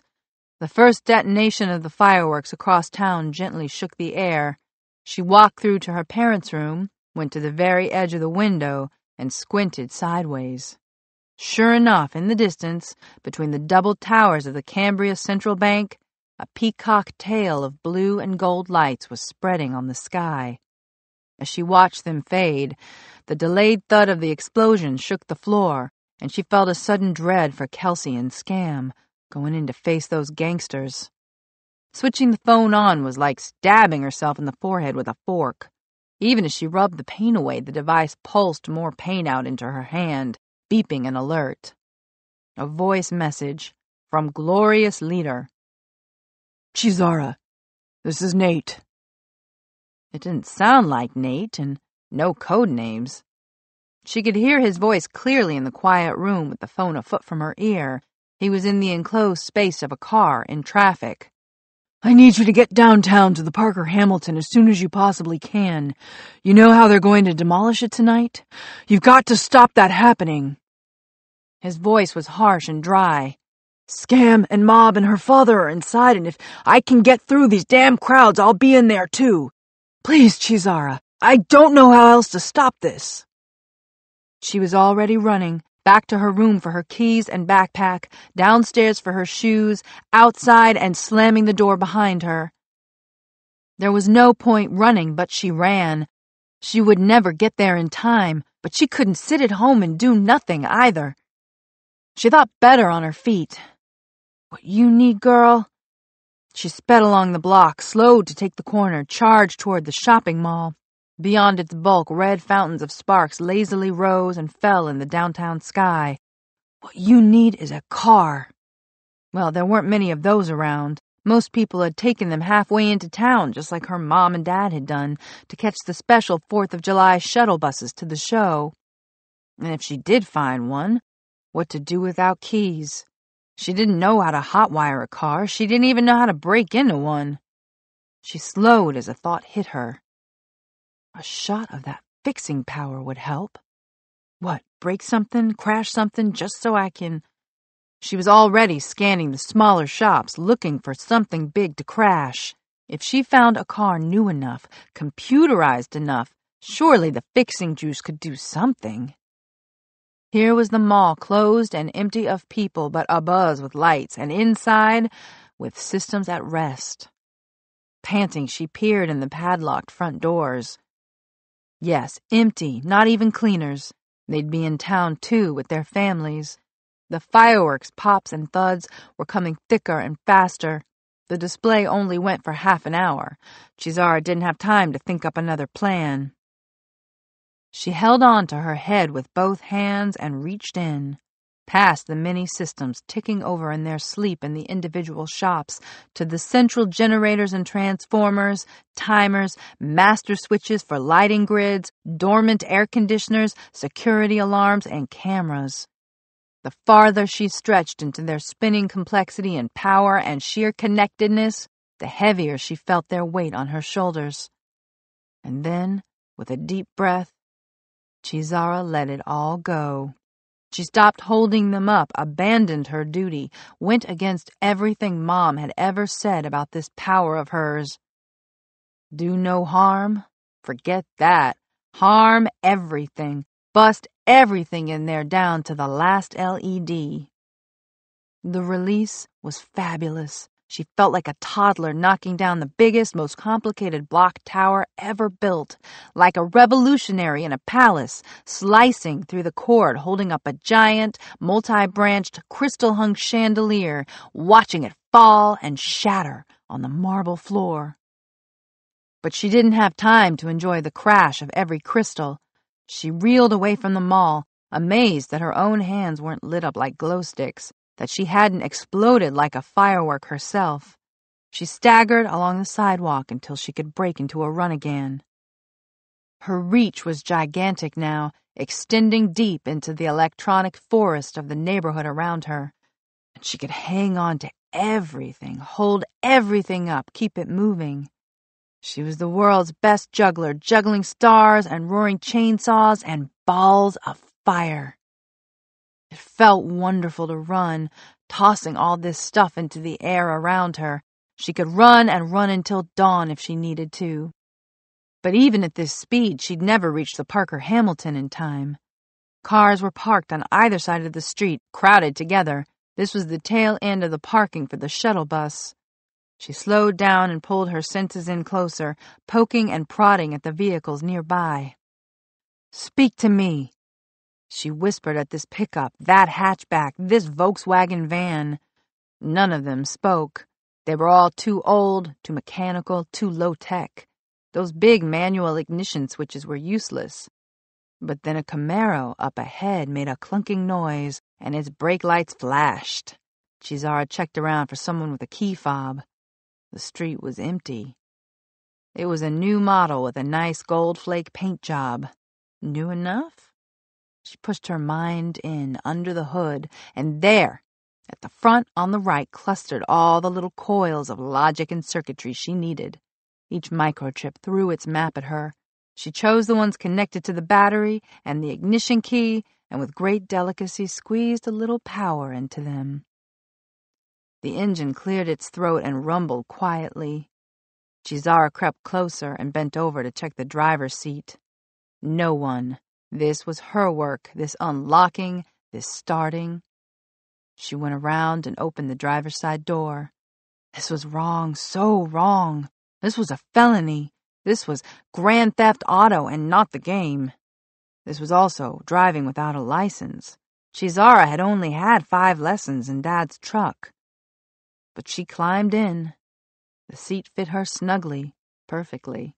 Seat belt, snick. Lights, there. Handbrake, uh-huh. The dashboard was lit up, the surface layer of an elaborate 3D plan, a miniature city of systems. The cabin was peppered with little stings of tech, phone docks and mirror adjusters and seat controls. In the engine bay, the electronics raced and pulsed, prompting and monitoring everything mechanical. None of it was strong enough to hurt Chizara while she was still this amped up from her mall crashing, though that theft prevention system hollering for a satellite, yeah, that could go. She let it burn one leaf in a glowing forest. She put the car in drive, released the handbrake. Indicate, Dad's voice said from the passenger seat. Check your mirrors. The Camaro slid out into the road, smooth as silk. And the road was empty. Everyone was in town, watching those bright sprays of fireworks, impatient for them to end and for that building to come down, crash, crumple, rumble, crash. The clock on the dash read 2114. She had 16 minutes. She couldn't afford to be cautious. She had to drive like the mad criminal she was. Eyes wide, hands gripping the padded leather wheel, Chizara put her foot down. The Camaro obeyed, steady and fast. And she started planning. When she got there, she'd have to be subtle, to focus, isolate the fuses and wires set to bring down the hotel, and neutralize only them not lurch around like a drunken King Kong and knock out half the town. She could do it with finesse, make it look like the explosives experts made some small mistake. Her phone buzzed as she flew along Metro Boulevard. She got it out and tucked it against her shoulder the way she'd seen drivers do. Fool, Dad would growl whenever he saw that. Dangerous fool. Nate, Chizara said, I'm on my way. Good to hear. She'd never heard his voice so steady and hard. Was this what his fear sounded like? I'm past the fence they put up to keep the crowd out. I'm going in to find Ethan and Kelsie. No code names. The no code names thing was snapping her heart in two. In case I don't find them in time, I'm counting on you to stop this thing. I'll be there! I'll be there! she shouted, terrified, elated, inflated with her stolen power, wide-eyed with horror at all the rules she was breaking, at everything hanging on her actions, four people's lives. That had to be worth going to jail for, didn't it? Don't worry, Nate. I'm coming. She took the corner onto Mason Street with a squeal of tires and floored the accelerator. Ahead, above, close enough to almost fill the windshield, Fire flared up. Light rained down. Chapter 76 Mob Kelsie could feel the crowd outside the building. They were spread in all directions, vast and rumbling like a distant storm. They were excited, enjoying this big night of spectacle and adventure from vantage points safely blocks away from the Parker Hamilton.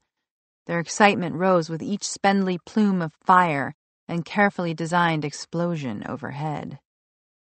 Kelsie tried to absorb the energy out there, to take strength from it, but the crowds were too far away. Mostly what she felt was the emptiness of the hotel halls and floors. Abandoned places were even worse when there was a joyful crowd in the distance, like an oasis you could never reach. She sank into the dull ache of knowing that the last week had been for nothing. She hadn't saved her dad. She couldn't save herself, and she'd doomed Ethan in the bargain. A roar went up outside.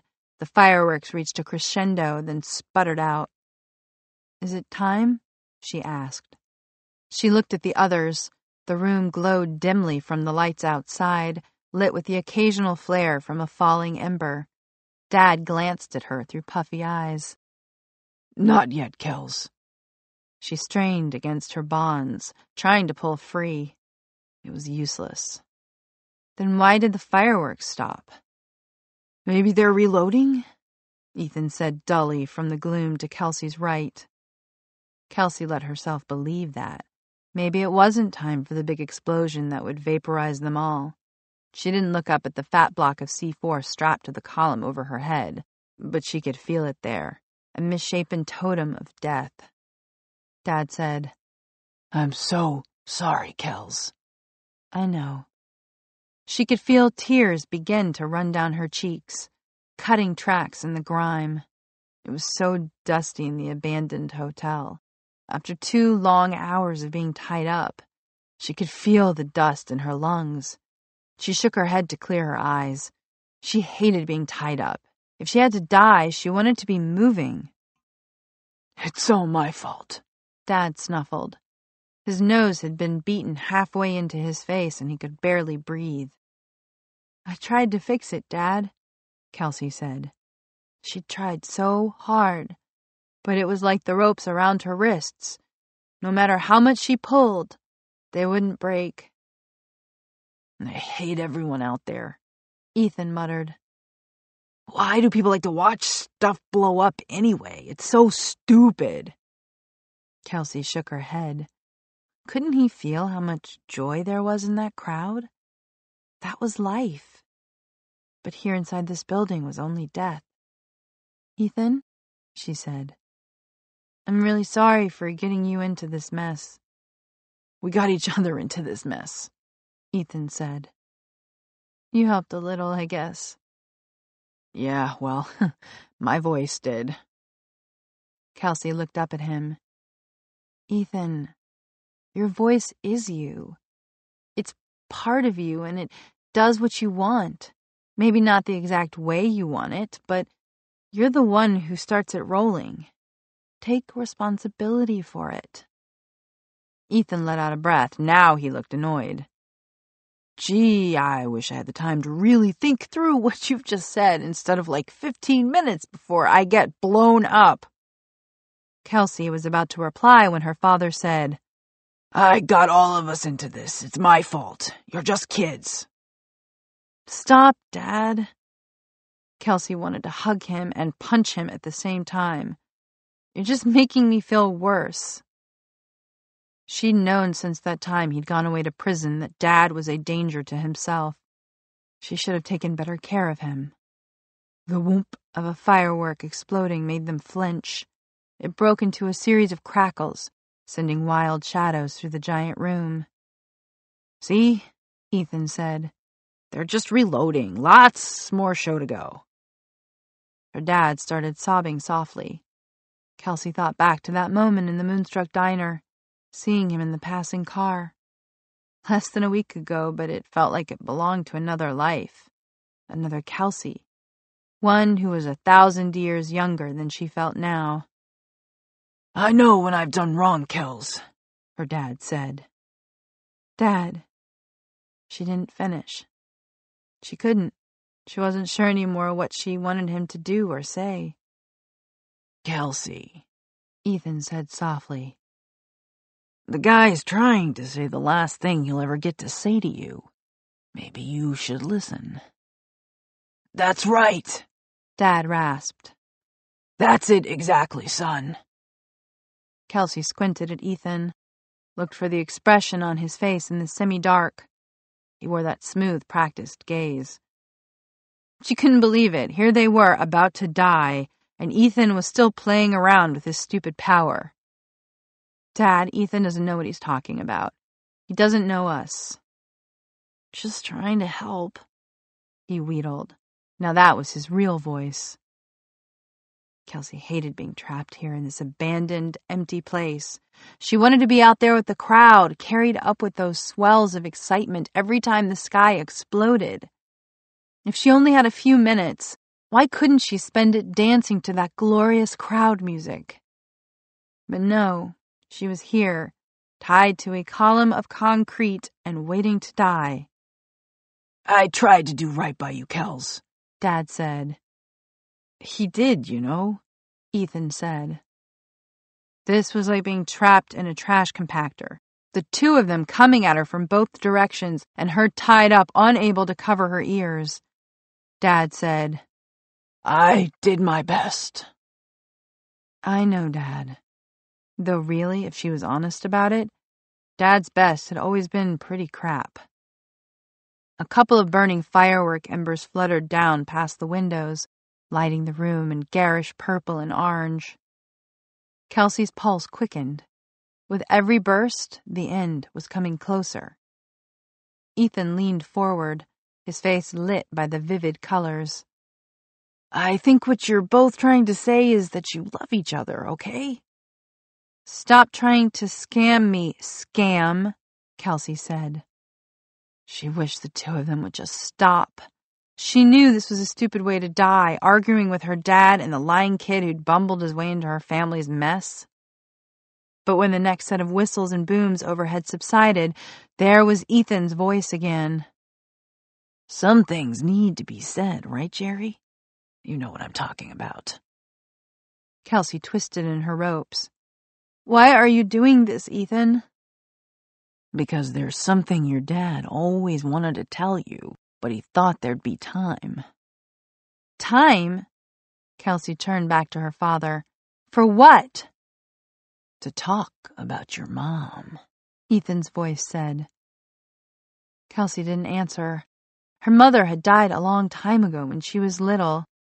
She watched her dad lit into garishness by fireworks, his bruised and bloodied face like a mask. She'd given up asking about her mom before she'd even turned ten. Dad always changed the subject. She figured he was too hurt by the loss to really talk about it. But she'd always wondered. Who is this guy? Her dad said. How does he know? Same way as in the bank, Kelsie said. He can read minds? Sort of. She turned to face the smooth mask. Why are you doing this, Ethan? What do you want?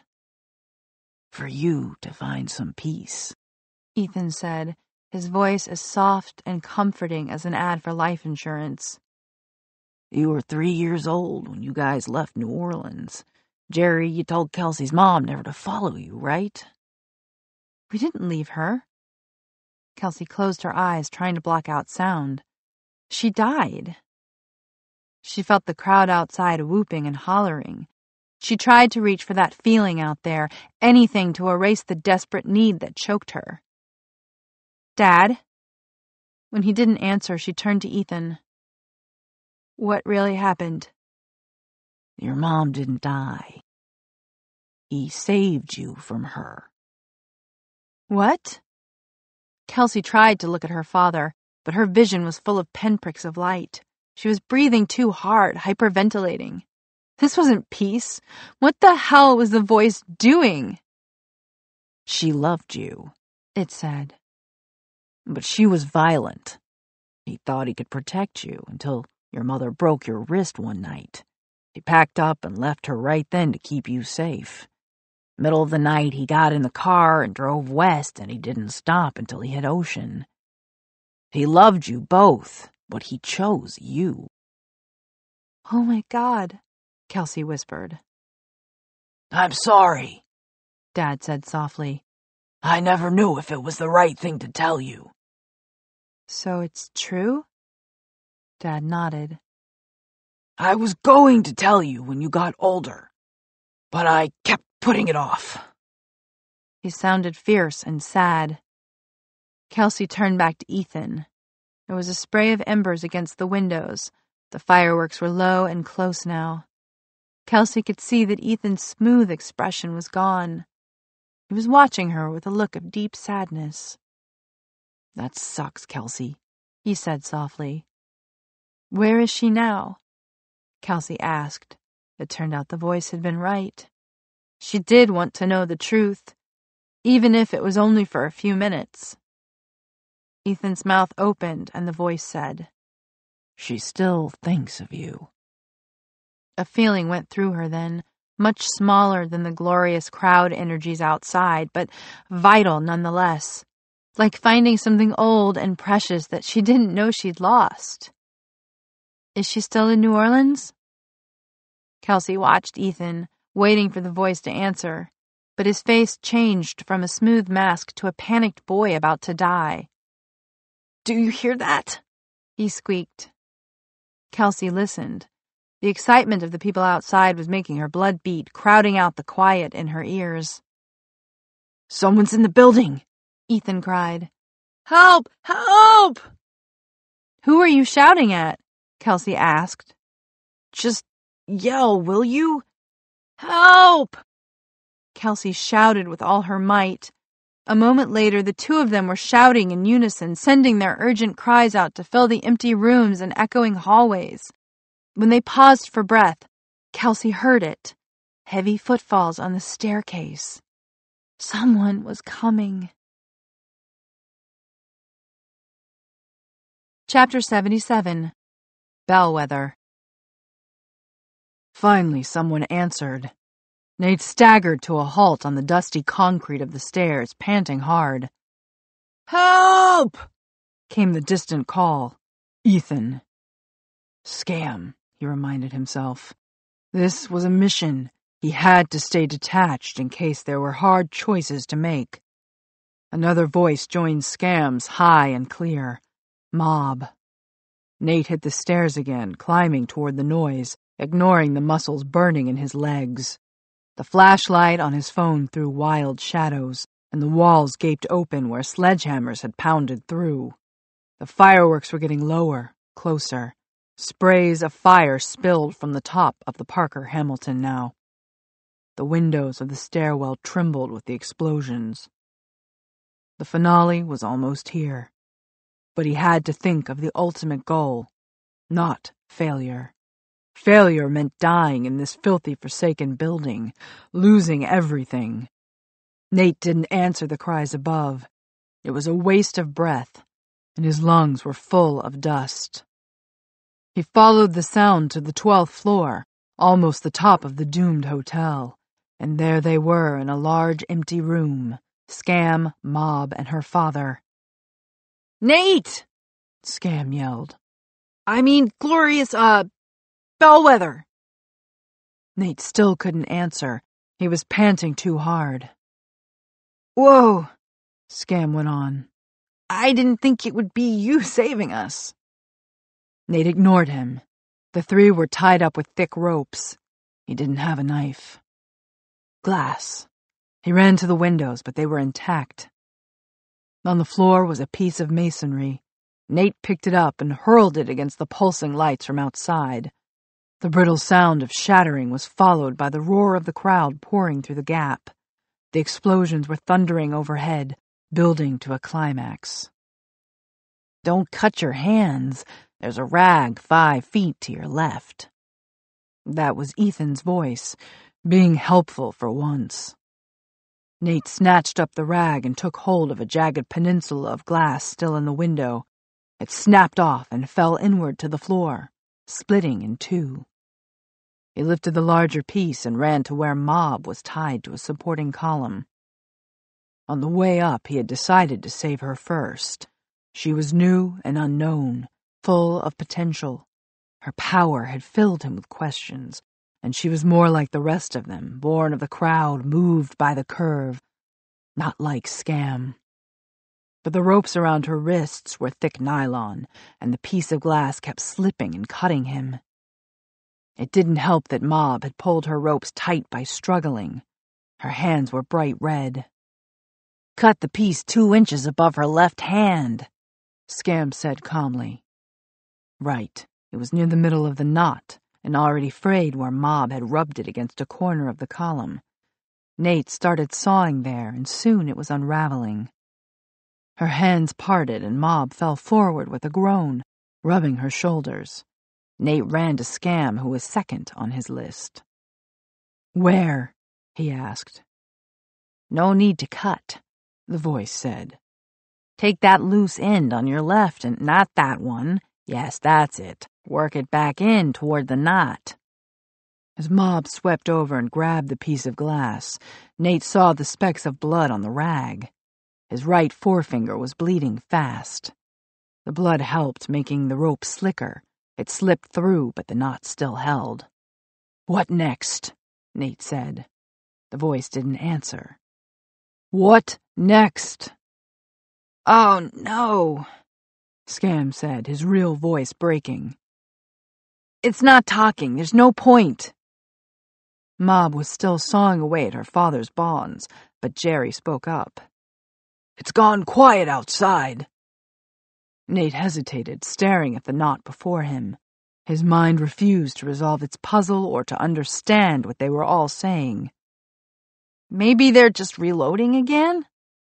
Scam's real voice. Mob stood up, her ear cocked toward the crowd. The glass dropped from her hand and shattered. No, she said. I think we're done here. Nate shook his head, staring at the knot. Think of the goal, not of failure. Chizara, he said half to himself. But she was on the other side of town, too far away to help. Still, there was no point sitting here and waiting for the end. Nate rose from his crouch and held out his hand to Mob. We can run. We can still make it. I can't just leave, she said. Wait, Scam said. You're leaving without me? Nate turned to him. If your voice gave up, that means there isn't time. You know that, Ethan. Now use it one last time and get her to come with me. For a moment, Ethan stared at him, astonished. But then he nodded, closed his eyes, and opened his mouth. But nothing came out. Mob wasn't going anywhere. She had knelt by her father. Thanks for saving me, Dad, back then. Sorry I couldn't return the favor. Kelsie, Nate said, trying to focus himself at her. We have to run, now. If we're going to die, let's die on the stairs. But his power wouldn't focus. The crowd was too far away to help him. Jerry Laszlo looked up at his daughter. You were always proof of miracles. Outside, a mass of voices started counting down from twenty, and Mob spread her arms toward the ceiling, the numbers rippling through her body like a pulse. Chapter 78 Crash Now all the sky was alight, the explosions coming thick and fast, shaking Chizara's car, shaking the whole city around her. This had to be the build-up to what Ekem had called the big kablam. He'd said there'd be a minute's silence after the fireworks before the floodlights came on and the countdown started. She had a little over a minute. In the stolen car, she shot through the empty streets lit lurid by the gold, the fuchsia, the emerald, the silver white of the fountains and flowers and star bursts overhead. She felt ahead furiously, sifting through the piles of tech downtown, searching with her mental tweezers for the demolition charges. How did it even work? When you blew up a tower like the Parker Hamilton, was it one big bomb in the middle, or a bazillion little ones dotted through the building? She had to do this right. She almost saw the roadblock too late. Not just hollow plastic barriers she could have punched the Camaro through, but a string of flesh and blood traffic cops. She slammed on the brakes. The car swung with a scream of rubber and skidded to a sideways stop rocking as she shed her seatbelt. Startled cops backed up against the barriers. Chizara jumped out, vaulted the roadblock. Hey, what the hell? You can't just leave that here. But Chizara was already running along the near empty street beyond. She had to get in range and soon, or Nate was dead and Ethan and the new girl and the new girl's dad. That couldn't happen. It wasn't an option. The ground shook with explosions. Ahead, blocks and blocks away, the fireworks gushed up into the darkness, all colors, all shapes. This was definitely the big kablam. They were throwing everything against the sky. Chizara raced on, feeling ahead through the electronic noise. There wasn't room for fear. She needed every drop of adrenaline for running, for hunting. If she could only get a clear signal, see through all this e-garbage in the way. Networks beat at her from the buildings all around. Buried fiber optic lines burned underfoot, and up ahead around the Parker Hamilton, so many more devices seethed. What had the news report said? One out of every three Cambrians was here? And every one of them held a phone, snapping photos and videos, tweeting, messaging, Instagramming, sending out a million darts into the flame-swept sky. The last of the fireworks fell and faded slowly to black leaving only feeble streetlight to guide her. Did she have the whole minute Ekem had promised, or only seconds? She sped up, pushing past what she thought was her limit. The sudden quiet was horrible. Her fear flared, and she had to swallow it, gasp it away as she ran. White light punched up into the rolling firework smoke. Crowd roar hammered along the street. A sob of terror escaped Chizara, but still she ran, and the light stayed steady. That hadn't been the final explosion, just the floodlights coming on. But soon. Now the crowd's tech was clawing her face in front. Every camera lifted, a hundred thousand glowing rectangles, a galaxy of pain. She ran against the weight of it, her body peeled back to springs and wire and a core of nauseous burning. Give in! Go crazy! shrieked the gnawing tech, but she had to see beyond it, feel around it, push through. It was worse, much worse than the CCPD's big punch-in-the-gut systems. This was death by ant bites, a trillion mandibles sinking into her flesh at once. If she hadn't crashed that mall, she couldn't have stood this, wouldn't have had the strength. She burst out onto a slope packed with spectators, plunged right in, pushed forward. Hey, watch it! She didn't care. She forced her way on. The ant bites kept coming, but the crowd gave her huge range. Her skull felt hollow with it, like she just sniffed crushed peppermint leaves.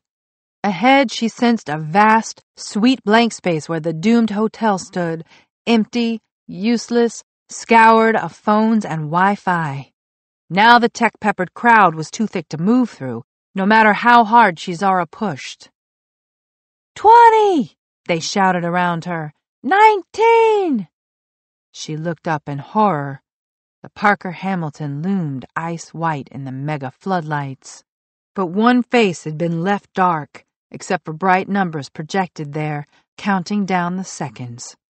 Chizara closed her eyes and fought to focus. Deep in the empty hotel, she groped after a ghost of a network, a sparse drapery of wires through the steel and concrete skeleton. Countless little bombs, and she had to crash them all. Ten! shouted the crowd, a monstrous, ignorant voice. Nine! Eight! Too fast. The seconds were going too fast. She couldn't do the tweezer thing. She couldn't be subtle. She'd just have to dump the whole damn city. She could see so far, could break so much. But she had to keep control. Five! Four! Chizara lifted her arms and spread them wide like a demon queen throwing down a curse. She reached beyond the boiling mass of ant tech around her, protecting the phone so people wouldn't panic. Three! She sank down into the power grid, shook free everything feeding into the lattice of wires charged with bringing the old hotel down. Two! Through that fresh hole she'd made in the pane, she saw the demolition setup. The timer, the board, the remote trigger, the sensors scattered like stars through the stripped building.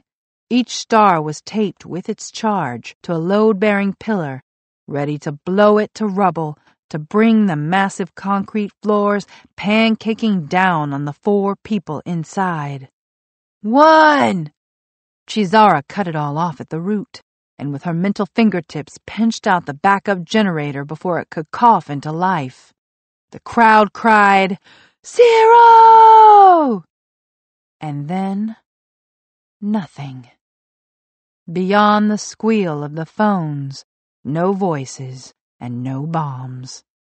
Chizara raised her head, opened her eyes to darkness. Oops, she hadn't meant to kill the floodlights. And that wasn't all she'd killed. A great swath of the city lay snuffed out all around. No streetlights, no window lights, the skyscrapers standing dark. Only the hundred thousand phones glowed, recording each other's hopeful glows and the darkness beyond them, recording the glorious silence, recording Chizara's triumph. The magnificence of what she'd done, the magnificence of what she was, hit her smack in the funny bone. Laughter billowed up from the pit of her stomach, where the ant tech had chewed the hardest. It scrabbled in her lungs, gathering breath, and then it burst up out of her throat into the silence and the darkness and the doubtfulness all around. like a movie villain. People fell back from her, some looked nervous in the faint phone glow. Most kept their cameras raised, still expecting the big event. Chizara spun on her heel, double punching the air. Not going to happen, suckers! She pushed uphill through the assembled shadows, staggering, cheering, laughing. The crowd was a field of grass, and she could see how every blade lay around her, where every drop of dew sparkled. Phones and cameras were no more than gnats now, no more than dust motes swirling in a sunbeam. And she was the sunbeam. She was the sun, the source. She was full to bursting with post-crash power. She could see everything, feel everything, hold everything up forever if she wanted, let go anything she chose mega or nano-sized, she was master of it. She was a freaking zero man. Chapter 79 Scam All of Cambria was dark. Inside this hotel stairwell was even darker. And Jerry Laszlo was heavy. Landing coming up, Ethan grunted. Got it. Nate's voice came from his right. It took both of them to hold up Kelsie's dad, who had been beaten too badly and tied up too long to walk. In front of them, Kelsie lit the landing with the light from Nate's phone. It made her pale hair luminous and turned the rest of her into a dancing silhouette. She kept glancing back at her dad. Are you okay? she asked. Jerry let out a groan. Every moment seemed to hurt him. Ethan didn't know if Crash's crash was permanent or only a temporary reprieve. He didn't plan on sticking around to find out. He and Nate had formed a kind of yoke, their arms wrapped under Jerry's shoulders to lift him upright. Ethan had his left hand on Nate's right collarbone, and Nate had a firm grip on Ethan's neck. It was the most team-like Ethan had ever felt with Glorious Leader. But he wasn't sure it was enough. They still had a half dozen landings to go before safety. I hate it, Ethan puffed. This hotel. He'd never been so scared in his life. This was worse than waiting helplessly to die, because he had a chance now. Any second he wasted might be the one that vaporized him. They hit the next landing and careened toward another flight of stairs. Ethan went wide while Nate spun practically on the spot. By now it was almost routine. Make the landing, spin, head for the next. There was garbage everywhere, and more than once Ethan slipped on some scrap of old wire or who knew what. But he stayed upright, maybe out of pure desperation. Then he heard a rumbling, booming noise begin outside. Oh, crap! Ethan shouted. What's that? It's the crowd, Kelsie shouted over her shoulder. They're chanting. What? Why are they chanting? Kelsie didn't answer, but a second later Ethan heard it over the scuffle of their footsteps. Blow it up! Blow it up! Assholes, Ethan said. But of course the people who had come for the Fourth of July fireworks were crying out for the destruction of the Parker Hamilton and everything inside it. And no doubt the demolition experts out there were furiously poking at wires, checking connections, rebooting control systems, and generally trying to figure out what had gone wrong. We gotta keep moving, Ethan puffed, rounding another corner of the staircase. This place could still blow. Crash knows what she's doing, Nate confirmed. Ethan had to laugh. Since when? Since when do any of us know what we're doing? Scam, seriously, she just saved our asses. Ethan didn't argue, just saved his breath for moving. Jerry was whispering a litany of gratitude and grief. Nate kept trying to reassure the old guy, reminding him to keep going not to fall into dead weight but the group was too small for Nate's power to do much. Ethan doubted there was any power on earth that could convince Jerry to work any harder. He was in a bad way. If they didn't get the old guy to a hospital soon, he might not make it through the night. The chanting of the crowd grew stronger as more and more people joined in. Kelsie said, I can feel them. They're all so freaking happy, like delirious. They want to blow us up so bad. Can't you make them, like, not want to explode this building? Ethan asked. It's getting on my nerves. I can only guide their energy, not change what they are. Nate. Too far away, Nate gasped. Kelsie added, And there's so many of them. She swung the phone's light toward the next landing, and Ethan stormed forward. He was suddenly grateful that Nate always bought the best of everything, because that phone worked better than a lot of flashlights Ethan had owned. It lit the stairwell into sharp contrasts. Hey, Nate, Ethan huffed. Yeah? In case we all die in a fiery inferno of death. He paused for breath. I just want to say thanks for coming for us, even though you were going to leave me in there. Only to save Mob, Nate replied in a gasp. Otherwise. Right, sure, Ethan said. And, hey, we made it. I guess I owe you one. Sorry about last summer, Nate said. I was wrong. For a moment, Ethan didn't understand. They'd just reached a landing with a giant two painted on the wall. They were almost out. Ethan's lungs were burning and he was gasping for breath, and Kelsie was a shadow in front of them, carved from the bouncing, lurching phone light. But it had really happened.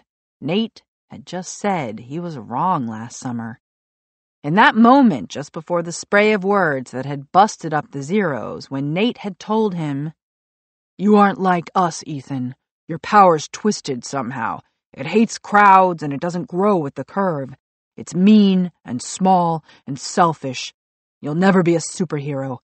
You'll always be a scam. Nate had said it with a kind of perfect certainty, almost like he'd borrowed the voice for one blinding moment.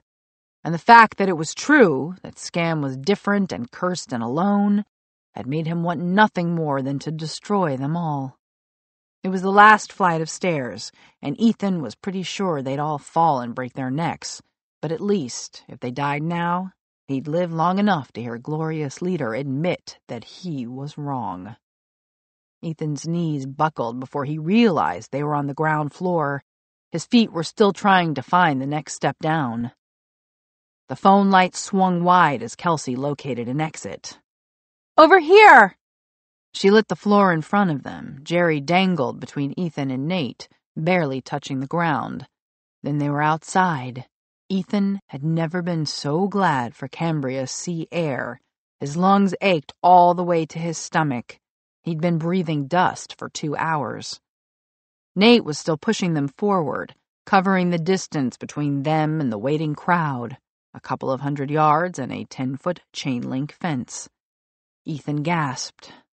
By the time they got Jerry to the fence, Kelsie already had her shoes off and was climbing, toes and fingers clinging to the wire. Help! She was shouting. Help us! Ethan was too beat to ask who she thought would hear. The crowd was still chanting on the other side, wrapped up in the dangerous delight of the explosion they yearned for. A few people cast Kelsie confused glances, but that was it. Nate let go of Jerry, and the old man sagged down on Ethan's shoulder. The weight dropped Ethan to his aching knees. Kelsie had reached the top of the fence. She was teetering like a high wire artist. Ethan wanted to shout up to her to be careful, but his lungs were burning. Look! Kelsie was pointing. There's a first aid station. Ethan set Jerry down and struggled to his feet to peer across the heads of the crowd. He could see it too, the top of a white tent with a district ambulance logo billowing from its point. Nate called up at Kelsie. Throw me my phone. I'll tell the others to meet us at the northwest corner of the fence. The phone tumbled down to his waiting hands. Nate! Kelsie cried. Can you focus the crowd on me? Nate looked up from the screen.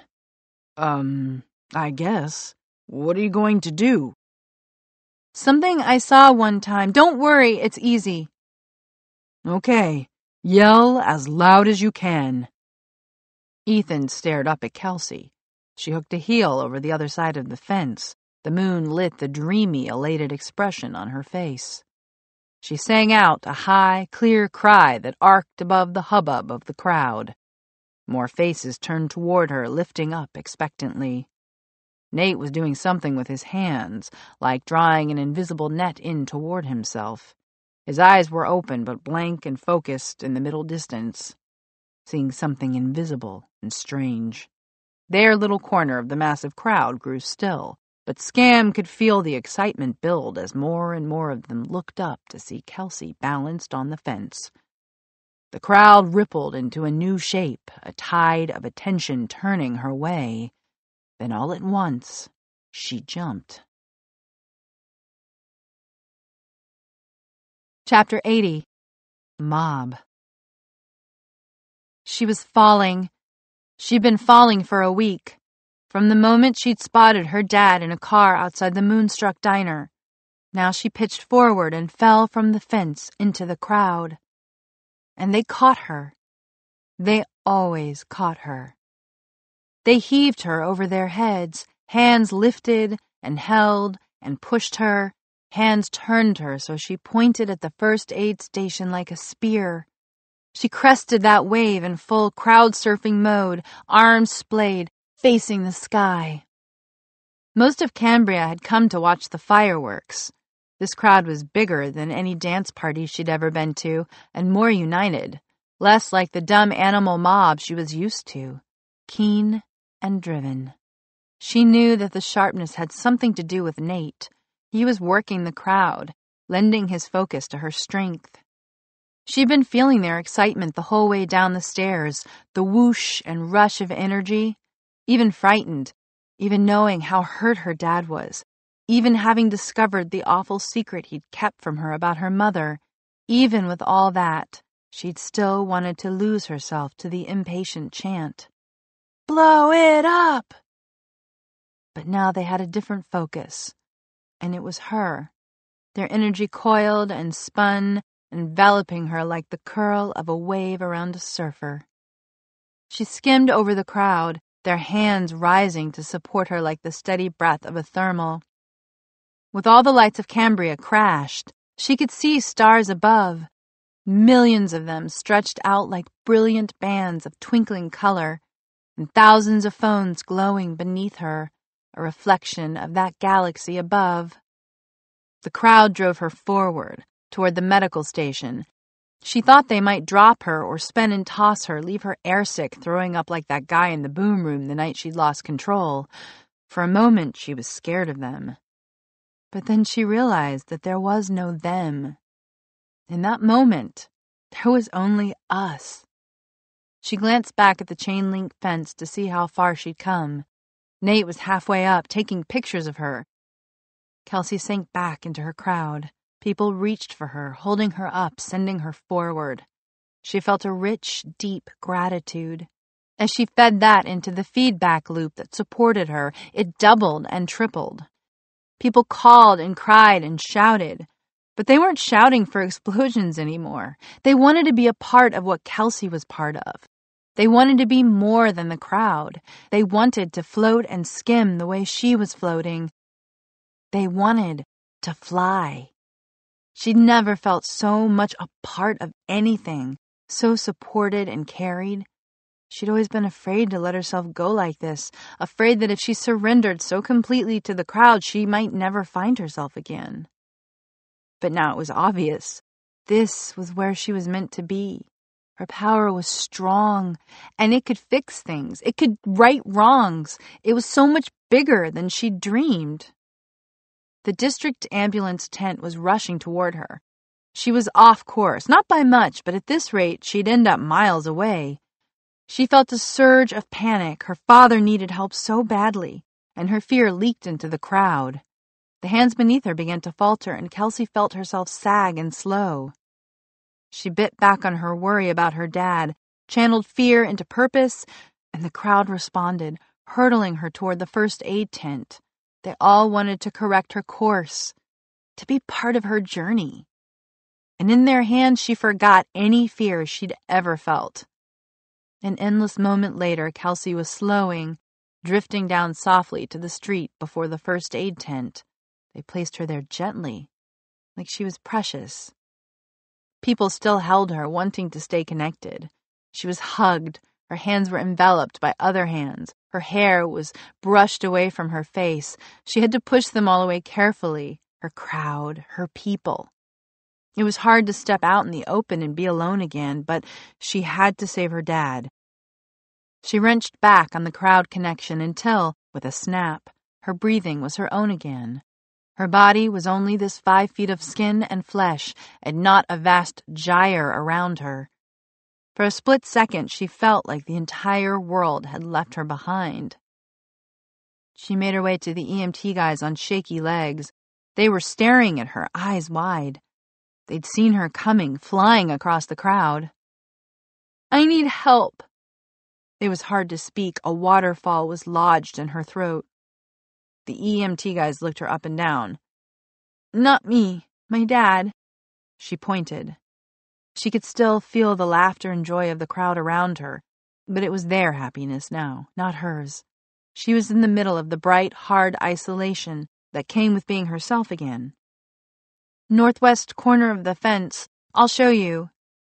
She turned and, with a single gesture that focused all her pain and fear, she cleaved the crowd to make a clear path. Her crowd. They moved aside for her. They always would. As she led the EMT guys through to where her father lay crumpled in Ethan's arms, Kelsie felt the tears slide down her face, like they might never stop. Chapter 81 Crash The ambulance pushed up the crowded slope toward Chizara, clearing a path for itself with little siren whoops. She stood back, trying to think straight through the afterbuzz of all she'd done, through the euphoria rattling through her veins. Had she harmed someone? Crashed a pacemaker, an insulin pump? Was there a zero in that ambulance?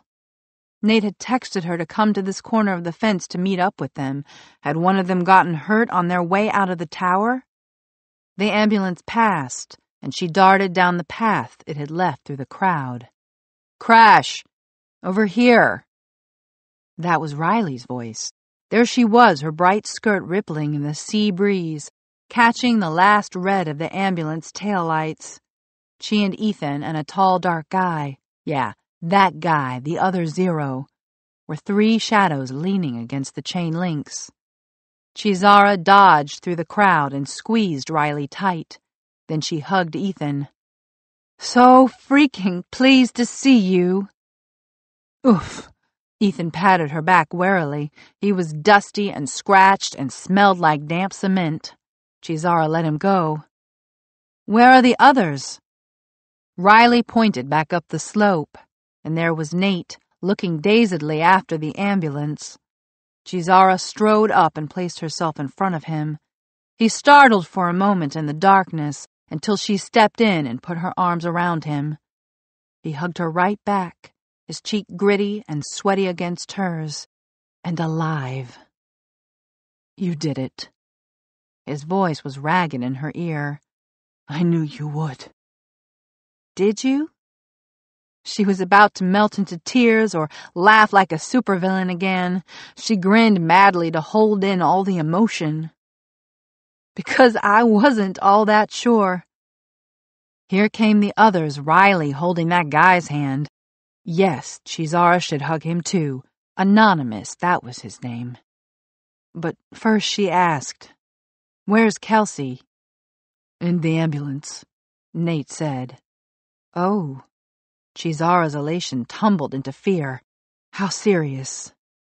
She's fine, Riley said. It's her dad. Those gangsters beat him up really bad.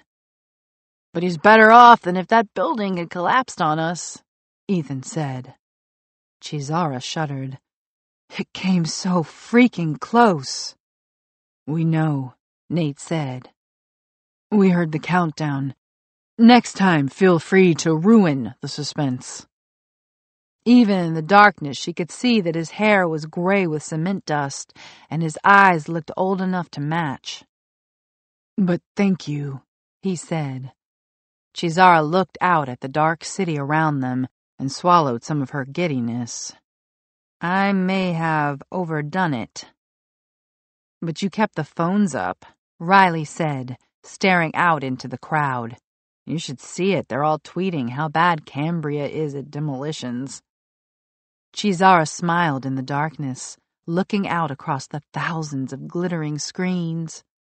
Her bones twinged from their signals, but the afterpower of her crash shielded her from any pain. Let 'em tweet, let 'em text, let 'em call each other as much as they wanted. She was still queen of the night crammed full of almost dangerous exhilaration. The crowd was restless too, as the wind kicked up stronger.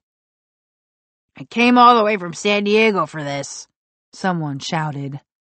Blow it up already! Nate put a hand on Chizara's shoulder. Maybe you should go ahead, get the lights back on. Let them blow the building. Chizara frowned. I don't know, Nate. Aren't there better ways to spend my fixing power?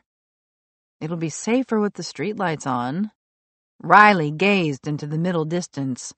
There are bottlenecks all around this square. Could get testy when people start to leave. Nate held up his hands. It's up to you, Crash.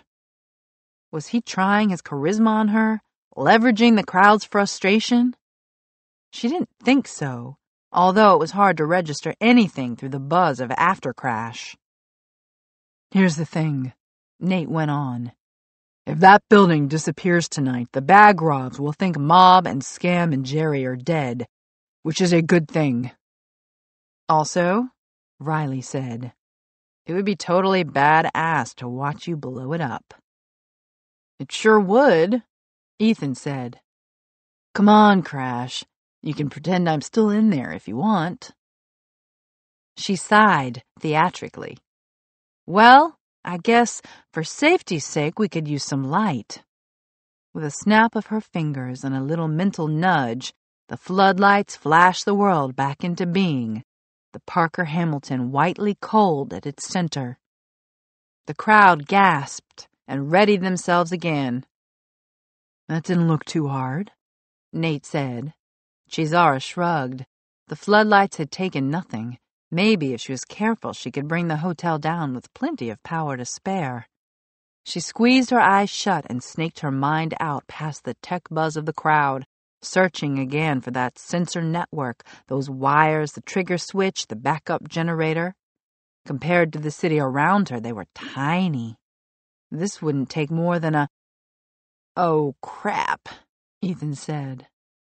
Hold on a second, Chizara said. I've almost.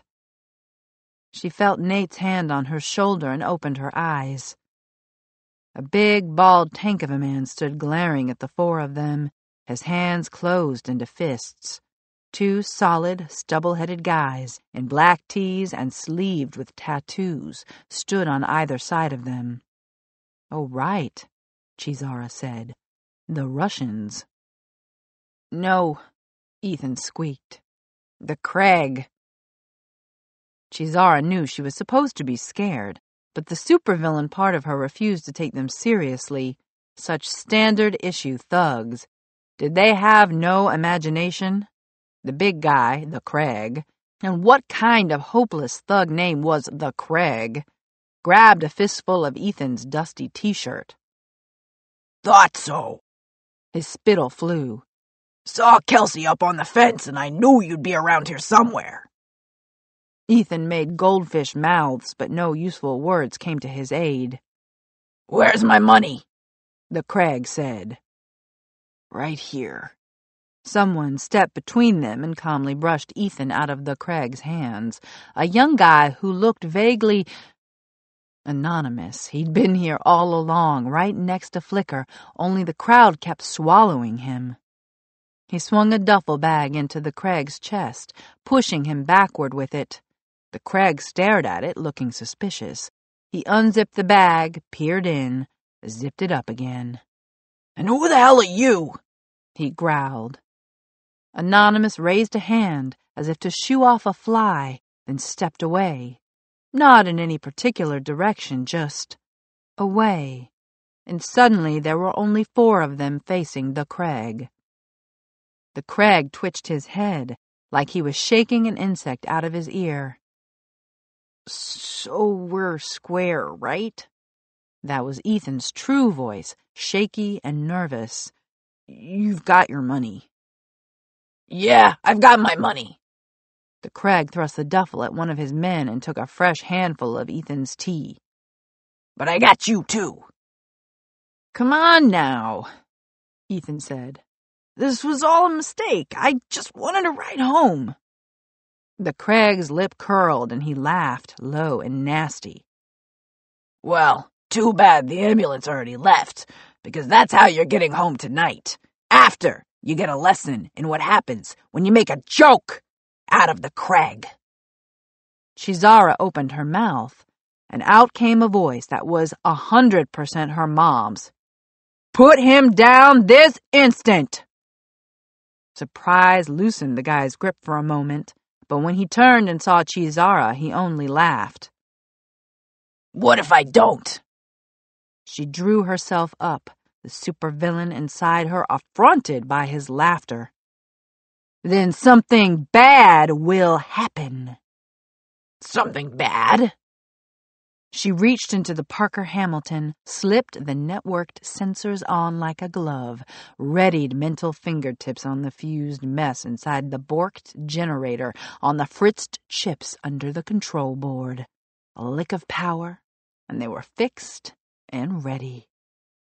Drop him right now, or I'll bring you down.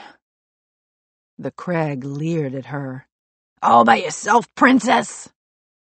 She was supposed to cringe, and she didn't. The Crag took a step closer. You bet, she smiled. Just like this. She flung out an arm at the floodlit, derelict hotel a few blocks away. A scattering of explosions traveled through the building, sharp and sudden, and puffs of dust flung themselves from the windows along with spumes of glittery broken glass. The crag turned back toward her, astonished, and Chizara held his gaze, claiming the detonation as her own and daring him to deny it. the Parker Hamilton Hotel began to implode. Chapter 82 Flicker It was the fucking coolest thing Flicker had ever seen.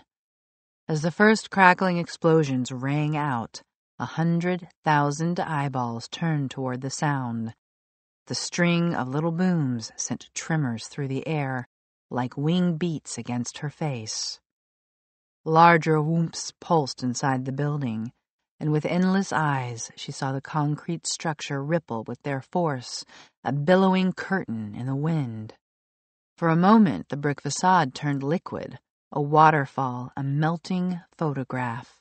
It sagged among its own smoke puffs, and then the floors began their collapse, from the top down, each one pancaking into the one below.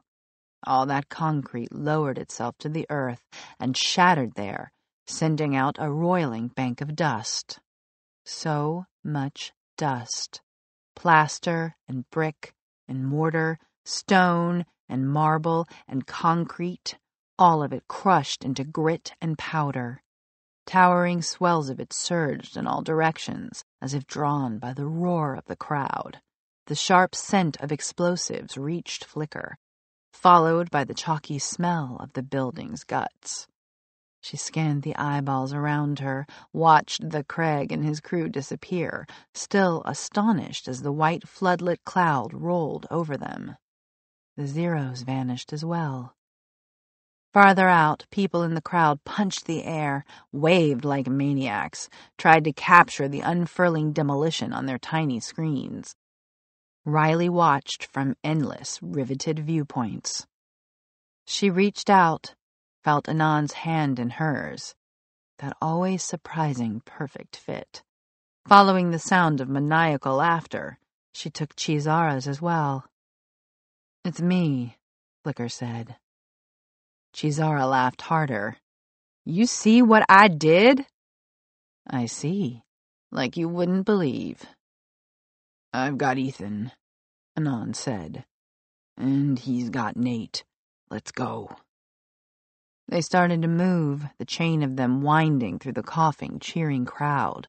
Flicker let herself be drawn along, moving her view farther out, past the dust, where tens of thousands more eyeballs stared. The collapsed hotel was gone, consumed by the cloud, but a few fireworks had been held back for the finale.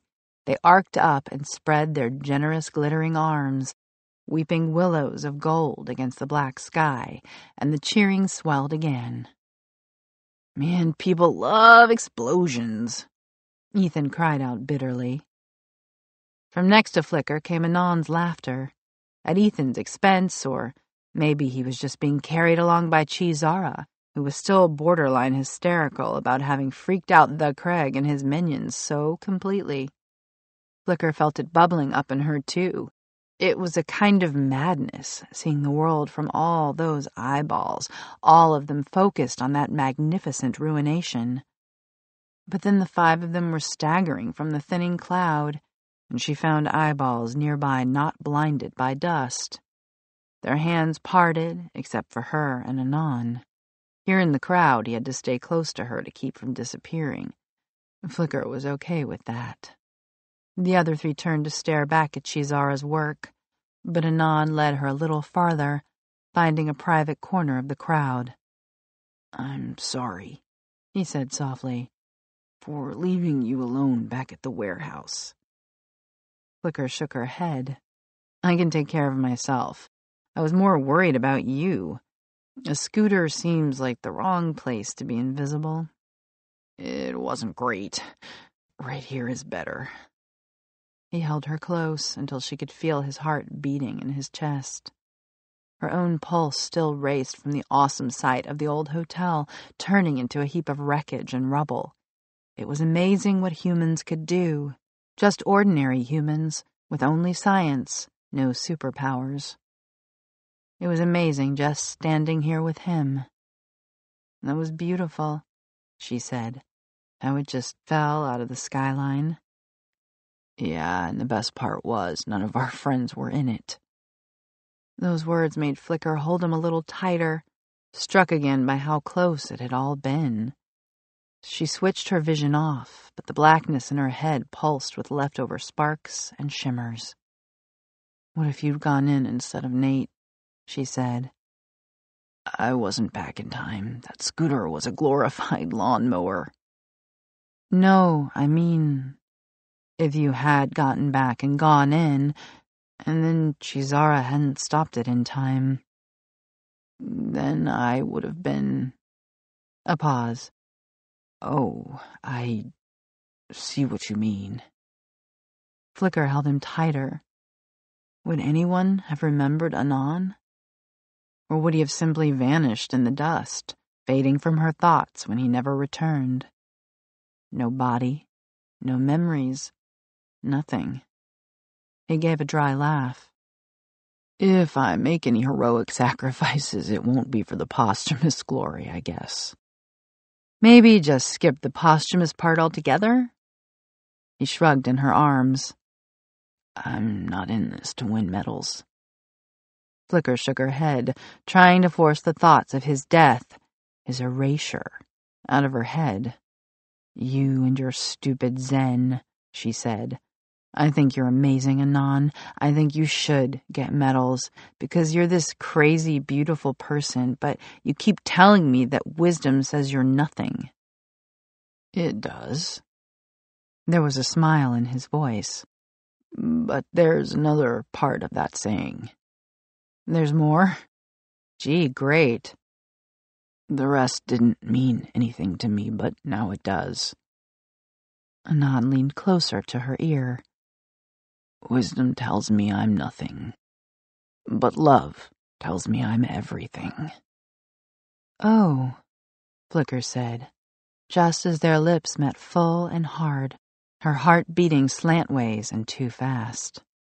The smells of dust and crowd and anon blended in her head, along with the cries of joy at the last few fireworks overhead, the feel of him against her, both of them breathing hard. When they parted, it took a moment for her to find herself. Another moment to realize what she needed to ask. Was that the first time we've. Flicker knew this was silly.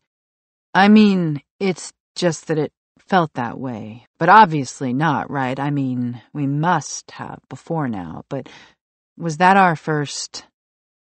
It was, Anon said. It always is. Chapter 83 Mob Dawn was breaking across the waiting room windows when the doctor said she should go in and see her dad. Not could, should. Like there wasn't much time. Kelsie had been sitting in the broad beige waiting room of Cambria County General for hours, feeling the storm of energy swirl around her. The hospital was not a good place to feel the crowd. Too many people dragging her emotions around. A few happy at their test results, but most of them fighting anxiety. And too many cold, hard washes of despair. Kelsie tried to tune it out, but every time she disengaged from the pulse of the crowd, she was overwhelmed by her own fear about her dad. That fear was like a channel carrying her back to the anxious herd. She had been glad when the other Zeroes had turned up. They formed their own group within the larger throng of fear and pain and boredom. All of them were buzzing with energy, a dozen times more united than at the meeting two days ago. We've done everything we can, the doctor was saying. Your father suffered a lot of internal damage and his system was already compromised by the drugs. Kelsie nodded. For hours now, she'd been nodding every time a doctor spoke. The man looked exhausted, like he'd really tried. Kelsie wished she could feel her weariness. All she felt was scared. You should go see him now, the doctor repeated. But she was frozen to the chair.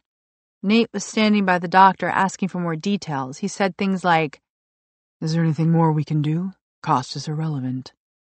But he seemed to be saying them from a great distance, over against a wall, she could see Chizara and Flicker, and beside Flicker, a shadow that slid in and out of focus. Anon. Ethan was sitting beside her. He nudged her knee with his. You want me to come with? He asked softly. She looked up at him, trying to feel her way through the panic and grief. She had a question for him, the real him. Is it true, what you said about my mom? Back in the Parker Hamilton? Is that all real or a scam? Ethan took a breath. I never know what's true or not. The voice just says the right words to make what I want happen. What did you want? Can you remember exactly? Well, your dad was so guilty about getting you mixed up in his troubles. I just wanted him to get a little peace before, you know. Kelsie stared at the floor. She did know. In the Parker Hamilton, her dad had thought he was about to die. He hadn't made up the story about her mom. He couldn't have. There'd be no peace in lying at the end. So, do you want me to come into the room with you? Ethan asked. You know, get the full story from your dad. He looked seriously frightened by the idea, and Kelsie felt a surge of gratitude that he would even offer. She wondered if his voice could keep her father honest, if all Ethan wanted was the truth. But she'd never be certain. Ethan and the truth had a complicated relationship. It should be just us, me and my dad. Like it had always been, her and her dad, since before she could remember. She got to her feet and Ethan rose with her. I still think your power sucks, she said. My power still does suck, Ethan confirmed. Nate squeezed her shoulder as she passed. We'll be right here, waiting for you. Kelsie nodded, a lump in her throat. She'd never been so glad to know that someone would be waiting for her, that they would all be there when she got through whatever came next. She left the Zeroes in that beige room and followed the doctor down a narrow hall into a small space full of blinking machines. Take all the time you need, the doctor said, then left them alone. The hospital bed was dwarfed by the equipment on either side. Her dad looked terrible. His skin was pale and gray in the harsh overhead lighting, making his bruises darker. She crossed to the bed and stood, afraid to touch him, until he reached out a hand. She grasped it, feeling how light and hollow he'd become. I wish you didn't have to see me like this, Kels. His voice barely made it above a whisper. The doctor. She couldn't get the rest out. I know, sweetie. Dad cleared his throat. Your old man really screwed this one up. He'd been saying that all her life. She pressed her hand across her eyes, wishing he would say something new now. She wanted to disconnect from the tides of anxiety around her. Not all of it was hers. Every frightened, desperate, sad person in that hospital had a direct line to Kelsie right then. She stood with tears pouring down her face, not just for her dad, but for everyone. She knew everyone's pain. Too many mistakes, her dad was saying in a thin, raspy voice. I got myself to a place where nobody could help me. Dad. I only wish I hadn't taken you there with me. That was my decision, she said. Tears welled in his eyes. Who's going to take care of my little girl? She leaned across, hugging him as gently as she could, careful of the tubes that fed into his arms. Don't worry about me. I have plenty of friends now. Friends are everything. She heard the pride in his voice. Friends and family. That last word made her pull back. Her dad was crying now, too, his face wet and raw. He looked exhausted and even smaller than when she'd first come into the room, like he was shrinking. Dad, she said carefully, was it true what Ethan said about Mom? Dad nodded slowly. I don't know how that kid knew all that. So she's alive? Dad nodded again. She's not a bad person, Kelsie. But for some people, it's too much. What is? being a parent, he said simply. Kelsie sat on the edge of his bed carefully. Didn't she love me? She loved you more than anything, Dad said. The effort of speaking was really costing him. He pulled himself up from the pillows. But your mother, she did better alone than in a family. She nodded, but she couldn't see it. Even in this place, where anxiety pulsed from the walls around her, Kelsie knew that she was better in a family, in a group, in a crowd. And now, she had one all her own. She felt sorry for her mom then, but it was like feeling sorry for a stranger. Most people didn't have what Kelsie had a power, a connection. She did the best she could, Dad said softly. You both did.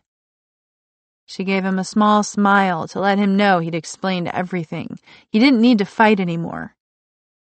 Dad eased back into his pillows. His eyes lost their fevered brightness, and for a moment Kelsie thought he'd already gone. Dad? Not yet, okay, please? Not yet. But he only nodded gently, like he was listening to something else. He closed his eyes, his breath coming in soft, rattling gasps. His hand in hers became still and slack. Kelsie stayed with him to the end. She felt it, the moment her dad stopped being part of the flux of human life, the moment he left the crowd of humanity behind and drifted away. For a time the world rushed in. She let it happen, all the grief in the hospital flooding through her, sinking her under its weight, filling her with hurt and hopelessness and loss. Then she pulled back and back until she was very small inside her own skin. For a while, she was more alone than she had ever been. She sat with her father a long time until his skin began to cool. By then, none of the anxiety of the hospital touched her. In the end, worry and doubt and fear were beside the point. The worst had already happened. When she made it back into the waiting room, the sun was spilling in. Ethan and Nate were still where she'd left them a lifetime ago. Nate was upright in a hard beige chair, looking like he was about to conduct a board meeting. Ethan was sprawled with his legs hooked over a chair arm and his head against a vending machine. She went over to Ethan and tapped his shoulder lightly. He was instantly awake. Kelsie? Nate joined them. The others are downstairs. Is there anyone we can call for you? She thought it through. She could call Fig or Ling or Remy or even Mikey. They were all her friends. They'd all hmm. try to help her now, like they'd been helping her since the robbery. But right now, the people she'd shared most with in the past week were here. She shook her head. No, thanks though. Well, anything you need. Nate gave her a reassuring smile. You know we're here for you. All of us. Ethan was on his feet by then. He blinked at her, eyes puffy with sleeplessness. There's one thing. Kelsie turned to Ethan. That thing inside you? The voice? The thing that's so smart that it knows everything everyone wants it to say? Ethan nodded. Yeah? Well, it's totally messed up. I know. But thank you. She wrapped her arms around him. If he hadn't found her just in time, she'd be alone now. Thank you for what you did in the hotel, for wanting me to find some peace with Dad. Ethan held her awkwardly, his arms coming around her, one hand in her hair. Hey, I'm just. His voice said, smooth and perfectly comforting. But then it fell silent, finishing in a kind of strangled noise. Ethan coughed hard a couple of times, then, in his real voice, he continued. I wish I knew half as much as my stupid voice. I wish I knew what I could say right now to make you okay. Kelsie squeezed him harder. Well, that's probably close enough. Chapter 84 Bellwether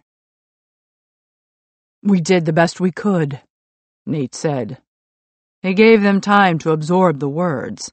They were all exhausted, their defenses low, their minds primed to bond with each other in defeat. He could feel the eager pattern of it in the air. All six of them were part of the group, thanks to the web spinning around Anonymous and Flicker. There was even a connection, sharp and specific, between Anon and Scam. They were all closer now, and their attention on Nate was tinged with something new and bright.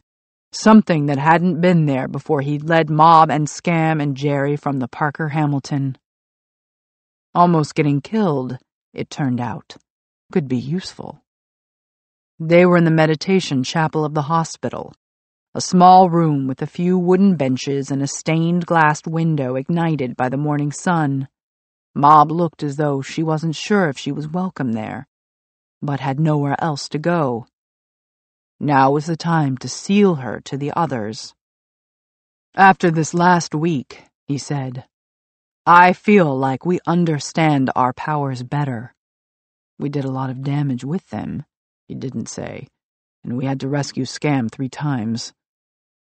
The Bagrovs think that Scam and Mob are dead, so we're safe from them.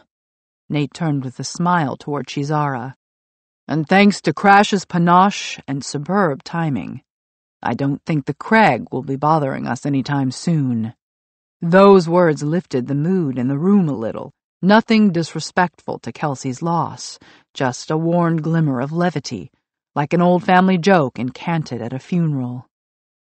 At the same time, she saved four lives, he added, and a blush came over Chizara's face, including mine. That part of last night couldn't have gone better. Now that she had more than balanced the scales of Officer Bright, Chizara had no choice but to feel worthy of her power. We know each other better, he said. And if we can stay connected, we can make each other stronger. Most of us can remember Anonymous now. Flickers wrapped her vision around larger and larger crowds, and Chizara's power is evolving into something completely new. Nate hesitated. It was a risk mentioning Scam, but leaving him out of the list would be too obvious. And Ethan found a new zero, he said, directing their attention away from Ethan and toward Kelsie, sitting near the door.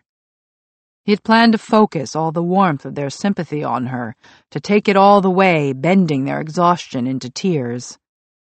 But in that instant of Kelsie staring back at him, Nate remembered how tough she was. So he simply said, I'm sorry we didn't find your father in time. We tried. Her gaze dropped to the floor. Thanks. But it's not your fault. Dad was always lost, I think.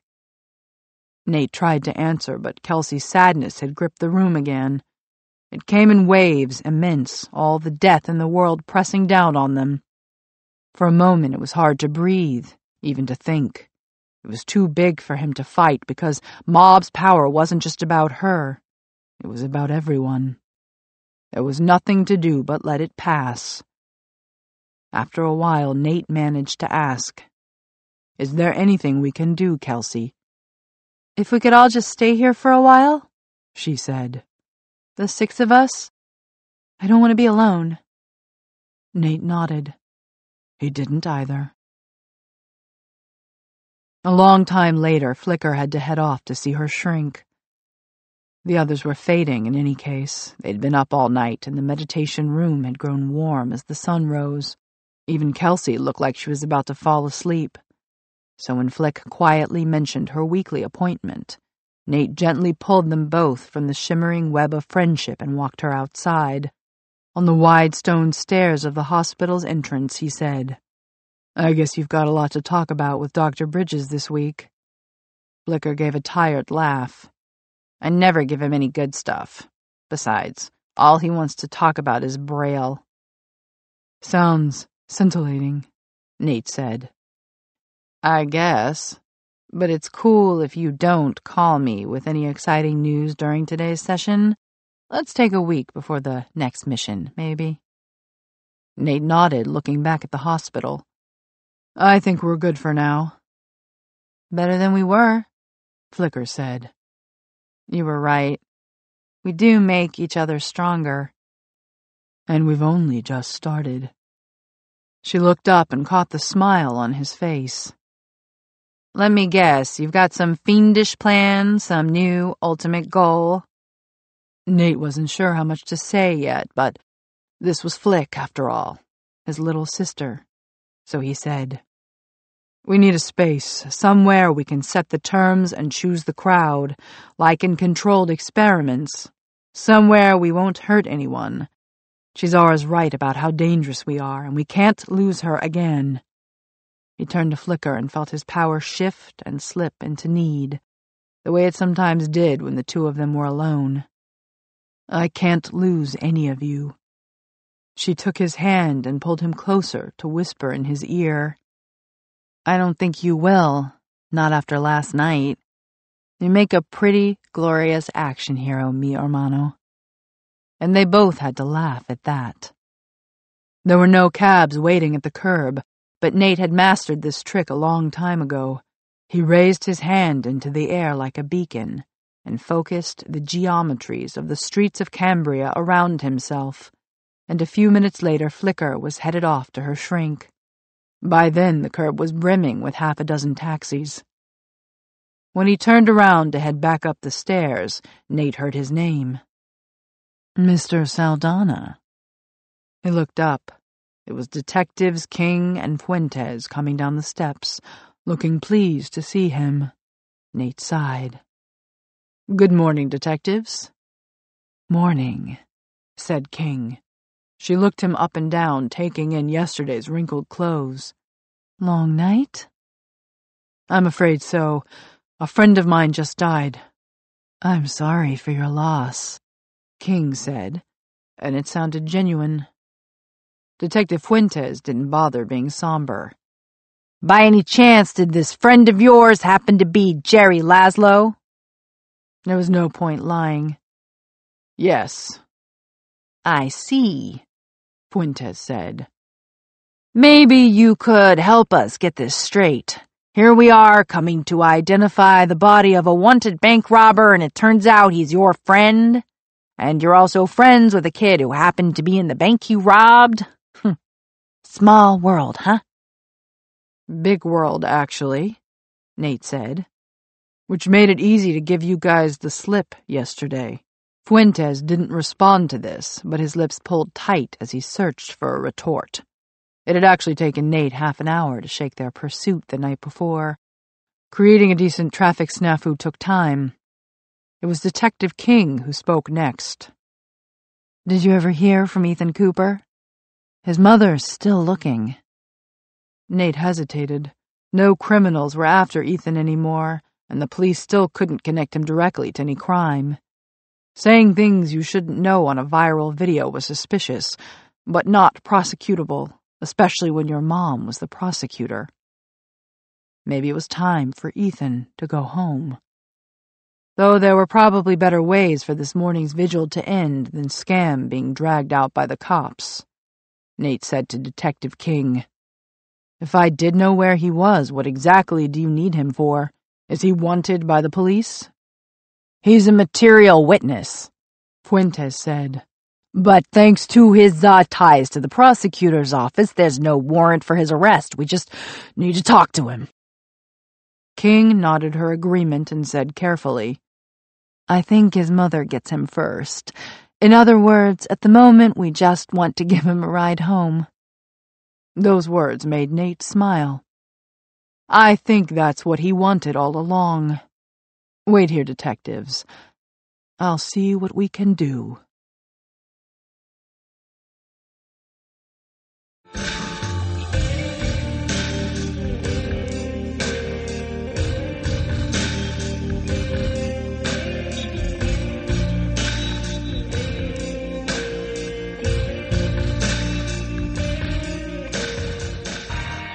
Zeroes was written by Scott Westerfeld, Margo Lanagan, and Deborah Biancotti, and read by Amber Benson. Editing and post production by Common Mode. Paul Fowlie, technical director. The associate producer was Ben Rimalower. The mix engineer was Ashley Lehman. Zeroes was produced and directed by Louisa Solomon. This has been a presentation of Simon & Schuster Audio. Zeroes is available in print from Simon Pulse. Also from Simon & Schuster Audio, Afterworlds, written by Scott Westerfeld and read by Sheetal Sheth and Heather Lind.